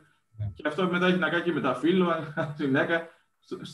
Στου ανθρώπους που έχουν αλλοπαικία είναι τα, τα πράγματα λίγο πιο υποτίθεται έχουν λίγο παραπάνω κίνδυνο, αλλά αυτά είναι ασήμαντε, ασήμαντες, ε, α, ας το πούμε. Αυτό απαντάει και σε μια άλλη ερώτηση για τα άτομα με διαβήτη, αν υπάρχουν κάποια στοιχεία για την, ποιο, ποιο από τα εμβόλια θα, ήταν, θα έπρεπε να πάρουν. Δεν, δεν υπάρχουν τέτοια δεν στοιχεία. υπάρχουν. Ένα σχόλιο που πρέπει Ναι, να ναι. κάνουμε για, τους, ε, για τα άτομα που έχουν σαχαρό διαβήτη είναι να ελέγχουν με θρησκευτική ευλάβεια το, το, το σάχαρό τους. Γιατί ξέρουμε πλέον με μελέτες ένα cut-off σαχάρου, το οποίο από εκεί και πάνω α, αυξάνει πάρα πολύ την πιθανότητα να αναπτύξει βαριά νόσο και δεν είναι το ανώτερο φυσιολογικό, είναι λίγο παραπάνω. Άρα είναι εξαιρετικά σημαντικό να υπάρχει πολύ καλός έλεγχος του σαχαρόδους διαβήτη, όπως επίσης και της υπέρτασης. Το Μμμ. γεγονός ότι υπάρχει μεγαλύτερο ε, πιθανότητα να αναπτύξουν κάποια βαριά νόσο τα άτομα που έχουν μεταβολικά νοσήματα ή καρδιαγγειακά νοσήματα όπως η υπέρταση, έχει να κάνει με α, άτομα τα οποία δεν έχουν, ελε- δεν έχουν καλό έλεγχο της νόσου τους. Όταν παίρνουν τα φάρμακά τους και είναι, ε, έχουν κανονικό σάχαρο και κανονική αρτηριακή πίεση, δεν κινδυνεύουν περισσότερο από τους άλλους. Ναι. Ε, μια άλλη ενδιαφέρον ερώτηση αφορά την ε, ενεργοποίηση των μακροφάγων που ανάλυσε ο κύριος Χαμηλός. Αν υπάρχει πιθανότητα μετά δύο ή τρία χρόνια μετά από τη φλεγμονή για κάποιο λόγο να αντιδράσει ο οργανισμός ε, με υπερβολική παρα, ε, ενεργοποίηση των ε, μακροφάγων ή λόγω φλεγμονής ή το εμβόλ, μέσω, ε, ως δράση του εμβολίου. Ναι. Κοιτάξτε, οι, οι άνθρωποι που κάνουν αυτό που λένε τα αυτοφλεγμονώδη αυτοάνωσα ενζήματα συνήθως έχουν ένα, ένα γενετικό ba- ε, background που το που προδιαθέτει και από εκεί και πέρα έχουν μια σειρά από περιβαλλοντικούς παράγοντες που, που παίζουν ρόλο επειδή δεν είναι καλά ε, κατανοητοί. Στη φυσιολογική ζωή μας ερχόμαστε καθημερινά σε επαφή ε, με, με, με, με πάρα πολλά ερεθίσματα, ε, κυρίως εγγενεί λοιμώξεις, ε, τα οποία προφανώς ε, επηρεάζουν το ανασωπητικό, αλλά είναι τόσο καλά εκπαιδευμένο το ανασωπητικό μας που μπορεί να τα ελέγχει και να τα βάζει σε, όταν δουλεύουν καλά οι μηχανισμοί, να, να ελέγχει τη φλεγμονή που δημιουργείται και να ανταπεξέλθεται πάρα πολύ καλά. Ακόμα και στο κορονοϊό, που για να είμαστε, αν θέλουμε να το δούμε από την αισιόδοξη πλευρά, το 99,5% των ανθρώπων ανεξαρτήτου ηλικίας στο μέσο όρο, δηλαδή θα έχουν μια πολύ καλή έκβαση. Μια, μια καλή έκβαση. Δεν θα έχουν, μάλλον, δεν θα, έχουν το, δεν θα καταλήξουν από τον κορονοϊό. Ε, από εκεί και πέρα, μακροχρόνια, έχει το ανασωπητικό του μηχανισμούς για να ρυθμίζει τη φλεγμονή σωστά και είναι στη σφαίρα του απίθανο να πούμε ότι το εμβόλιο θα, θα, θα εκτρέψει το ανασωπητικό σε μια κακή ε, πορεία τη στιγμή που κάθε χρόνο ερχόμαστε με εκατοντάδες ιούς, ας πούμε, ε, και εκατοντάδες αντίστοιχα ερεθίσματα σε επαφή. Α- Αλίμονο. Δεν χρειάζεται να, να, να τρομοκρατούμε σε τόσο πολύ ότι ε, θα συμβεί ένα, ένα κακό σενάριο. Και ούτε είναι εύκολο να το τεκμηριώσει κανείς να συμβεί κα- κακά τα ψέματα, έτσι. Ναι. Η Ε, επόμενη- να, να προσθέσω ένα μικ- ε, σύντομο σχόλιο. Ε, εάν συνέβαινε αυτό που ε, ε, ρώτησε ο αγαπητός φίλος, δεν θα υπήρχαμε σαν είδος, Γιάννη. ναι. Γιατί έξω εκεί πέρα υπάρχουν 100.000 ιοί, οι οποίοι προσπαθούν ε, να, ε, να προσβάλλουν και αυτοί, εκτός το ότι είναι έξυπνοι, δημιουργούν ένα πιο έξυπνο ανοσοποιητικό σύστημα για να βρίσκει τροφή δουλειάς ο, ο φίλος μου ο Γιώργος ο Χαμηλός, ερευνητικής δουλειάς εννοώ. Άρα ε, ε, ε, το ανοσοποιητικό μας σύστημα εκπαιδεύεται συνέχεια να αναπτύσσει μηχανισμούς, ε, redundant μηχανισμούς και αν- αντίστασης και γι' αυτό βρισκόμαστε, ε, είμαστε εδώ παρόντες. Και θα είμαστε για πάρα πολλά χρόνια ακόμη, αν δεν αλλάξουμε το κλίμα. Ναι. Ε, η επόμενη ερώτηση είναι ε, μια σημαντική ερώτηση που έχει, σχετίζεται με το, το χρόνο, πόσο γρήγορα αναπτύχθηκαν αυτά τα εμβόλια, που η έγκριση ε, συνήθως λέει δίνεται στο τρίτο χρόνο, μετά την τρίτη φάση. Τώρα βρισκόμαστε στον πρώτο χρόνο της πανδημίας. Η έγκριση που έχουν πάρει αυτή τη στιγμή τα εμβόλια σε να χρησιμοποιούν στο, στον πληθυσμό, σε τι διαφέρει από τις κανονικές εγκρίσεις. Ναι. Είναι έγκριση επίγουσας χρήσης, δεν είναι τελική έγκριση. Μμμ. Και αυτό σημαίνει ότι μετά τη χορήγηση στην κοινότητα ελέγχεται και παρακολουθείτε οποιοδήποτε σήμαμα υπάρχει με πάρα πολύ μεγάλη λεπτομέρεια. Να δώσω το παράδειγμα στην Αμερική. Στην Αμερική αυτή τη στιγμή υπάρχουν εννέα post-market surveillance μηχανισμοί, φορείς, πέντε κρατικοί και τέσσερι ιδιώτες, ιδιωτικοί, που παρακολουθούν όλους τους εμβολιασμένους, μαζεύουν το υλικό και με μια iCloud διαδικασία στο NIH ενημερώνουν οτιδήποτε καινούριο υπάρχει και θα γίνεται αυτό το πράγμα post-market για όλα τα επόμενα χρόνια. Άρα ε, θα έλεγα ότι δεν υπάρχει πιο παρακολουθούμενο εμβόλιο ή φαρμακευτική αγωγή από τα εμβόλια αυτά παγκόσμια στην ιστορία της φαρμακολογίας. Να, να πούμε ότι τώρα που μιλάμε είναι γύρω στα 30 εκατομμύρια άνθρωποι που έχουν εμβολιαστεί. Οι παρανέργειε, το 99,9% των, των παρανεργειών των εμβολίων εμφανίζονται στους πρώτους δύο μήνες. Δηλαδή αυτό το διάστημα ήδη σχεδόν το έχουμε συμπληρώσει και ξέρουμε να πούμε και ποσοστά επιπλοκών και ακόμη και τα σπάνια που βλέπουμε. Οπότε, παρότι έγινε γρήγορα, υπάρχουν πάρα πολλά δεδομένα ασφάλειας σε, σε πάρα πολύ μεγάλο ε, σύνολο του πληθυσμού. Ε, ένα πράγμα, Γιώργο, που πρέπει να πούμε είναι ε, να δηλώσουμε, εκτός αν υπάρχει κάποια αντίρρηση από κάποιους που μας παρακολουθούν, ότι δεν είμαστε αυτοκαταστροφικοί. Η γνώση σου σαν α, α, μικροβιολόγου, βασικού κλινικού μικροβιολόγου ανοσολόγου τα τελευταία αρκετά χρόνια, ε, σου δίνει τη δυνατότητα να αποφασίσεις να μην αυτοκτονήσεις, έτσι δεν είναι; Γι' αυτό και είναι πολύ σημαντικό ότι εμβολιαστήκαν οι υγειονομικοί πέρα από το γεγονός ότι εκτίθενται πολύ συχνά και σε μεγάλους τίτλους ιού, σαν μήνυμα στην κοινωνία ότι αυτά τα εμβόλια τα μελετήσαμε, διαβάσαμε και δεν έχουμε κανένα λόγο να δημιουργήσουμε πρόβλημα στον εαυτό μας και στις οικογένειές μας παίρνοντας το εμβόλιο για, για, για χάρη λόγου. Να Αυτό πρέπει να είναι σαν ένα... Οι έξυπνοι άνθρωποι που, που αντιλαμβάνονται καλά από βιολογία και μας παρακαλάνε και μάλιστα να πω, οι συνάδελφοί μας από το Πανεπιστήμιο παρακαλάνε να, να, να βρούμε έξτρα δόσεις εμβολίου για να το κάνουμε πιο νωρίς. Απόδειξη το όταν καταλαβαίνεις ποιες είναι οι, οι θετικές επιπτώσεις και πόσο ας πούμε, μικρός είναι ο κίνδυνος των επιλογών που είναι αμεληταίος, ε, αντιλαμβάνεσαι ποιο, ποιο, τι πρέπει να, να επιλέξεις.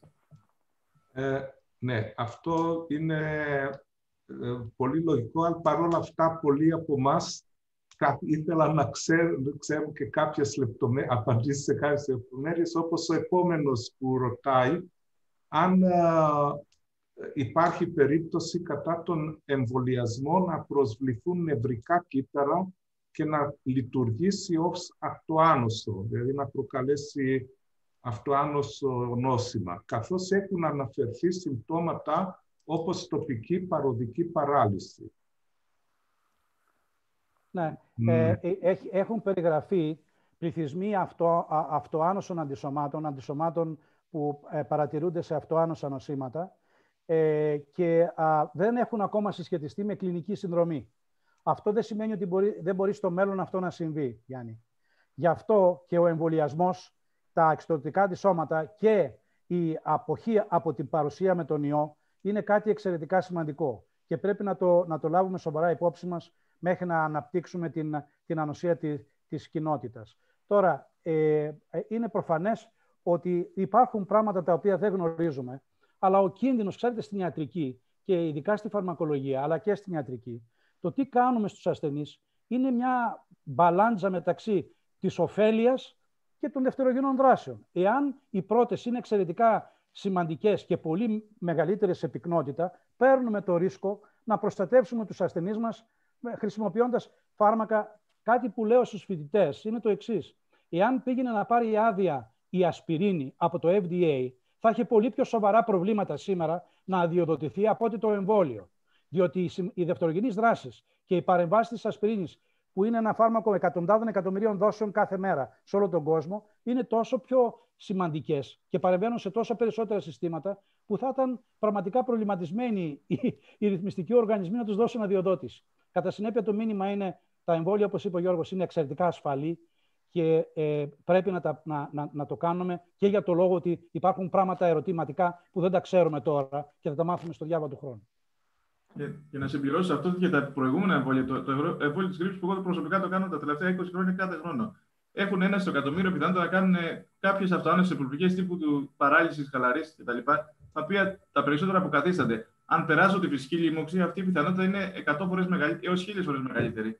Δηλαδή, μην νομίζει κάποιος ότι αν θα περάσει τη φυσική λίμωξη δεν είναι πιθανό να, να έχει μετά αυτόνομες επιπλοκές σε μεγαλύτερο ποσοστό από, ότι, ε, ε, από τον εμβολιασμό. Μπορούν, δεν μπορεί να γίνει μελέτη να αποδειχθεί, αλλά αν κάνουμε extrapolation από, από προηγούμενα νοσήματα, όπως είναι η γρήπη που την ξέρουμε πολύ καλά, φαίνεται ότι οι άνθρωποι που θα κάνουν αυτοάνωσε επιπλοκές μετά από τη λίμωξη είναι πολύ μεγαλύτερες σε ποσοστά από ότι αυτοί που θα κάνουν αυτοάνοση από το εμβόλιο. Και είναι αυτό που λέει ο κ. Γραβάκη είναι πολύ σημαντικό. Εμείς ποτέ δεν δίνουμε φάρμακα εκεί που δεν χρειάζεται. Αν δεν υπήρχε λόγος, ούτε καν ε, Depon δεν θα παίρναμε. Στους αρρώστους που κάνουν απλά κρυολογήματα, τους στέλνουμε σπίτι για, με, με, μεταλλικό νερό. Δεν, δεν υπάρχει λόγος να παίρνεις φάρμακο εκεί που δεν χρειάζεται. Αλλά εδώ είναι κάτι το οποίο έχει μια άλλη σοβαρότητα. Δηλαδή, είναι, βλέπετε σε, σε, σε τι φαύλο κύκλο έχουν μπλέξει όλοι μας. Δεν, δεν υπάρχει άλλος τρόπος να ξεφύγουμε.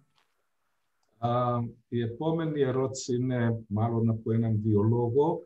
Ποια είναι η άποψή σας ως προς τις πιθανές επιγενετικές αντιδράσεις στον ανθρώπινο εμβολιασμένο πληθυσμό από τα νέα τεχνολογία εμβόλια; Αντιλαμβάνομαι ότι αφορά μακροπρόθεσμες παρατηρήσεις τις οποίες δεν έχουμε αυτή τη στιγμή την πολυτέλεια να έχουμε γνώση. Ναι. Ε, ναι. Το, το Trained Immunity, αν, αν εννοεί ο συνάδελφος, που είναι ένα πολύ ενδιαφέρον concept, μπορεί να έχει θετικές επιπτώσεις. Δηλαδή, άνθρωποι που κάνουν εμβόλια άσχετα από το, από το εμβόλιο του, του, του COVID, όπως το BCG που αφορά τη χρηματίωση, ή και ενδεχομένως άλλα, άλλα ε, εμβόλια. Θεωρητικά έχουν βγει κάποιες μελέτες που υποστηρίζουν ότι μπορεί να προστατεύονται και από άλλες ε, ε, και από το COVID και από άλλες νημόξει. Και πράγματι, ο οργανισμός μας έρχεται σε επαφή με, με πολλά ερεθίσματα ε, από παθογόνα από το περιβάλλον του και διαμορφώνει επιγενετικά μια, μια απάντηση ανασολογική που ε, τις περισσότερες φορές, όπως είπε ο κ. Γραβάκη, είναι υποφελής. Γι' αυτό το λόγο επιβιώσαμε σαν είδος. Εξελισσόμαστε μαζί με τα, με τα μικρόβια τα οποία τα χρειαζόμαστε με, με την, την καλή έννοια για να εκπαιδευτούμε και να, να, να μπορέσουμε στο μέλλον να, να έχουμε καλύτερες απαντήσεις σε νέες απειλές.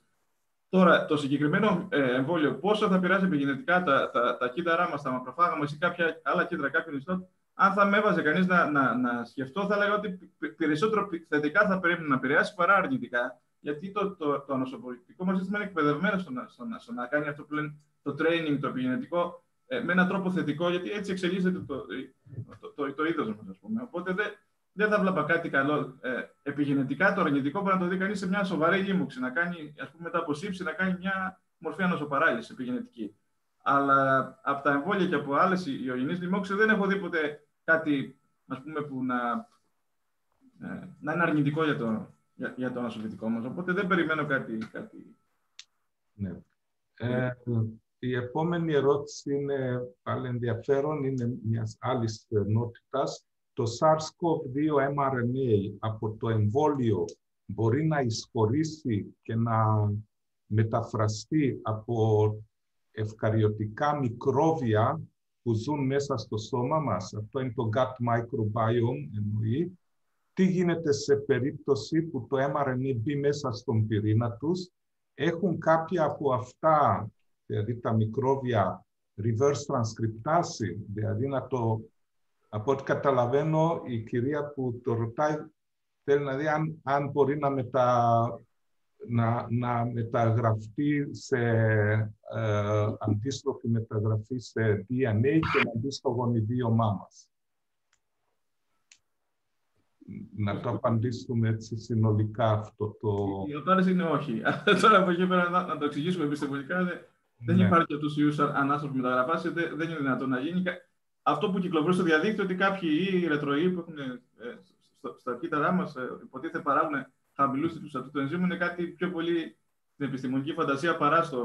στο, στο και ε, ε, θα έλεγα ε, να αφήσουμε τον Γιώργο να μιλάει για δύο ώρες για τους ναι. μηχανισμούς που αν συμβεί αυτό υπάρχουν δίπλα DLR receptors και ApoDec ε, C και D που ελέγχουν ανα πάσα στιγμή τη λειτουργία όλων αυτών των μηχανισμών. Κατά συνέπεια, έστω και αν ξεφύγει, υπάρχουν δίπλα φρουροί οι οποίοι ε, θα εμποδίσουν αυτή την, αυτή την πιθανότητα. Μπορεί να συμβεί, για παράδειγμα, σε μια λίμωξη με τον HIV-1, όπου είναι μια, ένας ρετροϊός και έχει, ας πούμε, μέσα το, την reverse transcriptase και να συμβεί αυτό. Αλλά αυτό είναι μια σπανιότητα που, αν συμβεί, αν συμβεί, θα υπάρξουν οι μηχανισμοί φρουροί ανοσολογικοί που θα το ελέγξουν. Συν το γεγονός ότι ένα, ε, η μεταγραφή ενός ε, RNA σε DNA, χωρίς να υπάρχει αριστερά και δεξιά τα αγκίστρια, αγκίστρια για να μπορέσουν να μπουν μέσα στο γονιδίωμα, πολλές φορές δεν έχει καν νόημα. Ναι. Και επίσης αυτό το mRNA έχει και συνθετικά νουκλεοτίδια, το οποίο θεωρητικά είναι. είναι, είναι Σωστό. Να, να το... Ναι. ναι. Ωραία. Ε, οι επόμενοι πολλοί άνθρωποι οι οποίοι πάσουν από χρόνια ε, νοσήματα αλλά και από άλλες ασθένειες έχουν αρκετές απορίες πιστεύω που θα έπρεπε κάποιο ποσοστό κάποια στιγμή να αναφερθούν σε αυτά τα νοσήματα Ναι, για, για, για την επίδραση του εμβολίου ρωτάει σε άτομα που έχουν χρόνια ε, νοσήματα. Ε, αυτή είναι υποφελή η επίδραση του. Δηλαδή, αυτοί οι άνθρωποι θα πρέπει πρώτοι να εμβολιαστούν. Θα, θα έχουν το μεγαλύτερο όφελος από τους υπόλοιπους. Δηλαδή, θα, θα λατωθεί ο κίνδυνος να, να νοσήσουν σοβαρά σχεδόν στο μηδέν. Από εκεί που έχουν μεγαλύτερες πιθανότητες από, από μένα και από νεότερους από μένα να, να κάνουν επιπλοκές. Αυτό ναι. είναι καθαρά ευεργετικό για τους ανθρώπους να το κάνουν το εμβόλιο. Ναι. Ε, επίσης, ε, ασθενείς που λαμβάνουν ορμονικές θεραπείες για καρκίνο και έχουν χαμηλό επίπεδο λευκών ε, κυτάρων, υπάρχουν στοιχεία για τον εμβολιασμό τους; Ναι. Ή όχι, η επιλογή, ή, πρέπει, ή αν υπάρχει κάποια επιλογή; Οι καρκινοπαθείς για προφανείς λόγους είχαν εξαιρεθεί από τις, από τις μελέτες της, της έγκρισης. Αυτό δεν σημαίνει ότι δεν ωφελούνται από τα εμβόλια. Είναι στην κατηγορία των ανθρώπων που θα, θα ωφεληθούν τα μέγιστα. Έτσι, ανεξάρτητα αν παίρνει ορμονική θεραπεία ή κάποιες άλλες θεραπείες. Και θα βγουν οδηγίες πολύ σύντομα και, και από την Ελλάδα που θα το συνιστούν το εμβόλιο και σε όλους τους καρκινοπαθείς και σε άλλους πληθυσμούς που είναι πιο ειδικούς.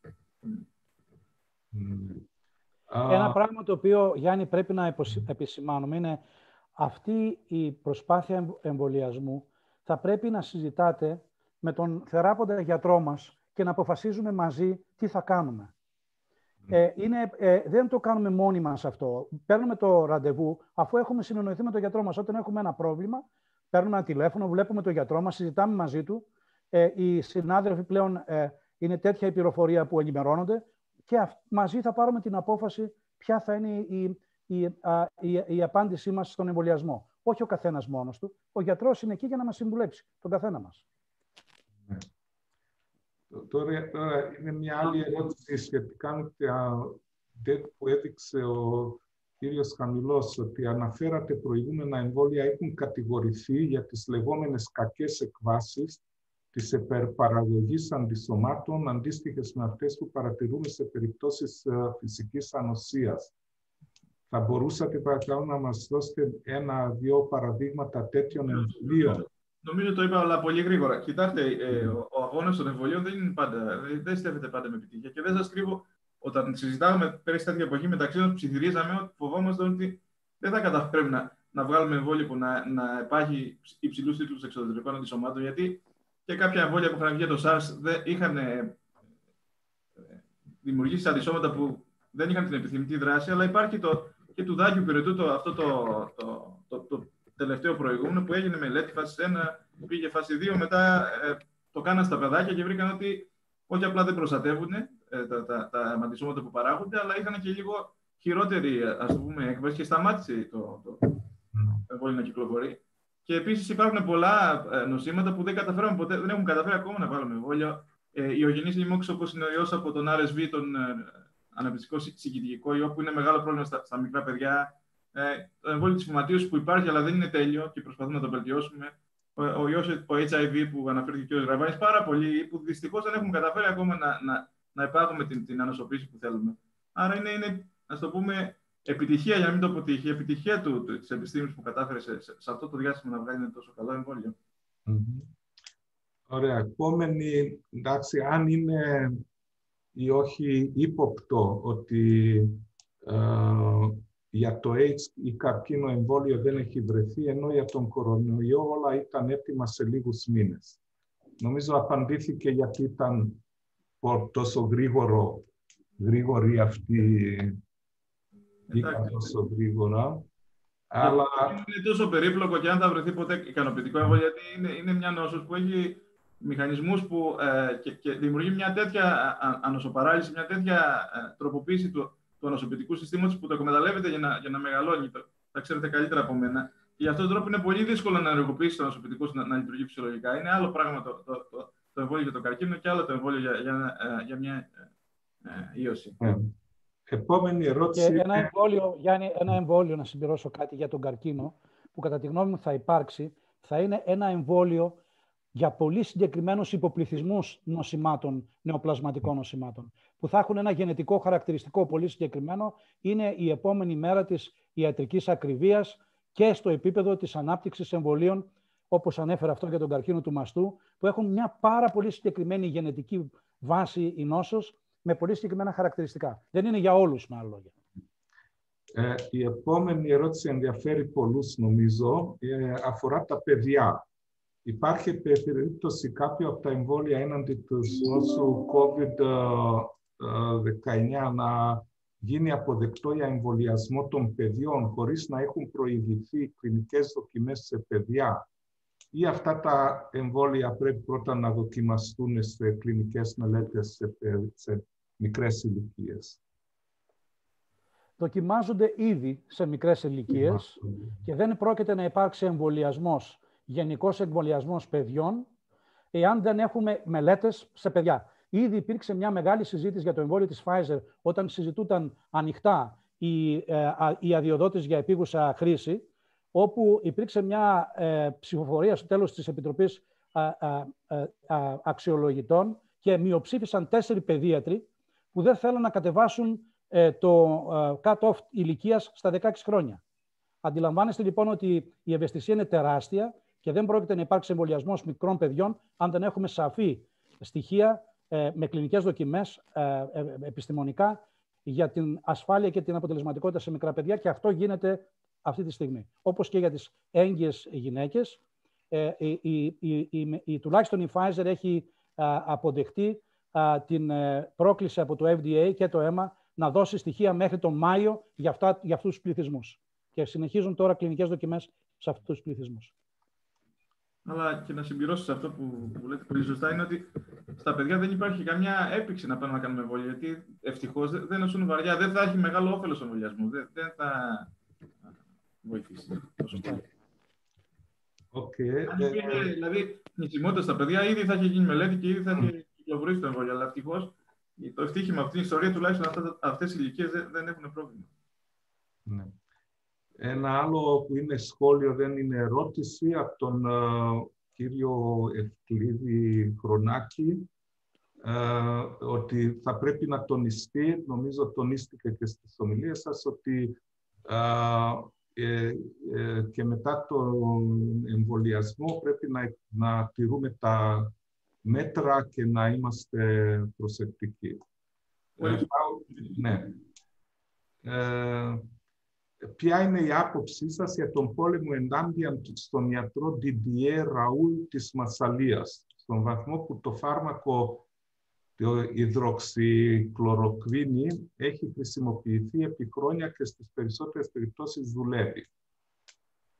Υδροξυκλωροκβίνη. Δεν, δεν υπάρχει κανένας πόλεμος. Ναι. Αποδείχθηκε με κλινικές μελέτες στοιχειοποιημένες ότι το, η συγκεκριμένη ουσία η υδροξυκλωροκίνη ένας μεταβολίτης χλωροκίνης, του ανθελονοσιακού, δεν είναι αποτελεσματικός. Άρα γιατί να τον δίνουμε όταν έχουμε και μια πιθανότητα κυταροτοξ... ε, καρδιοτοξικής ε, δράσης ή ανοσολογικής, ανοσοτοξικής δράσης. Άρα ε, απαντήθηκε ε, με πολύ συγκεκριμένες μελέτες και μάλιστα μία από τις μελέτες προέρχεται από μία συνάδελφο που είναι δίπλα, κοντά στον, στον κύριο Ραούλ, στη Μασαλία. Ναι. Απλά ο κύριος Ραούλ αυτό που έκανε δεν ακολούθησε την επιστημονική οδό που, ε, που τον σωστό τρόπο που γίνονται κλινικέ μελέτες. Δηλαδή, έβγαλε κάποιες ε, μελέτες οι οποίες δεν, ήταν, δεν είχαν την τυχιοποίηση που απαιτούταν και βγήκαν κάποια συμπεράσματα που αποδείχθηκε ότι ήταν λάθος, παρασύρθηκε κάποιος κόσμος, πολλοί από εμάς και εθνικές επιτροπές εμβολιασμού, κάποιο, στην αρχή της πανδημίας, μην έχοντα να, να, κάποιο αποτελεσματικό φάρμακο, δύναμη χλωροκίνη. Βγήκαν ευτυχώς μεγάλες μελέτες στην Αμερική, σωστά σχεδιασμένες, αποδείξαν αυτό που λέει ο κ. Γραβάης, πως δεν έχει καμία θέση. Από εκεί και πέρα δεν ασχολείται κανείς σε προσωπικό επίπεδο με κάποιον, απλά είναι ακόμα και ένας σημαντικός επιστήμονας, όταν ξεφεύγει από, το, από την επιστημονική ορθότητα, νομίζω ότι δεν θα γλιτώσει το, την επιστημονική κριτική. Είναι για όλους μας ισχύει. Ευτυχώς, Γιώργο. Ε, βέβαια. Αυτό είναι. για όλους μας. Ε, επόμενη ερώτηση. Άτομο με εποχική αλλεργική ρυθμίτιδα που κάποια στιγμή παρουσίασε αλλεργικό άσμα μπορεί να εμβολιαστεί; Ναι, άφο, χωρίς, χωρίς καμία. Ναι. Ε, πώς μπορεί να γνωρίζει κάποιος αν έχει αλλεργία στα συστατικά του εμβολίου; Ε, ναι, δεν... Η, να πούμε κάτι εδώ. Η πιθανότητα να ναι. έχει κάποια αλλεργία στη, στην PEG, στην polyethanol γλυκόλη, που χρησιμοποιείται σαν σταθεροποιητικός παράγοντας στο εμβόλιο της Pfizer, είναι απειροελάχιστη. Πάρα πολύ μικρή. Γιατί; Γιατί αυτό το υλικό, Γιάννη, υπάρχει σε πάρα πολλά ιδιοσκευάσματα ε, τοπικής χρήσης ή ακόμα και συστηματικής χρήσης. Άρα, ε, ξέρουμε πολλά πράγματα γι' αυτό και αν ε, είχε, ε, ε, είχε κάποια αλλεργία, στο διάβα του χρόνου του μάλλον, μάλλον θα την είχε Αλλά βέβαια είμαστε προσεκτικοί και γι' αυτό τα εμβόλια αυτά δεν γίνονται στο φαρμακείο ή έξω. Γίνονται μέσα σε ένα setup με ιατρική παρακολούθηση, ώστε εάν ομιγέννητος συμβεί κάτι, να υπάρχει ο κλινικός συνάδελφος, ο οποίος θα παρέμει με την επινεφρίνη, με το οξυγόνο του και γενικότερα με όλη τη γνώση που έχει να, να προστατεύσει αυτόν τον συγκεκριμένο εμβολιασμένο. Να, να συμπληρώσω κάτι ότι αυτό που ε, αγχώνει στον εμβολιασμό είναι οι, οι ασθενείς που έχουν ιστορικό αναφυλαξία σοβαρή αναφυλακτικού σοκ. Ε, Ένας άνθρωπος που έχει κάτι αναφυλακτικό σοκ το ξέρει, έχει πάει στο νοσοκομείο, εφόσον είναι ζωντανός, θα έχει πάει στο νοσοκομείο. Σε αυτούς τους ασθενείς, είτε έχουν αλλεργία στο ΠΕΚ, είτε σε κάποια άλλη, ε, από το αυγό μέχρι τη, τη μέλισσα που μπορεί να, να, να σου προκαλέσει αναφυλακτικό σοκ, που το ξέρουμε όλοι μας, ή κυκλοφορεί με κάποια ένωση αδρεναλίνης μαζί του, ή αν, αν αναφέρεις στον γιατρό που θα πάει να εμβολιαστεί ότι έχει σο, σοβαρή αλλεργία, θα μπει ε, απευθείας ένας ένας σε μια φλέβα για να είναι ας πούμε, με απόλυτη ασφάλεια το, η, η, η, διαδικασία. Οπότε, αν θα δηλώσεις στον γιατρό σου ότι έχεις αλλεργία, οποιαδήποτε αλλεργία, θα το λάβει ε, σοβαρά υπόψη του και θα σε προστατεύσει ε, έξτρα. Θα σε χειριστεί σαν ας πούμε, υψηλού κινδύνου για, για επιπλοκές. Έχουμε κάνει, Γιώργο, να το επισημάνουμε αυτό, εμβολιασμό στο παγνί τέτοιων α, α, ατόμων, συνανθρώπων μας. Και πήγαν μια χαρά. Είναι εμβολιασμένοι πλέον. Άρα, α, συζήτηση με τον γιατρό, όπως έχουμε πει πολλές φορές, και αυτοί μαζί, οι δυο, θα πάρουν την απόφαση. Η επόμενη ερώτηση είναι για αν υπάρχουν αλλεργίες που αναφέρονται σαν αντενδείξεις για τη λήψη του εμβολίου, λόγω των συστατικών του εμβολίου ε, που σχετίζονται με την πλήρη έλλειψη G6PD, glucose 6-phosphate. Κανένα πρόβλημα. Καμία αντένδειξη. Κανένα απολύτως πρόβλημα. Είναι γνωστό αυτό ήδη. Ε, ε, για, τώρα πάλι είναι για εμβόλια, μια ερώτηση που για τα εμβόλια σε ανοσοκατασταλμένα άτομα, όπως Στίβενς uh, Τζόνσον, είναι μια τέτοια. Ο Στίβενς Τζόνσον δεν είναι ακριβώς ανοσοκαταστολή, είναι μια, μια, ένα είδος, ας το πούμε, ιδιοπαθούς ε, τύπου αλλεργικής αντίδρασης, αλλά δεν, δεν υπάρχει καμία αντίδειξη σε αυτούς τους ανθρώπους να πάνε να κάνουν το εμβόλιο. Δεν, δεν νομίζω ότι έχουν κάτι ιδιαίτερο να, να βοηθούν. Ναι. Ε, τώρα πάλι μια πιο συγκεκριμένη ερώτηση. Το απαντήσαμε με χρόνια ε, νοσήματα, δηλαδή άτομα που υπάρχουν από σοβαρά καρδιολογικά προβλήματα, καρδιακή ανεπάρκεια, κολπική μαρμαριλική, πνευμονική υπέρταση, υπέρταση και φέρουν δηματοδότη, ποιο εμβόλιο συνιστάται; Όποιο είναι διαθέσιμο, δεν υπάρχει κάποια... Ε, είναι σωστό να εμβολιάζουμε Ιανουάριο μήνα όταν γνωρίζουμε ότι ο εμβολιασμός σαν μέτρο πρόληψης γίνεται πριν την έξαρση. Επίσης, είναι σημαντικό ένα εμβόλιο να δημοσιοποιήσει, να δημοσιοποιήσει τη θανατηφόρα δόση και την ημερομηνία λήξης. Ε, το, η πανδημία, στην πρώτη, στο πρώτο ερώτημα που έχει νόημα, Γιάννη, ναι. η πανδημία δεν είναι ακόμα χαρακτηριστικά, δεν είναι χαρακτηριστικά ενδυμικής λίμωξης.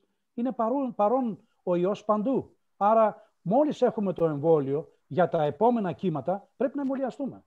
Αυτό θα συμβεί και να το συζητάμε όταν, όπως είχαμε πει κάποιοι συνάδελφοι, καταφέρουμε να μετατρέψουμε τον κορονοϊό σε μια ενδυμική γρήπη τύπου γρήπη ε, ε, τα επόμενα χρόνια. Τότε πραγματικά θα είμαστε προμηθείς και θα κάνουμε τον εμβολιασμό πρώιμα πριν ε, υπάρξει ας πούμε, το κύμα που συνοδεύεται με τον χειμώνα κτλ. Αλλά αυτή τη στιγμή έχουμε εμβόλια, πρέπει να πάμε γρήγορα να εμβολιάσουμε τον κόσμο. Όσο γίνεται πιο γρήγορα. Ναι. Ε, η επόμενη ερώτηση αφορά την ανοσία αγέλης.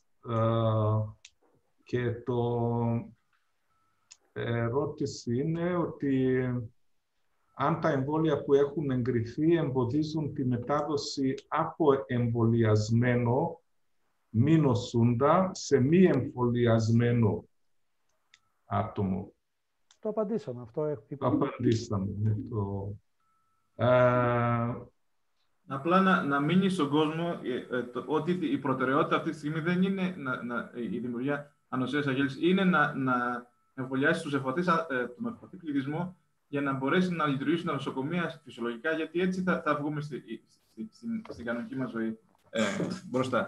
Ξανά. Ε, ε, ε, για να το πούμε παραστατικά αυτό που λέει ο Γιώργος, το προσδόκιμο είναι να, να, να, να, να σηκώσουμε έναν τείχο στο 65 με 70% εμβολιασμένων ή με φυσική ανοσία μέχρι το τέλος του χρόνου. Τώρα προσπαθούμε για ένα μικρό τυχαλάκι που είναι πολύ σημαντικό για να μην αυτοί οι άνθρωποι περνάνε από το τείχος αυτό μέσα στα νοσοκομεία, που είναι όλοι αυτοί οι πληθυσμοί. Οι υγειονομικοί που έχουν μεγάλη πιθανότητα να μολυθούν και να μεταφέρουν τον ιό, ειδικά σε επικίνδυνα ε, ε, ε, περιβάλλοντα όπως είναι τα νοσοκομεία και οι άνθρωποι που είναι, έχουν μεγαλύτερη πιθανότητα να νοσήσουν και να πάνε στο νοσοκομείο. Αυτό το τυχαλάκι είναι πάρα πολύ σημαντικό, ίσως πιο σημαντικό, όπως είπε ο Γιώργος, και από το μεγάλο τείχος που θα έρθει μετά από 6, 7, 8, 10 μήνες. Ναι. Πάλι μια ερώτηση για αν ανησυχούμε ότι πόσο γρήγορα αναπτύχθηκαν αυτά τα εμβόλια. Αυτό έχει απαντηθεί. Ε, η επόμενη είναι ε, για την, σχετίζεται με την ε, αντιμετώπιση του πιθανού αναφυλακτικού σοκ. Ε, έχει εξεταστεί περίπτωση να, χρησιμοποιούν, να χρησιμοποιηθούν παράλληλα προληπτικά αντιαλεργικά φάρμακα όπως γίνεται κατά τη λήψη του σκιαγραφικού σε μια αρματική Είναι σωστή, σωστή η ερώτηση και το κάνουμε καμιά φορά σε ανθρώπους που έχουν πολύ μεγάλη... Αλλά δεν, δεν είναι επίσημη οδηγία αυτό το πράγμα. Mm. Δεν είναι οδηγία, αλλά είναι κάτι το οποίο το, το κάνει ο γιατρός κατά περίπτωση. Οι, οι γιατροί στα εμβολιαστικά κέντρα έχουν την εμπειρία να, να χειριστούν τέτοια περιστατικά, να μην ακούν τον κόσμο. Και επίσης, αυτό που είπε ο κ. Ραβάνη, ο, ο προσωπικός γιατρός μπορεί να, να, να, να σου δώσει οδηγίες αν, αν έχεις πολύ έντονη ας πούμε, αλλά έχει προδιάθεση πώς να πας να κάνεις το εμβόλιο. Ναι. Ε, ε, πάλι μια ερώτηση για, τα, για πάσχοντες από αυτοάνωσα νοσήματα. Την απαντήσαμε ότι ναι, πρέπει και αυτοί να κάνουν το εμβόλιο. Ε, αυτήν τώρα δεν την γνωρίζω γιατί η Pfizer αποποιείται των ευθυνών από τη στιγμή που είναι 95% σίγουρη για την αποτελεσματικότητα δεν ξέρω αν αποποιούνται από τις ευθύνες. Είναι... Δεν νομίζω. Δεν, ε, όχι.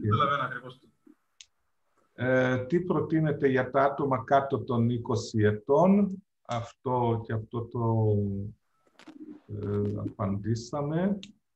Α,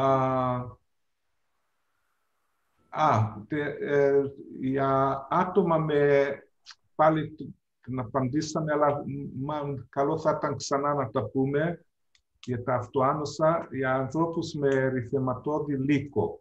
Ε, ποια, ποια, τι, τι πρέπει να κάνουν. Οι αυτοί είναι, είναι υψηλού κινδύνου να κάνουν επιπλοκές ακριβώς επειδή και ο λύκος πολλές φορές προσβάλλει τον δοθήλιο και είναι καλό να προστατευτούν με το εμβόλιο παρά να περιμένουν να, να νοσήσουν φυσικά. Έτσι. Είναι ασφαλής, ναι. Ε, άτομα που έχουν αλλεργία στην πενικυλίνη.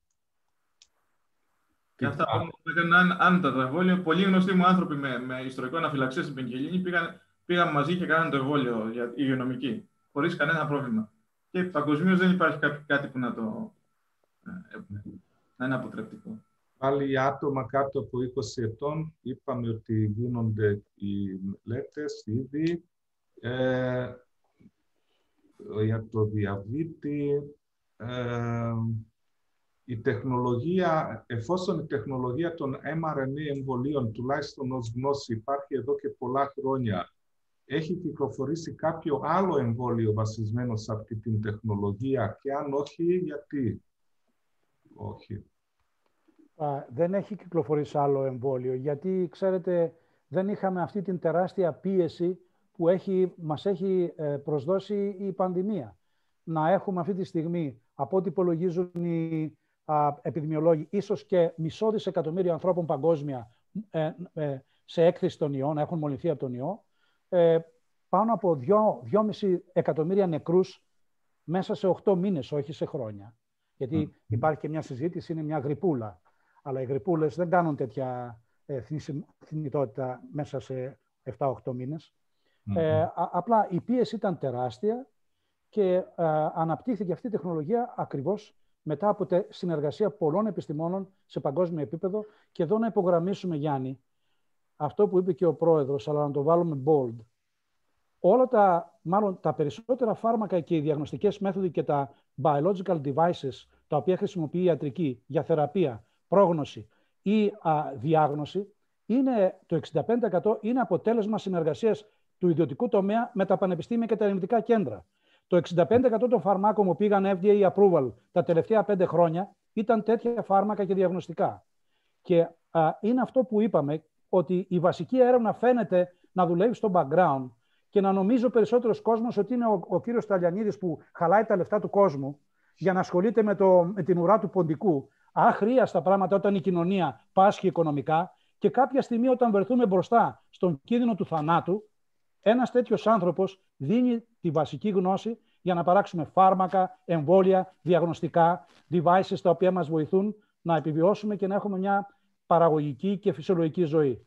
Γι' αυτό ε, ε, ε, το είτε και τέτοιου είδους δουλειές πρέπει να τα προσέχουμε ως κόρην οφθαλμού.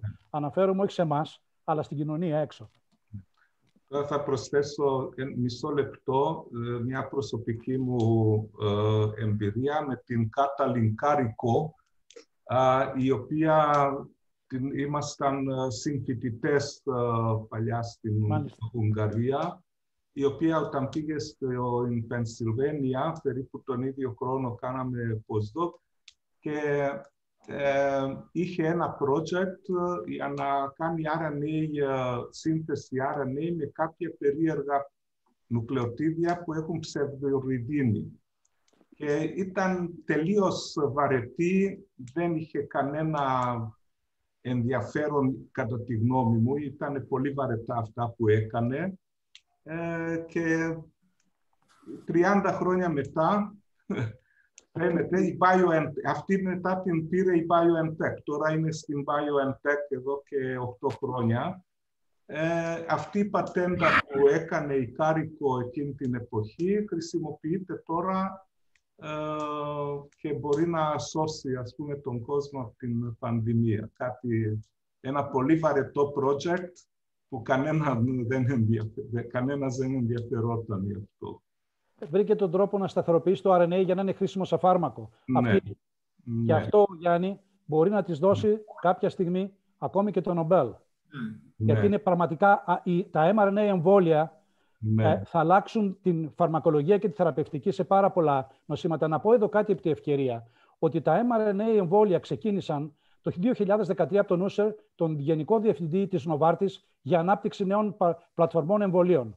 Η Νοβάρτης θεώρησε ότι δεν είναι ενδιαφέρον, γιατί δεν είναι πολλοί οι ασθενείς που θα πάρουν τα εμβόλια και διέλυσε το, το, το, το, το, το συγκεκριμένο department. Φύγαν αυτοί οι άνθρωποι και αυτοί οι άνθρωποι τώρα είναι οι άνθρωποι που είναι στην BioNTech, στη Pfizer, ε, στις εταιρείες που έχουν προχωρήσει και έχουν ε, αναπτύξει αυτές τις τεχνολογίες. Υπάρχει ένα πολύ ενδιαφέρον άρθρο στο Nature πριν από μια εβδομάδα που συζητάει ακριβώς αυτή την ιστορία της α, α, άτυχης απόφασης της ε, Novartis να διαλύσει το mRNA vaccination πρόγραμμά του, το οποίο βέβαια ε, ε, ανέπτυξαν πλέον άλλες εταιρείες με, τους, με τα στελέχη τότε της, της Novartis. Είναι, είναι στο Nature πριν από μια εβδομάδα.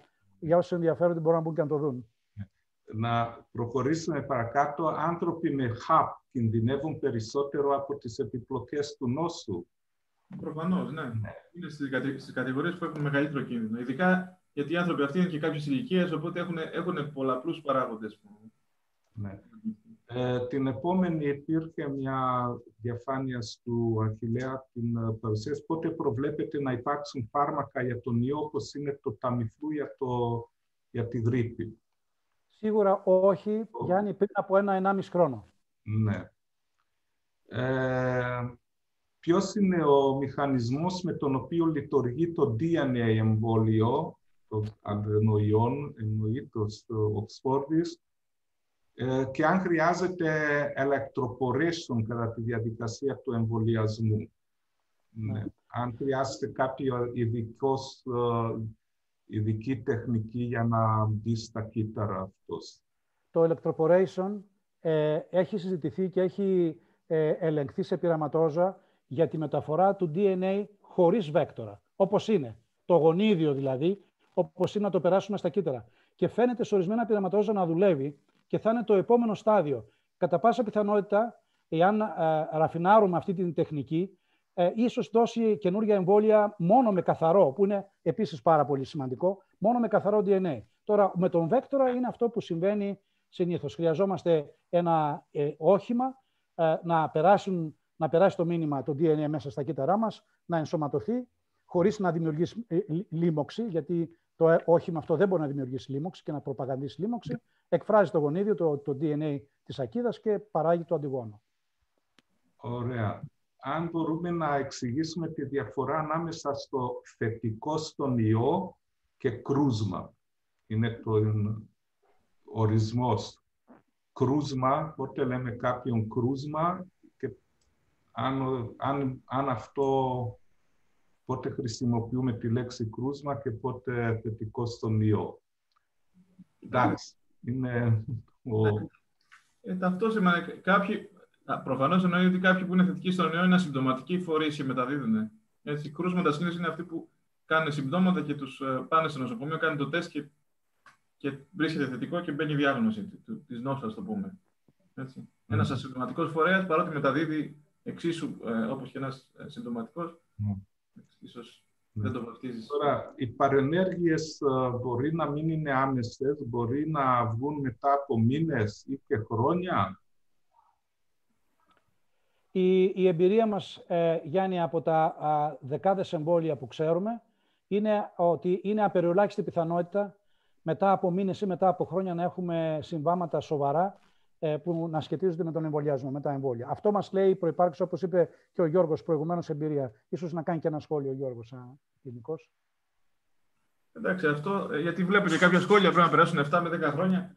Να σας πω κάτι, υπάρχουν καταρχήν λόγοι, λόγοι πρακτικής. Εδώ δεν, δεν έχεις το περιθώριο να περιμένεις 10 χρόνια για να μελετήσεις όλο, όλο το φάσμα των επιπλοκών, το, το 0,0 κάτι τα εκατό. Ένα. Δεύτερον, κάθε χρόνο κάναμε το εμβόλιο της γρήψης, ειδικά εμείς που είμαστε υγειονομικοί τα τελευταία 20 χρόνια. Κάθε χρόνο είναι διαφορετικό το, διαφορετική σύσταση του εμβολίου. Δεν είναι πρακτικά δυνατόν να περιμένεις να μελετάς πρώτα 10 ε, χρόνια τη συνέπεια και μετά να κάνεις το εμβόλιο. Μακάρι να, να μπορούσες να υπάρχει τρόπος να το κάνεις. Το, το εμβόλιο αυτό εξυπηρετεί μια πήγουσα και ανάγκη και είναι αυτό που λέμε κόστο-όφελο. Η, η, απόλυτη ασφάλεια είναι να. Μακάρι να μην είχαμε τη λίμωξη, να μην το κάναμε το εμβόλιο. Ούτε, ε, εάν δεν υπάρχει λόγος να πάρεις κάποιο φάρμακο, δεν το παίρνεις. Εδώ υπάρχει πολύ σοβαρός λόγος. Οπότε εκεί αποδέχει ότι θα είναι και κάποιες πολύ εξαιρετικά σπάνιες επιπλοκές που θα βγουν μετά από αν δεν βγουν τους πρώτους δύο μήνες που είναι το 9,9% θα βγουν μετά από ένα-δύο χρόνια. Ε, από εκεί και πέρα είναι κανείς δεν υποχρεώνει κάποιον που έχει τέτοιου είδους φοβία να πάει να κάνει το, το, το εμβόλιο. Α το κάνουμε εμείς που δεν φοβόμαστε και είμαστε πιο, πιο, πιο σίγουροι για την επιστήμη πίσω από το εμβόλιο και τα, τα, τα, την ασφάλειά του. Και ας, αν δεν καταφέρουμε να πείσουμε όλο τον κόσμο, είναι κάτι που. Είναι... Και κινδυνεύει βέβαια, Γιώργο, να πούμε και αυτό, να εμβολιαστεί με το φυσικό τρόπο, να νοσήσει. Βεβαίως, υπάρχει και αυτό που με το μεγάλο ρίσκο του 15% να πάει στο νοσοκομείο και του 5% στη μονάδα. Αυτό είναι θέμα. Δεν μου αρέσει να το πω, αλλά, αλλά αν, αν είναι κάποιος που θέλει να τα βάλει συλλογική σε μια ζυγαριά, πραγματικά είναι το, το, το, το κόστος και το όφελος συντριπτικό υπέρ του εμβολίου. Θέλετε να πούμε νούμερα. Ένας άνθρωπος που είναι 80-85 χρονών έχει 15-20% πιθανότητα να πεθάνει, όχι να πάει στο νοσοκομείο. Έχει 40% πιθανότητα να πάει στο νοσοκομείο. Ένας άνθρωπος στην ηλικία τη δικιά μου έχει 0,4% να πεθάνει. 5 με 6% να πάει στο νοσοκομείο. Εγώ προσωπικά έκανα αυτή τη, τη, τη, τη, την πράξη, ενώ από το εμβόλιο δεν θα καταλήξει κανείς, δεν έχει πεθάνει κανείς. Μέχρι είναι 30 εκατομμύρια που έχουν εμβολιαστεί. Από εκεί και πέρα, αν μετά από 40 χρόνια εμφανιστεί μια σπάνια επιλογή, καταρχήν το, το πιο πιθανό δεν θα μπορέσει να την καταγράψει ποτέ. Οι, οι, οι άμεσες επιλογές είναι αυτές που τεκμηριώνουν ε, ας πούμε, σχέση ε, με, με το εμβόλιο και αυτές λίγο πολύ τις έχουμε καταγράψει σχεδόν απόλυτα, έτσι. Ναι. Ε, okay, περνάω κάποιες ερωτήσεις οι οποίες έχουν απαντηθεί για άτομα με ε, προβλήματα υγείας κτλ. Είναι ε, μια άλλη ενότητα είναι η διαθεσιμότητα των εμβολίων. Το ρώσικο εμβόλιο είναι διαθέσιμο στην Ελλάδα ή γενικώς γιατί ποια κυκλοφορούν και γιατί αυτά θα κυκλοφορήσουν. Ναι. τα εμβόλια τα οποία έχει η χώρα μας είναι ε, εμβόλια που ακολουθούν την απόφαση ε, να γίνει ε, κεντρική συζήτηση με τις εταιρείες για την διαθεσιμότητα από την Ευρωπαϊκή Επιτροπή. Η Ευρωπαϊκή Επιτροπή έχει εξασφαλίσει μέσα στον χρόνο 2,3 δισεκατομμύρια δόσεις από 7 εμβόλια. Κάποια από αυτά υπάρχουν ήδη σε επίγουσα χρήση, κάποια θα πάρουν μέσα στις επόμενες εβδομάδες μήνες και κάποια θα πάρουν λίγο αργότερα προς το καλοκαίρι. Από αυτά τα εμβόλια, τα 2,3 δις, 25,1 εκατομμύρια εμβόλια θα έρθουν στη χώρα μας. Αυτό είναι ήδη υπογραμμένο. Που σημαίνει ότι με πληθυσμό 10 ε, εκατομμυρίων, 11 εκατομμυρίων και προσπάθεια εμβολιασμού 7 με 8 εκατομμύρια, ορισμένα εκ των εμβολίων αυτών είναι μόνη, μονής δόσης, μίας δόσης, έχουμε υπερδιπλάσια, εξασφαλίσει υπερδιπλάσιες δόσεις εμβολίων για να εμβολιάσουμε αυτούς που απαιτεί ε, ο εμβολιασμός για την ε, ανοσία της κοινότητας. Οπότε τέτοια προβλήματα δεν υπάρχουν. Υπάρχουν προβλήματα όσον αφορά τη χρονικότητα. Και αυτό είναι λογικό, γιατί το project να εμβολιάσεις 5-6 εκατομμύρια Έλληνες ή 5 με 6 δισεκατομμύρια συνανθρώπων σε όλο τον κόσμο δεν έχει ξανασυμβεί ποτέ στην ιστορία της ιατρικής. Οπότε τα logistics προφανώς είναι, είναι πάρα πολύ σημαντικά. Πολλά από αυτά δεν τα ξέρουμε. Γι' αυτό και επιμένουμε, εμείς που είμαστε στον χώρο της ιατρικής, να μην χαλαρώσουμε, να, να προστατεύουμε τον εαυτό μας, ακόμα και εμβολιασμένοι, και να προστατεύουμε και τους αγαπημένους μας ανθρώπους και τους γύρω μας. Είναι πράξη ε, ε, ε, ευσυνείδητου και ενσυνείδητου πολίτη να ακολουθεί τις οδηγίες των γιατρών ε, στην προφύλαξη. Και αυτό είναι κάτι το οποίο ε, δεν πρέπει να μας διαφεύγει παρά την ε, έτσι, ελπίδα που μας δίνουν τα εμβόλια και το hype αυτό που έχει δημιουργηθεί τους τελευταίους δύο μήνες, ευτυχώς, γιατί περιμέναμε κάποια θετική, ε, ε, ένα θετικό νέο και το έχουμε. Ευτυχώς το έχουμε. Τώρα, είναι μια ερώτηση που αφορά ότι πού πρέπει να γίνουν τα εμβόλια, σε νοσοκομεία, σε εμβολιαστικά κέντρα. Ε, πώς πάρθηκε αυτή η απόφαση ε, και γιατί η ιδέα τα εμβολιαστικά, των εμβολιαστικών κέντρων εκτός νοσοκομείων ε, δεν παίζει, δηλαδή δεν... Ε, εγώ να πω μια γρήγορη, έτσι, από ναι. πλευράς ε, logistics της, επειδή μπαίνουν μέσα τα φαρμακεία, στα προηγούμενα εμβόλια κτλ. Νομίζω ότι δεν υπάρχει κανείς λόγος, λόγος να μην εμβολιάζονται αυτοί που θέλουν να εμβολιαστούν από το, περνώντας από το, από το κεντρικό σύστημα στα ιδιωτικά ιατρίες, ιδιωτικές κλινικές, στο βαθμό που είναι παρόν πάντα ένα team γιατρών οι οποίοι είναι εκπαιδευμένοι να, να απαντήσουν σε προκλήσεις όπως το αναφυλακτικό σοκ. Και αν έχουμε διαθέσιμα πολλά εμβόλια ε, μέσα στο επόμενο τρίμηνο, νομίζω ότι είναι ε, ε, ε, υποχρέωση της πολιτείας να ενεργοποιήσει όλο το ιατρικό σώμα, να γίνουν τα εμβόλια ταχύτατα, όχι μόνο στον δημόσιο τομέα ή στις μεγάλες ε, ε, υποδομές, γιατί ακούστηκε, άκουσα ότι θα γίνουν τέσσερις μεγάλες υποδομές που θα μπορούν να εμβολιάζουν χιλιάδες κάθε, κάθε μέρα, όπως έγινε στην, στην Γερμανία, στην Αγγλία, στην Αμερική κτλ. Αλλά νομίζω ότι πρέπει να μπουν σε αυτή τη μεγάλη προσπάθεια και οι ιδιώτες συνάδελφοι και οι ιδιωτικές κλινικές, πάντα όμως με την παρουσία ενός συναδέλφου εκπαιδευμένου κλινικού ε, να αντιμετωπίσει κάποιο πρόβλημα. Ε, απλώς αν, η ερώτηση μάλλον αφορά ότι αν υπάρχει κίνδυνος να πηγαίνουμε υγιές άνθρωποι στα νοσοκομεία, έστω και για κάποια λεπτά. Να πηγαίνουν στο νοσοκομείο να εμβολιαστούν, ναι. Ναι. Εντάξει, το νοσοκομείο είναι το πιο ασφαλές μέρος για να, για να, για να είναι κανείς ε, να εμβολιαστεί. Είναι δίπλα οι γιατροί. Μας τα αποφεύγουμε τώρα με το COVID την πανδημία, αποφεύγαμε να μπούμε να πάμε στο νοσοκομείο. Η δική πόρτα στο νοσοκομείο, το δικό μας που τα κάνει, δεν έχεις καμία επαφή με, με, με τους ασθενείς. Είναι αλλού Αλλού γίνεται εμβολιασμό στα εξωτερικά ιατρία σε μια πτέρυγα που δεν έχει συνοσισμό. Δεν υπάρχει τέτοιο. Ε... ε το νοσοκομείο με, με, με αυτό ενώ θα έπρεπε να είναι ας πούμε της πρωτοβάθμιας περίθαλψης το, το, ε, ίσως ε, ας πούμε υποχρέωση. Αυτό είναι κάτι που yeah. και φεύγει από το επιστημονικό. Είναι... Yeah. Τώρα το, η άλλη ερώτηση είναι βιολογική, ότι όταν υπάρχει με το COVID, στο COVID-19 είναι η ανάπτυξη του καταράκτη και των κοινών. Αυτό είναι σε βαριά... Ε, γνωρίζετε αν ο κίνδυνος τέτοιου φαινομένων είναι μεγαλύτερος σε εμβόλιο που χρησιμοποιεί. Μπορεί να έχουμε καταράκτη κοιτοκινών ε, ε, ως ε, απάντηση σε εμβόλια. Ναι. που είναι η ερώτηση και η ερώτηση είναι αν το mRNA ή το αντιγόνα είναι πιο... Κοιτάξτε, έντονες φλεγμονώδει απαντήσεις από, τα, από mRNA vaccines έχουμε δει και, σε, και πριν την έγκριση του εμβολίου αυτού σε, σε, σε μελέτε φάσης 1 σε άλλα εμβόλια. Και υπάρχει μια φλεγμονώδη απάντηση. Αλλά ειδικά το σύνδρομο, διάρκεια μακροφάγωνη, σύνδρομο κοιτάξεων, αυτό ε, το βλέπουμε πολύ συχνά στο COVID. Δεν το βλέπουμε στα, στην εμπειρία των 30 εκατομμυρίων ανθρώπων που έχουν εμβολιαστεί. Δεν το έχουμε δει να συμβαίνει. Δηλαδή, έχουμε δει σοβαρές αναφυλακτικές ή αναφυλακτοειδείς αντιδράσεις αλλά το συγκεκριμένο σύνδρομο δεν, δεν συμβαίνει. Είναι, είναι πιο ρυθμισμένη η φλεγμονώδη απάντηση και ενδεχομένως είναι γι' αυτό το λόγο και η ανοσοποίηση καλύτερη και τα αντισώματα που παράγει κανείς πιο ειδικά. Ε, γιατί αυτή η, η υπερβολική δίωση στο μακροφόνο, για παράδειγμα, υποδηλώνει και λίγο ότι κάπως ότι ε, το ανοσοποιητικό μας έχει χάσει κάπως τη μάχη σε σχέση με τον ιό. Ενώ η ανοσοποίηση είναι, με το εμβόλιο είναι πολύ πιο ελεγχόμενη και πολύ πιο.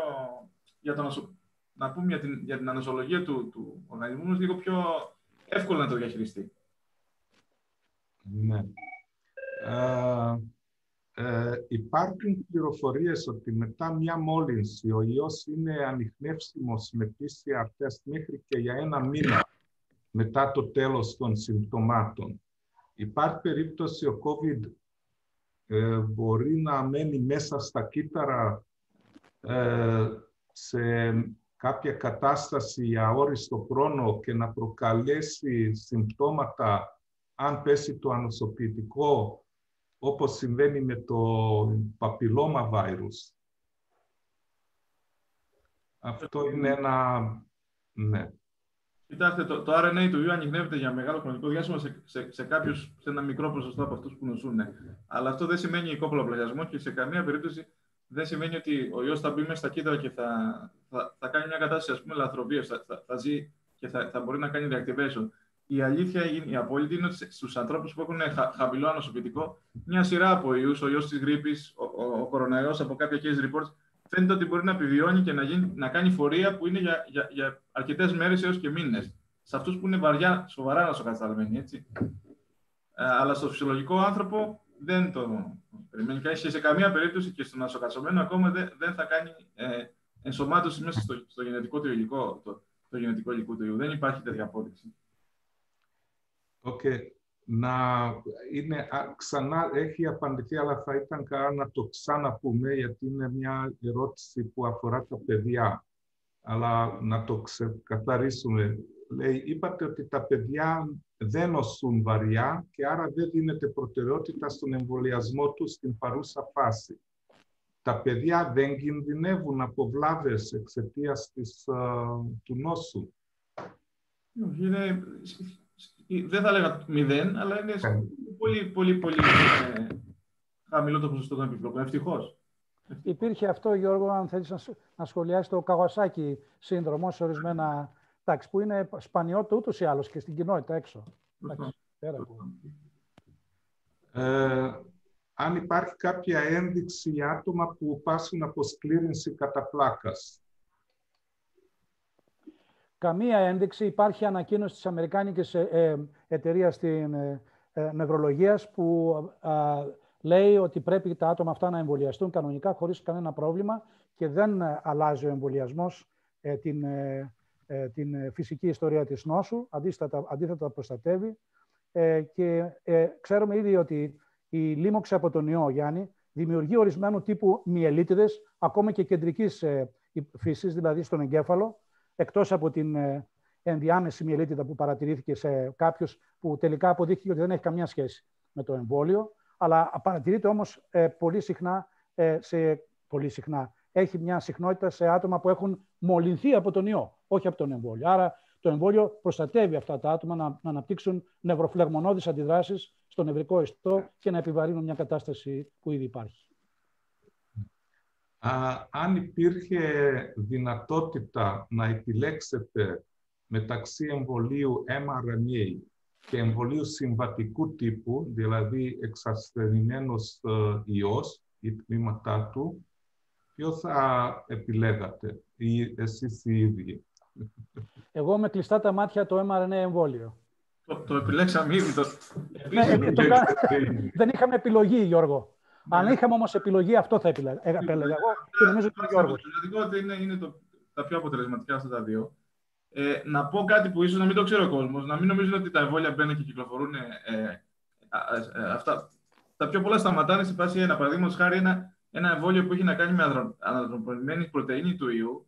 Στην Αυστραλία δοκιμάστηκε και είχε τα κακά αποτελέσματα. Δεν διου- δημιούργησε αυτό που λένε εξωτερικά ριζόμενα και σταμάτησε κατευθείαν στη φάση 1 και, και έχει μπλοκαριστεί. Δεν, δεν είναι όλα αποτελεσματικά. Έτσι, μην νομίζουμε ότι βγήκαν 100 εμβόλια και όλα περάσανε όλες τις φάσεις. Ε, Ναι. Ε, μια άλλη Επίσης, είναι... τα, τα εμβόλια των αδενών και αυτά είναι καινούργια τεχνολογία. Δεν είναι κάτι που το, το έχουμε ξανά ε, χρησιμοποιήσει ποτέ σε ε, ε, ευρεία κλίμακα. Οπότε Ε, μια άλλη ε, ερώτηση, ερώ- δύο, δύο ερωτήσεις ε, σχετικά με το ρώσικο. Γιατί η Ευρωπαϊκή Ένωση αδιαφόρησε σχετικά με το ρώσικο εμβόλιο συμβατικού τύπου. Δεν είναι συμβατικού τύπου, είναι αδενοϊού. εννοεί, Δεύτερο είναι ποιος α- ε, αδενοϊός χρησιμοποιείται ως φορέας στο ρώσικο εμβόλιο, ζωικός ή ανθρωπικό. Ανθρω, α, ανθρώπινο. Το- Είναι διαφορετικό νομίζω από τις... Είναι δύο οι αδενοοί. Ναι. Ε, νο- νομίζω ότι 23 και 26 και κάνουν, χρησιμοποιούν δύο οχήματα για να έχουν καλύτερη αποτελεσματικότητα στο εμβόλιο. Ε, και ε, δεν θυμάμαι αν είναι ανθρώπινος, ανθρώπινης προέλευσης ή ζωικής. Δεν ξέρω ο Γιώργος αν... Νομίζω ότι είναι ανθρώπινης προέλευσης. Ναι, ναι. δεν το Εμείς θυμάμαι. δεν, δεν έχουμε λόγο να κατακρίνουμε. Εμείς σχολιάζουμε τα αποτελέσματα των μελετών. Όταν έχεις αποτελέσματα απο, ε, υψηλής. Ε, ε, καλής αποτελεσματικότητας, δεν έχεις κανένα λόγο να, να κατακρίνεις το Α ή το Β. Απλά ε, η ποιότητα ας πούμε, των δεδομένων ασφαλείας είναι πάντα κάτι που στην Ευρώπη, στην Αμερική είναι πιο, τα δεδομένα πιο ανοιχτά, ας το πούμε, και επιτρέπει λίγο καλύτερα στους επιστήμονες να, να αξιολογούν ίσως. Από εκεί και Αυτό, πέρα- αυτό είναι Γιώργο. από εκεί και Για πέρα, πάρα γιατί μεγάλο υπάρχει κάποια- δεν είχαμε δεδομένα. Δημοσιεύαν τα αποτελέσματα οι εταιρείες ακόμα και προμπόνο, δηλαδή χωρίς να έχουν καταλήξει ακόμη στις μελέτες, όπως ήταν η Pfizer, όπως ήταν η, το NIH με την Moderna και τα λοιπά και η Oxford, αλλά από την πλευρά των συναδέλφων στην, ε, στη Ρωσία δεν είχαμε ενημέρωση. Τώρα αρχίζουμε να έχουμε ενημέρωση, άρχισαν να δημοσιεύουν. Ε, το, την Gamaleya, η εταιρεία αυτή με το Ινστιτούτο στη Μόσχα έχει δώσει ήδη στην, στη δημοσιότητα τα, τα δεδομένα και εάν οι, οι συνάδελφοι στην, στη Ρωσία α, εξασφαλίσουν διαθεσιμότητα με μαζική παραγωγή, ε, α, δεν θα υπάρξει κανένα α, θέμα να έχουμε και τέτοια εμβόλια. Προ, προφανώς, έτσι. Μακάρι να έχουμε τέτοια εμβόλια ή τα εμβόλια από την, ε, από την ε, Sinopharm ή την, ε, ας πούμε, την, ε, την Sinovac, την, την Κινέζικη. Το θέμα είναι ότι ήδη αυτές οι χώρες ε, έχουν ήδη μεγάλο πρόβλημα επιπολασμού, ειδικά η Ρωσία, όχι τόσο η Κίνα, και άρα χρειάζονται οι ίδιες τα, την, την τε- τεχνολογία που έχουν αναπτύξει να προστατεύσουν τους πολίτες τους. Άρα είναι δύσκολο να έχουν μεγάλη διαθεσιμότητα, τόσο μεγάλη που να έχουμε, ας πούμε. Αλλά εάν υπάρξει διαθέσιμο εμβόλιο και περάσει από τους ρυθμιστικούς μας ε, ε, ε, οργανισμούς όπως το αίμα, προφανώς μακάρι να έχουμε και ρωσικό εμβόλιο και κινέζικο και οποιοδήποτε. Προφανώς. Α, υπάρχουν δεδομένα ε, ρωτάει, που να δείχνουν αν κάποιος που έχει εμβολιαστεί ή έχει αποκτήσει ήδη αντισώματα λόγω προηγούμενης έκθεσης των ιών να μπορεί να μεταδώσει τον ιό. Δηλαδή αν κάποιος που Θέλετε έχει... λίγο να, να το εξηγήσει στον κόσμο σου γιατί έχει απορία. Γιατί όταν κάνω ένα εμβόλιο, ε, υπάρχει πιθανότητα, γιατί ακόμα δεν το ξέρουμε απόλυτα, να είμαι φορέας του, του ήχου ε, για να το μεταδίδω. Ε, επειδή το εμβόλιο γίνεται δομικά, η, η λίμωξη, η φυσική οδός είναι από τους πλενογόνου. Εκεί δημιουργούνται κάποια αντισώματα ειδικά, τα οποία λέγονται τις IgA classes, ας πούμε. Συνήθως τα εμβόλια αυτά που γίνονται δομικά δημιουργούν τα, τα IgG αντισώματα, τα οποία προστατεύουν τον πνεύμονα. Α το πούμε, αλλά δεν προστατεύουν, δεν, δεν αδρανοποιούν τον ιό στο, στο ανώτερο αναπνευστικό που είναι η αρχική η πύλη εισόδου και θεωρητικά. Ε, αν δεν έχεις IgA αντισώματα ειδικά για τον, για τον ιό στο βλενογόνο σου, όταν έρθεις σε επαφή με τον ιό, μάλλον θα κάνει ένα μικρό προπλησιασμό και απλά θα το φρενάρει το εμβόλιο στην, στην εξέλιξη τη της λίμωξη. Υπάρχει πιθανότητα, επειδή υπάρχει και η τάφα νοσολογική απάντηση που είχε πει ο κ. Γραβάνης λίγο παραπάνω, έδωσε λίγο παραπάνω έμφαση, να έχει τα φυτικά κύτταρα μνήμης στους βλενογόνου και να, να, να βοηθάνε παρότι δεν υπάρχουν ειδικά αντισώματα IgA να, να μπλοκάρουν το, το του ιού. Αυτό τώρα, αν δεν γίνουν μελέτες και δεν έχουν τα δεδομένα, δεν, δεν μπορούμε να είμαστε απόλυτα ε, κατηγορηματικοί στο τι λέμε. Η, η υψηλή αποτελεσματικότητα που έχει το εμβόλιο, μάλλον φαίνεται ότι θα, θα, θα αποτρέπει ε, ε, σε κάποιο βαθμό και τη, και τη μετάδοση από, από τον εμβολιασμένο στο, σε κάποιον. Ε, okay. Ε, ε, η επόμενη ερώτηση, ε, πώς σχολιάζεται τη στρατηγική υπέρβαση του χρονικού ορίου μεταξύ της πρώτης και δεύτερης δόσης των εμβολίων και ποια είναι η γνώμη σας για τον συνδυασμό δόσεων διαφορετικών εμβολίων. Pfizer με AstraZeneca, δηλαδή ναι. πρώτη δόση RNA, η δεύτερη... Ναι μπορώ να πω ότι αν είσαι σε μια κατάσταση επίγουσας ανάγκη, όπως αυτό που συμβαίνει αυτή τη στιγμή στη Βρετανία, που έχουν, ε, ουσιαστικά έχει καταρρεύσει το σύστημα, εκεί πρέπει να σκεφτεί διάφορα πράγματα που ξεφεύγουν και από αυτό που είναι το, το, το κανονικό και το επιστημονικά απόλυτα τεκμηριωμένο. Και παίρνεις άλλο τύπο αποφάσεις. Στην Ελλάδα, αυτή τη στιγμή, αυτό που ζούμε, είμαστε σε μια σχετικά καλή, μάλλον σε πολύ καλή κατάσταση. Δεν έχει κανείς λόγο να ξεφύγει από αυτό που είναι, έχει μελετηθεί και έχει εγκριθεί και να κάνει πράγματα που είναι λίγο πιο πολύ ε, δεν είσαι επιβεβαίωση για το πόσο καλή ε, ανοσολογική απάντηση θα κάνεις. Είναι, είναι θέμα πιο πολύ που ε, εγώ προσωπικά ακολουθώ το περισσότερο, είμαι πιο συντηρητικός. Έχω την άποψη ότι όταν πάρει έγκριση κάτι για μια συγκεκριμένη δόση, δεν θα την ακολουθήσεις. Δεν μπορείς να κάνεις εκτόσει και να, ή να συνδυάσεις αγροτικά εμβόλια. Τώρα, αν βρεθεί σε μια κατάσταση που είναι έκτακτης ανάγκης, πολλά πράγματα μπορεί να, να, να, να, με βάση κάποια επιστημονική λογική, μπορείς να, να κάνεις κάποιες ε, να το πω. Εκτό σε αυτό που είναι απόλυτα επιστημονικά ορθό και είναι αποφάσεις όμως που τις παίρνει οι ειδικοί, δεν τις παίρνει ο, ούτε ο πολιτικός, ούτε θα πρέπει οι επιστήμονες να, να, να βάλουν τα πράγματα κάτω και να πούνε τι κερδίζει, τι χάνει κανείς στην κατάσταση που, που βρίσκεται. Στην Ελλάδα δεν νομίζω να βρεθούμε στην ανάγκη να κάνουμε αυτά, αυτές, αυτού του τύπου της ε, προσεγγίσεις. Πάντως, Γιώργο, ε, για αυτό το θέμα ε, έχει υπάρξει επίσημα ανακοίνωση του FDA και του ΕΜΑ που λέει ότι πρέπει, όπως πολύ σωστά είπες, να ακολουθηθεί το πρωτόκολλο εμβολιασμού που είναι τεκμηρωμένο από τη φάση 3 και τίποτα διαφορετικό. Εάν χρειάζεται να υπάρξει ένα prolongation του χρόνου μεταξύ πρώτης και δεύτερης δόσης, αυτό πρέπει να είναι εξαιρετικά μικρό και να μην είναι αυτό που θέλουν να κάνουν οι Βρετανοί ή και οι Γερμανοί, να το κάνουν εβδομάδες μετά. Γιατί δεν είναι βέβαιο ότι θα είναι η ίδια αποτελεσματικότητα. Τώρα για τα δυο, για το συνδυασμό, υπήρξε μια συζήτηση και υπάρχουν μελέτες τέτοιες, όσον αφορά την αποτελεσματικότητα. Η πρώτη δόση να είναι ε, μία πλατφόρμα, mRNA, και η δεύτερη δόση να είναι μια άλλη πλατφόρμα, ε, cDNA, vector ή DNA εμβόλιο, για να δούμε αν μπορούμε πραγματικά να έχουμε ακόμη πιο δυνατή ανοσολογική απάντηση και να καλύψουμε και το κομμάτι το οποίο, μας, ε, ε, το οποίο περιμένουμε να το δούμε, της κυταρικής ανοσίας. Να έχουμε δηλαδή αυτό που είπε ο Γιώργος που είναι σημαντικό, είναι μια λεπτομέρεια που δεν τη συζητήσαμε, αλλά έχει πολύ μεγάλη σημασία να έχουμε κυταρική ανοσία και στους βουλενογόνους που είναι οι, οι, οι, οι, οι πόρτες εισόδου του, του ιού μέσα στο σώμα μας και μετάδοσης μετά. Αλλά αυτά θα απαντηθούν με μελέτες κλινικές, όχι ανεκδοτικά όπως συζητιέται τώρα στο, στο διαδίκτυο, μετά από κλινικές μελέτες και να πούμε εδώ Γιώργο, νομίζω ότι είναι, θα συμφωνήσει αυτό, οι, α, οι, ε, οι φίλοι που μας ακούν θα πρέπει να ενημερώνονται από τον γιατρό τους, από τις επίσημες ανακοινώσεις της πολιτείας, του ιατρικού σώματος και όχι να κάνουν ας πούμε, ενημέρωση και να παίρνουν αποφάσεις από το διαδίκτυο. Στο διαδίκτυο κυκλοφορούν απίστευτα πράγματα, τα οποία δεν έχουν καμία επιστημονική τεκμηρίωση. Ο καθένας λέει το κοντό του και το μακρύ του, ε, ανεξάρτητα ε, από, την, ε, από σε ποια όχθη είσαι στον εμβολιασμό. Και ε, συστήνω, νομίζω και εσύ θα συμφωνείς αυτό, να ενημερωνόμαστε από τους καθήλυνα αρμόδιους. Δηλαδή τους, ε, την πολιτεία, τον γιατρό σου, τον προσωπικό γιατρό σου, τους ιατρικούς συλλόγους και τις ανακοινώσεις του. Συμφωνώ απόλυτα. Συμφωνώ. Και συμφωνώ και εγώ με, με την Αμερικάνικη φιλοσοφία γενικώ στο, στον τρόπο που χειρίζεσαι τα, τα, τα προβλήματα υγείας, που είναι λίγο πιο ορθολογική από ότι στην Ευρώπη πολλές φορές βλέπεις γίνονται περικοπές, γίνονται κάποια πράγματα που μπερδεύουν τον κόσμο και μπερδεύουν και την. Και η μελέτη του Ραούλ, όλα αυτά δεν θα γινόταν ποτέ στην Αμερική, για παράδειγμα. Είναι άλλο, άλλος τρόπος σκέψης, είναι πιο, ε, ακολουθούνται τα, τα, τα, επιστημονικά βήματα πιο, πιο σωστά. Δεν κάνουμε εκτόσεις στο, στην επιστήμη. Ναι. Ε, η επόμενη έχει μια, τη στιγμή που δεν είναι ζωτική σημασία να εμβολιαστούν τα παιδιά αφού δεν νοσούν βαριά, οι άνθρωποι που έχουν νοσήσει από τον ιό και έχουν αναρρώσει έχουν αποκτήσει κάποια ανοσία και άρα μήπως δεν είναι αναγκαίο να εμβολιαστούν. Ωραία ερώτηση και, και είναι και ναι.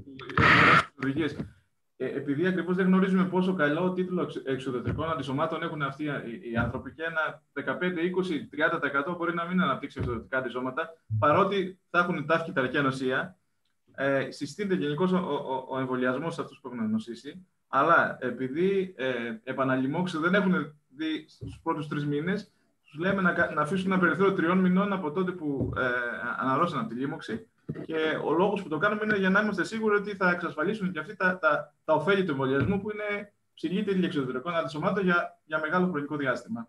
Έτσι. Και πάλι, όπως λέει ο κ. Λαβάνης, με, με το προσωπικό του γιατρό, να το κουβεντιάσει κανείς, μπορεί να το εύκολο να το λύσει. Αλλά υπάρχει και οδηγία επίσημη σε αυτό και στην Αμερική και στα δικά μας τα, τα guidelines.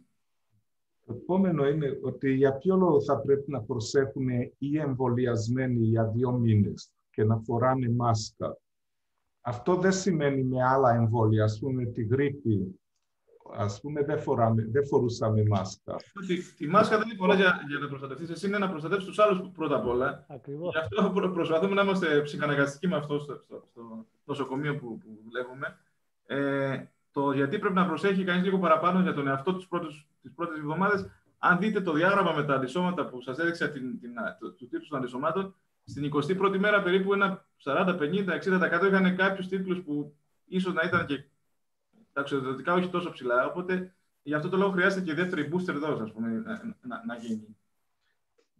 Α, μια άλλη ερώτηση που είναι πολύ καλή, αν, έχει, αν, πάει κάποιο, προ, αν κάνει κάποιος, ε, προτού πάει κάποιος να κάνει εμβόλιο, να κάνει τεστ αντισωμάτων για να διαπιστωθεί αν έχει περάσει την νόσο.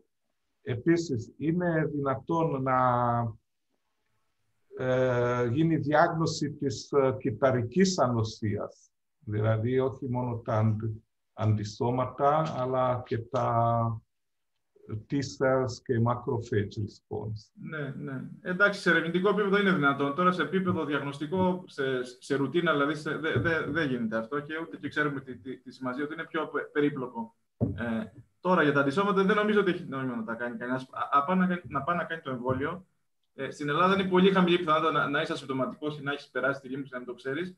Και η εμπειρία μας είναι ότι αυτοί που έχουν ήπια νόσος δεν κάνουν ε, τύπους αντισωμάτων. Οπότε τζάμπα θα, θα, θα πας να, να, να, να πληρώνεις να κάνεις ε, μια εξέταση τίτλων, η οποία δεν θα σου πει αν είναι εξωτερικά τα αντισώματα που έχεις. Δεν μπορείς να το διαπιστώσεις αυτό. Είναι, ε, θέλει εργαστήρια αναφοράς για να το κάνει. Άρα αυτοί που, ας πούμε, αν κάνουμε τεστ αντισωμάτων και έχουμε ε, τι θα, τι να, και είναι θετικός. Θα πάει να κάνει εμβόλιο. Να κάνει εμβόλιο ή να μην κάνει. Να κάνει εμβόλιο. Αυτό σε όλους και σε αυτούς που νοσήσαν ακόμα και το ξέρουν και ε, θα πρέπει να κάνει το εμβόλιο για να εξασφαλίσει υψηλό τίτλο ε, για, για μεγάλο χρονικό διάστημα. Για να είναι σίγουρος ότι ναι. Πώς εξηγείται επιστημονικά η ψηλότερη αποτελεσματικότητα της μισής δόσης του εμβολίου της Οξφόρδης; Ερώτημα μεγάλο. Ναι, εγώ δεν ξέρω να απαντήσω. Αν υπήρχε κάποιος να απαντήσει στους ε, παρόντες εδώ θα ήταν ο Γιώργος. Γιατί έχει δουλέψει στους μηχανισμούς ανοσίας. Ε, πράγματα που δεν είμαστε σίγουροι δεν τα έχουμε ναι, μελετήσει. Λοιπόν, αλλά ναι, αυτό είναι ένα μεγάλο ερώτημα. Υποθέσεις, αλλά, αλλά ανοσία εναντίον του φορέα του αδενοϊού που αποκλείουμε; Θα μπορούσε να, να, θα μπορούσε να, να, να, επαχθεί, να επαχθούν εξω, ε, αντισώματα που εξωτερώνουν τον αδενοϊό και να μην, να μην γίνει αποτελεσματική η δεύτερη δόση ανοσοποίησης, αλλά πρέπει να τα δούμε αυτά. Και επίσης να, να λάβουμε υπόψη ότι η αποτελεσματικότητα επακριβώς δεν, δεν μπορεί ποτέ να προσδιοριστεί. Γιατί ε, η συμπεριφορά των ανθρώπων που εμβολιάζονται, είτε είναι εθελοντές ε, που πήραν το πλασίμπο, είτε είναι οι, οι άνθρωποι που πήραν το κανονικό, δεν είναι κάτι που μπορεί να το ελέγξει στην κανονική του ζωή. Για να... Είναι κάτι το οποίο θα, στην πραγματική ζωή θα, θα φανεί και η ακριβής αποτελεσματικότητα των εμβολίων. Λέμε 90-95%, 62-70%. Αυτά θα, θα, τα δούμε στην, την ακριβή τους ας πούμε, δράση θα τη δούμε στο, στην πορεία. Αλλά είμαστε πολύ αισιόδοξοι γιατί είναι, πολύ, είναι εξαιρετικά αυτά τα ποσοστά. Δεν τα έχουμε ξαναδεί με άλλα εμβόλια τόσο, τόσο πολύ.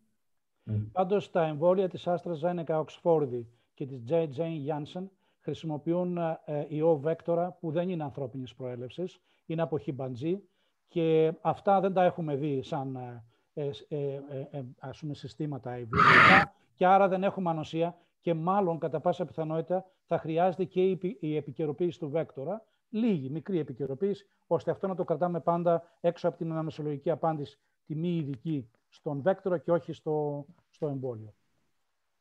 Η γκαμαλέγια έχει ανθρώπινο προφανώς ιό, όπως είπε ο Γιώργος. Κάποια άλλα εμβόλια Αυστραλιανά και Ινδικά χρησιμοποιούσαν τέτοιου είδους βέκτορε που δεν προχώρησαν μάλλον γιατί δεν τα, δεν τα ξέρουμε, δεν έχουμε ακούσει για αυτά. Ε, ε, τώρα ε, είμαστε ήδη δυόμιση ώρες, δεν ξέρω πόσο αντέχετε οι, οι ομιλητές ε, γιατί έχουμε ακόμα πάρα πολλές ερωτήσεις.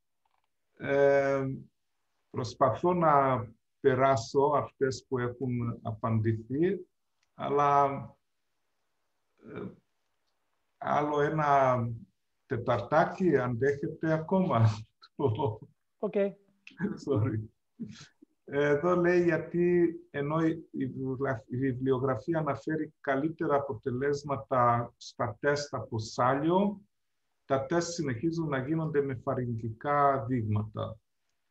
Ε, δεν είναι καλύτερα, είναι το ίδιο καλό, ίδιο ασφαλές αποτέλεσμα δίνουν. Ναι. Δεν ξέρω αν υπάρχει αυτό. Απλά από το φάρεγγα αυτό δεν είναι απόλυτα σωστό από, το, από την... Ρήνο. Δηλαδή, από τη μύτη μπαίνει το, το, ο και, και γίνεται η δηματοληψία. Και όντως με το σάλιο είναι μια τεχνική που το, το κάνετε και εσείς, το γνωρίζετε καλύτερα, που είναι, ε, εξασφαλίζει υψηλή ευαισθησία και έχει βγει μελέτη που είναι συγκρίσιμα τα ποσοστά και πολύ λιγότερο, ας το πούμε, ε, ε, επώδυνο, το πω, πολύ καλύτερα ανοιχτό γίνεται από, από το σάλιο. Αλλά φαντάζομαι κάποια στιγμή το να το κάνεις αυτό commercialize και να το... Έχει μια διαδικασία ε, πιστοποίησης που θα πιθανόν να γίνεται στο μέλλον, από το σάλιο μόνο.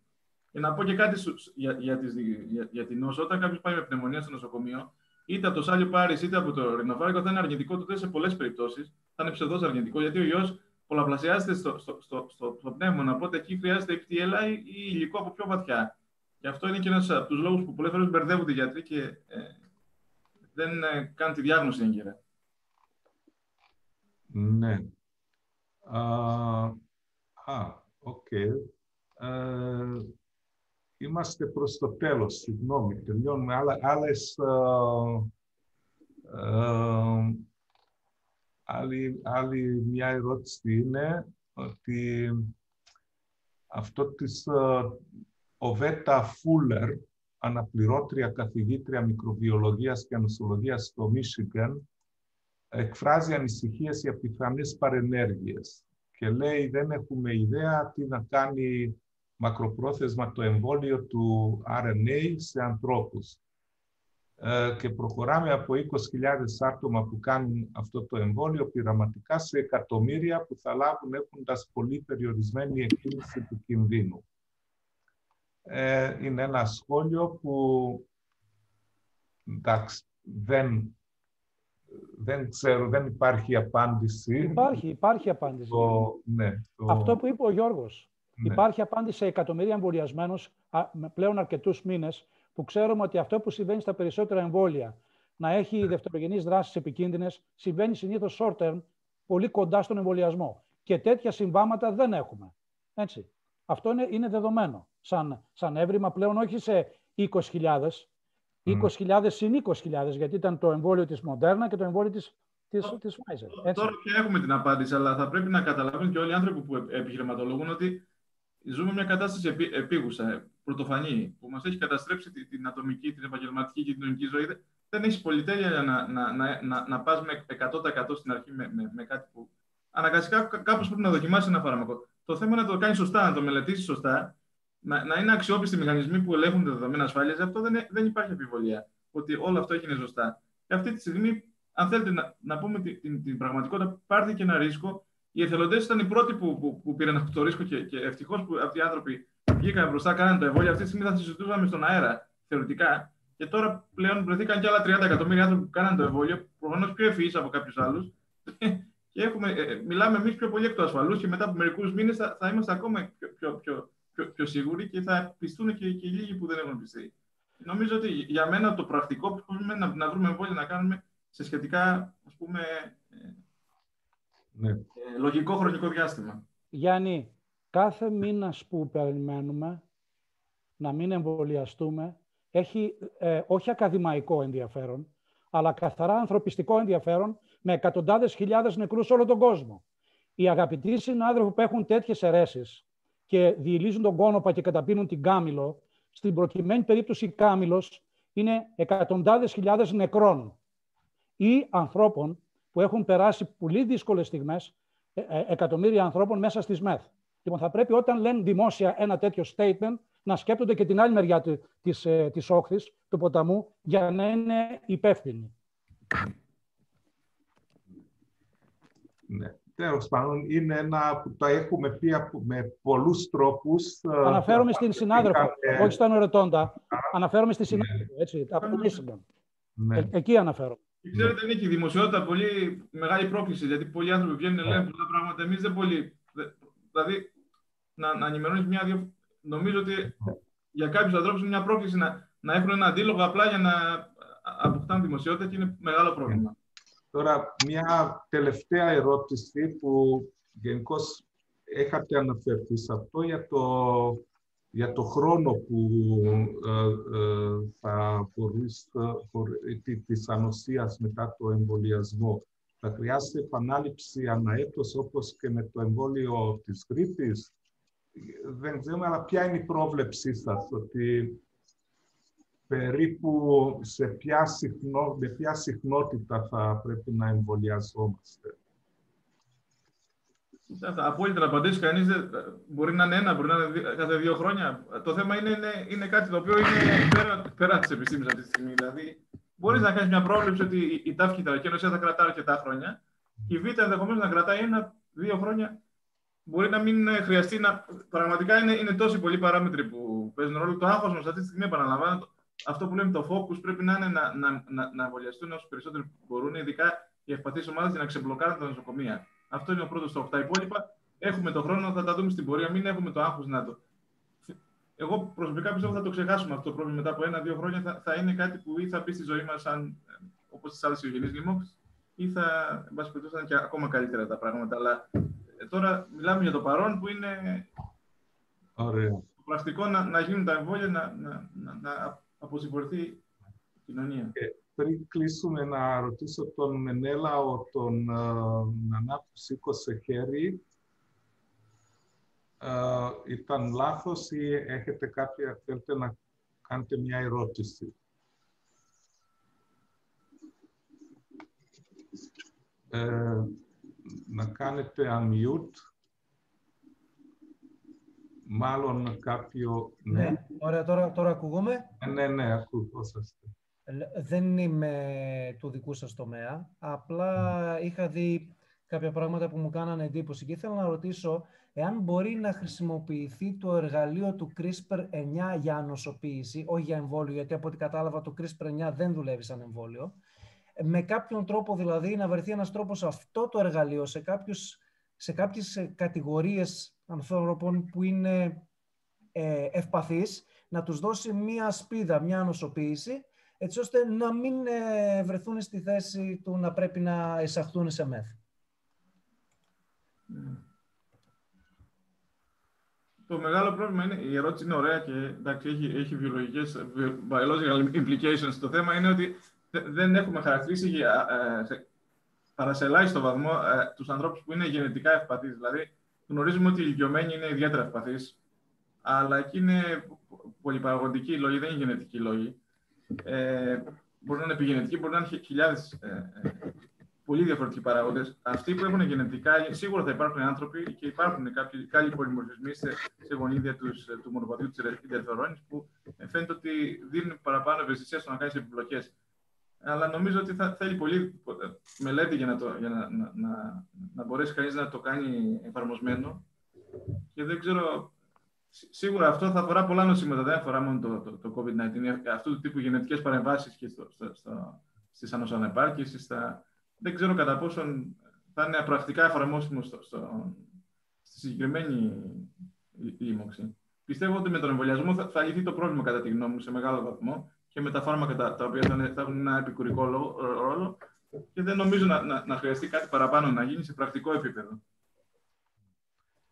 Uh, πολύ ωραία. Εγώ λέω να κλείσουμε τώρα εδώ, να ευχαριστήσω τους ομιλητές και όλους τους συμμετέχοντες που ε, δύο ώρες και τρία τέταρτα ε, άντεξαν ε, και απάντησαν όλες τις ερωτήσεις όπως, τις, όπως το είχα υποσχεθεί ε, πριν. Ε, και επίσης, να, πριν κλείσουμε, να πω γιατί υπήρχαν πολλές ερωτήσεις για αν, το, αν θα είναι αν θα το ανεβάσουμε στο YouTube την συζήτηση αυτή και η απάντηση είναι ναι και θα στείλουμε σε όλοι μια, ε, ε, ένα mail που θα είναι μέσα η, η διεύθυνση που μπορείτε να την βρείτε. Σας ευχαριστώ πολύ και κλείνουμε το... Okay. Εμείς ευχαριστούμε. Εμείς ευχαριστούμε.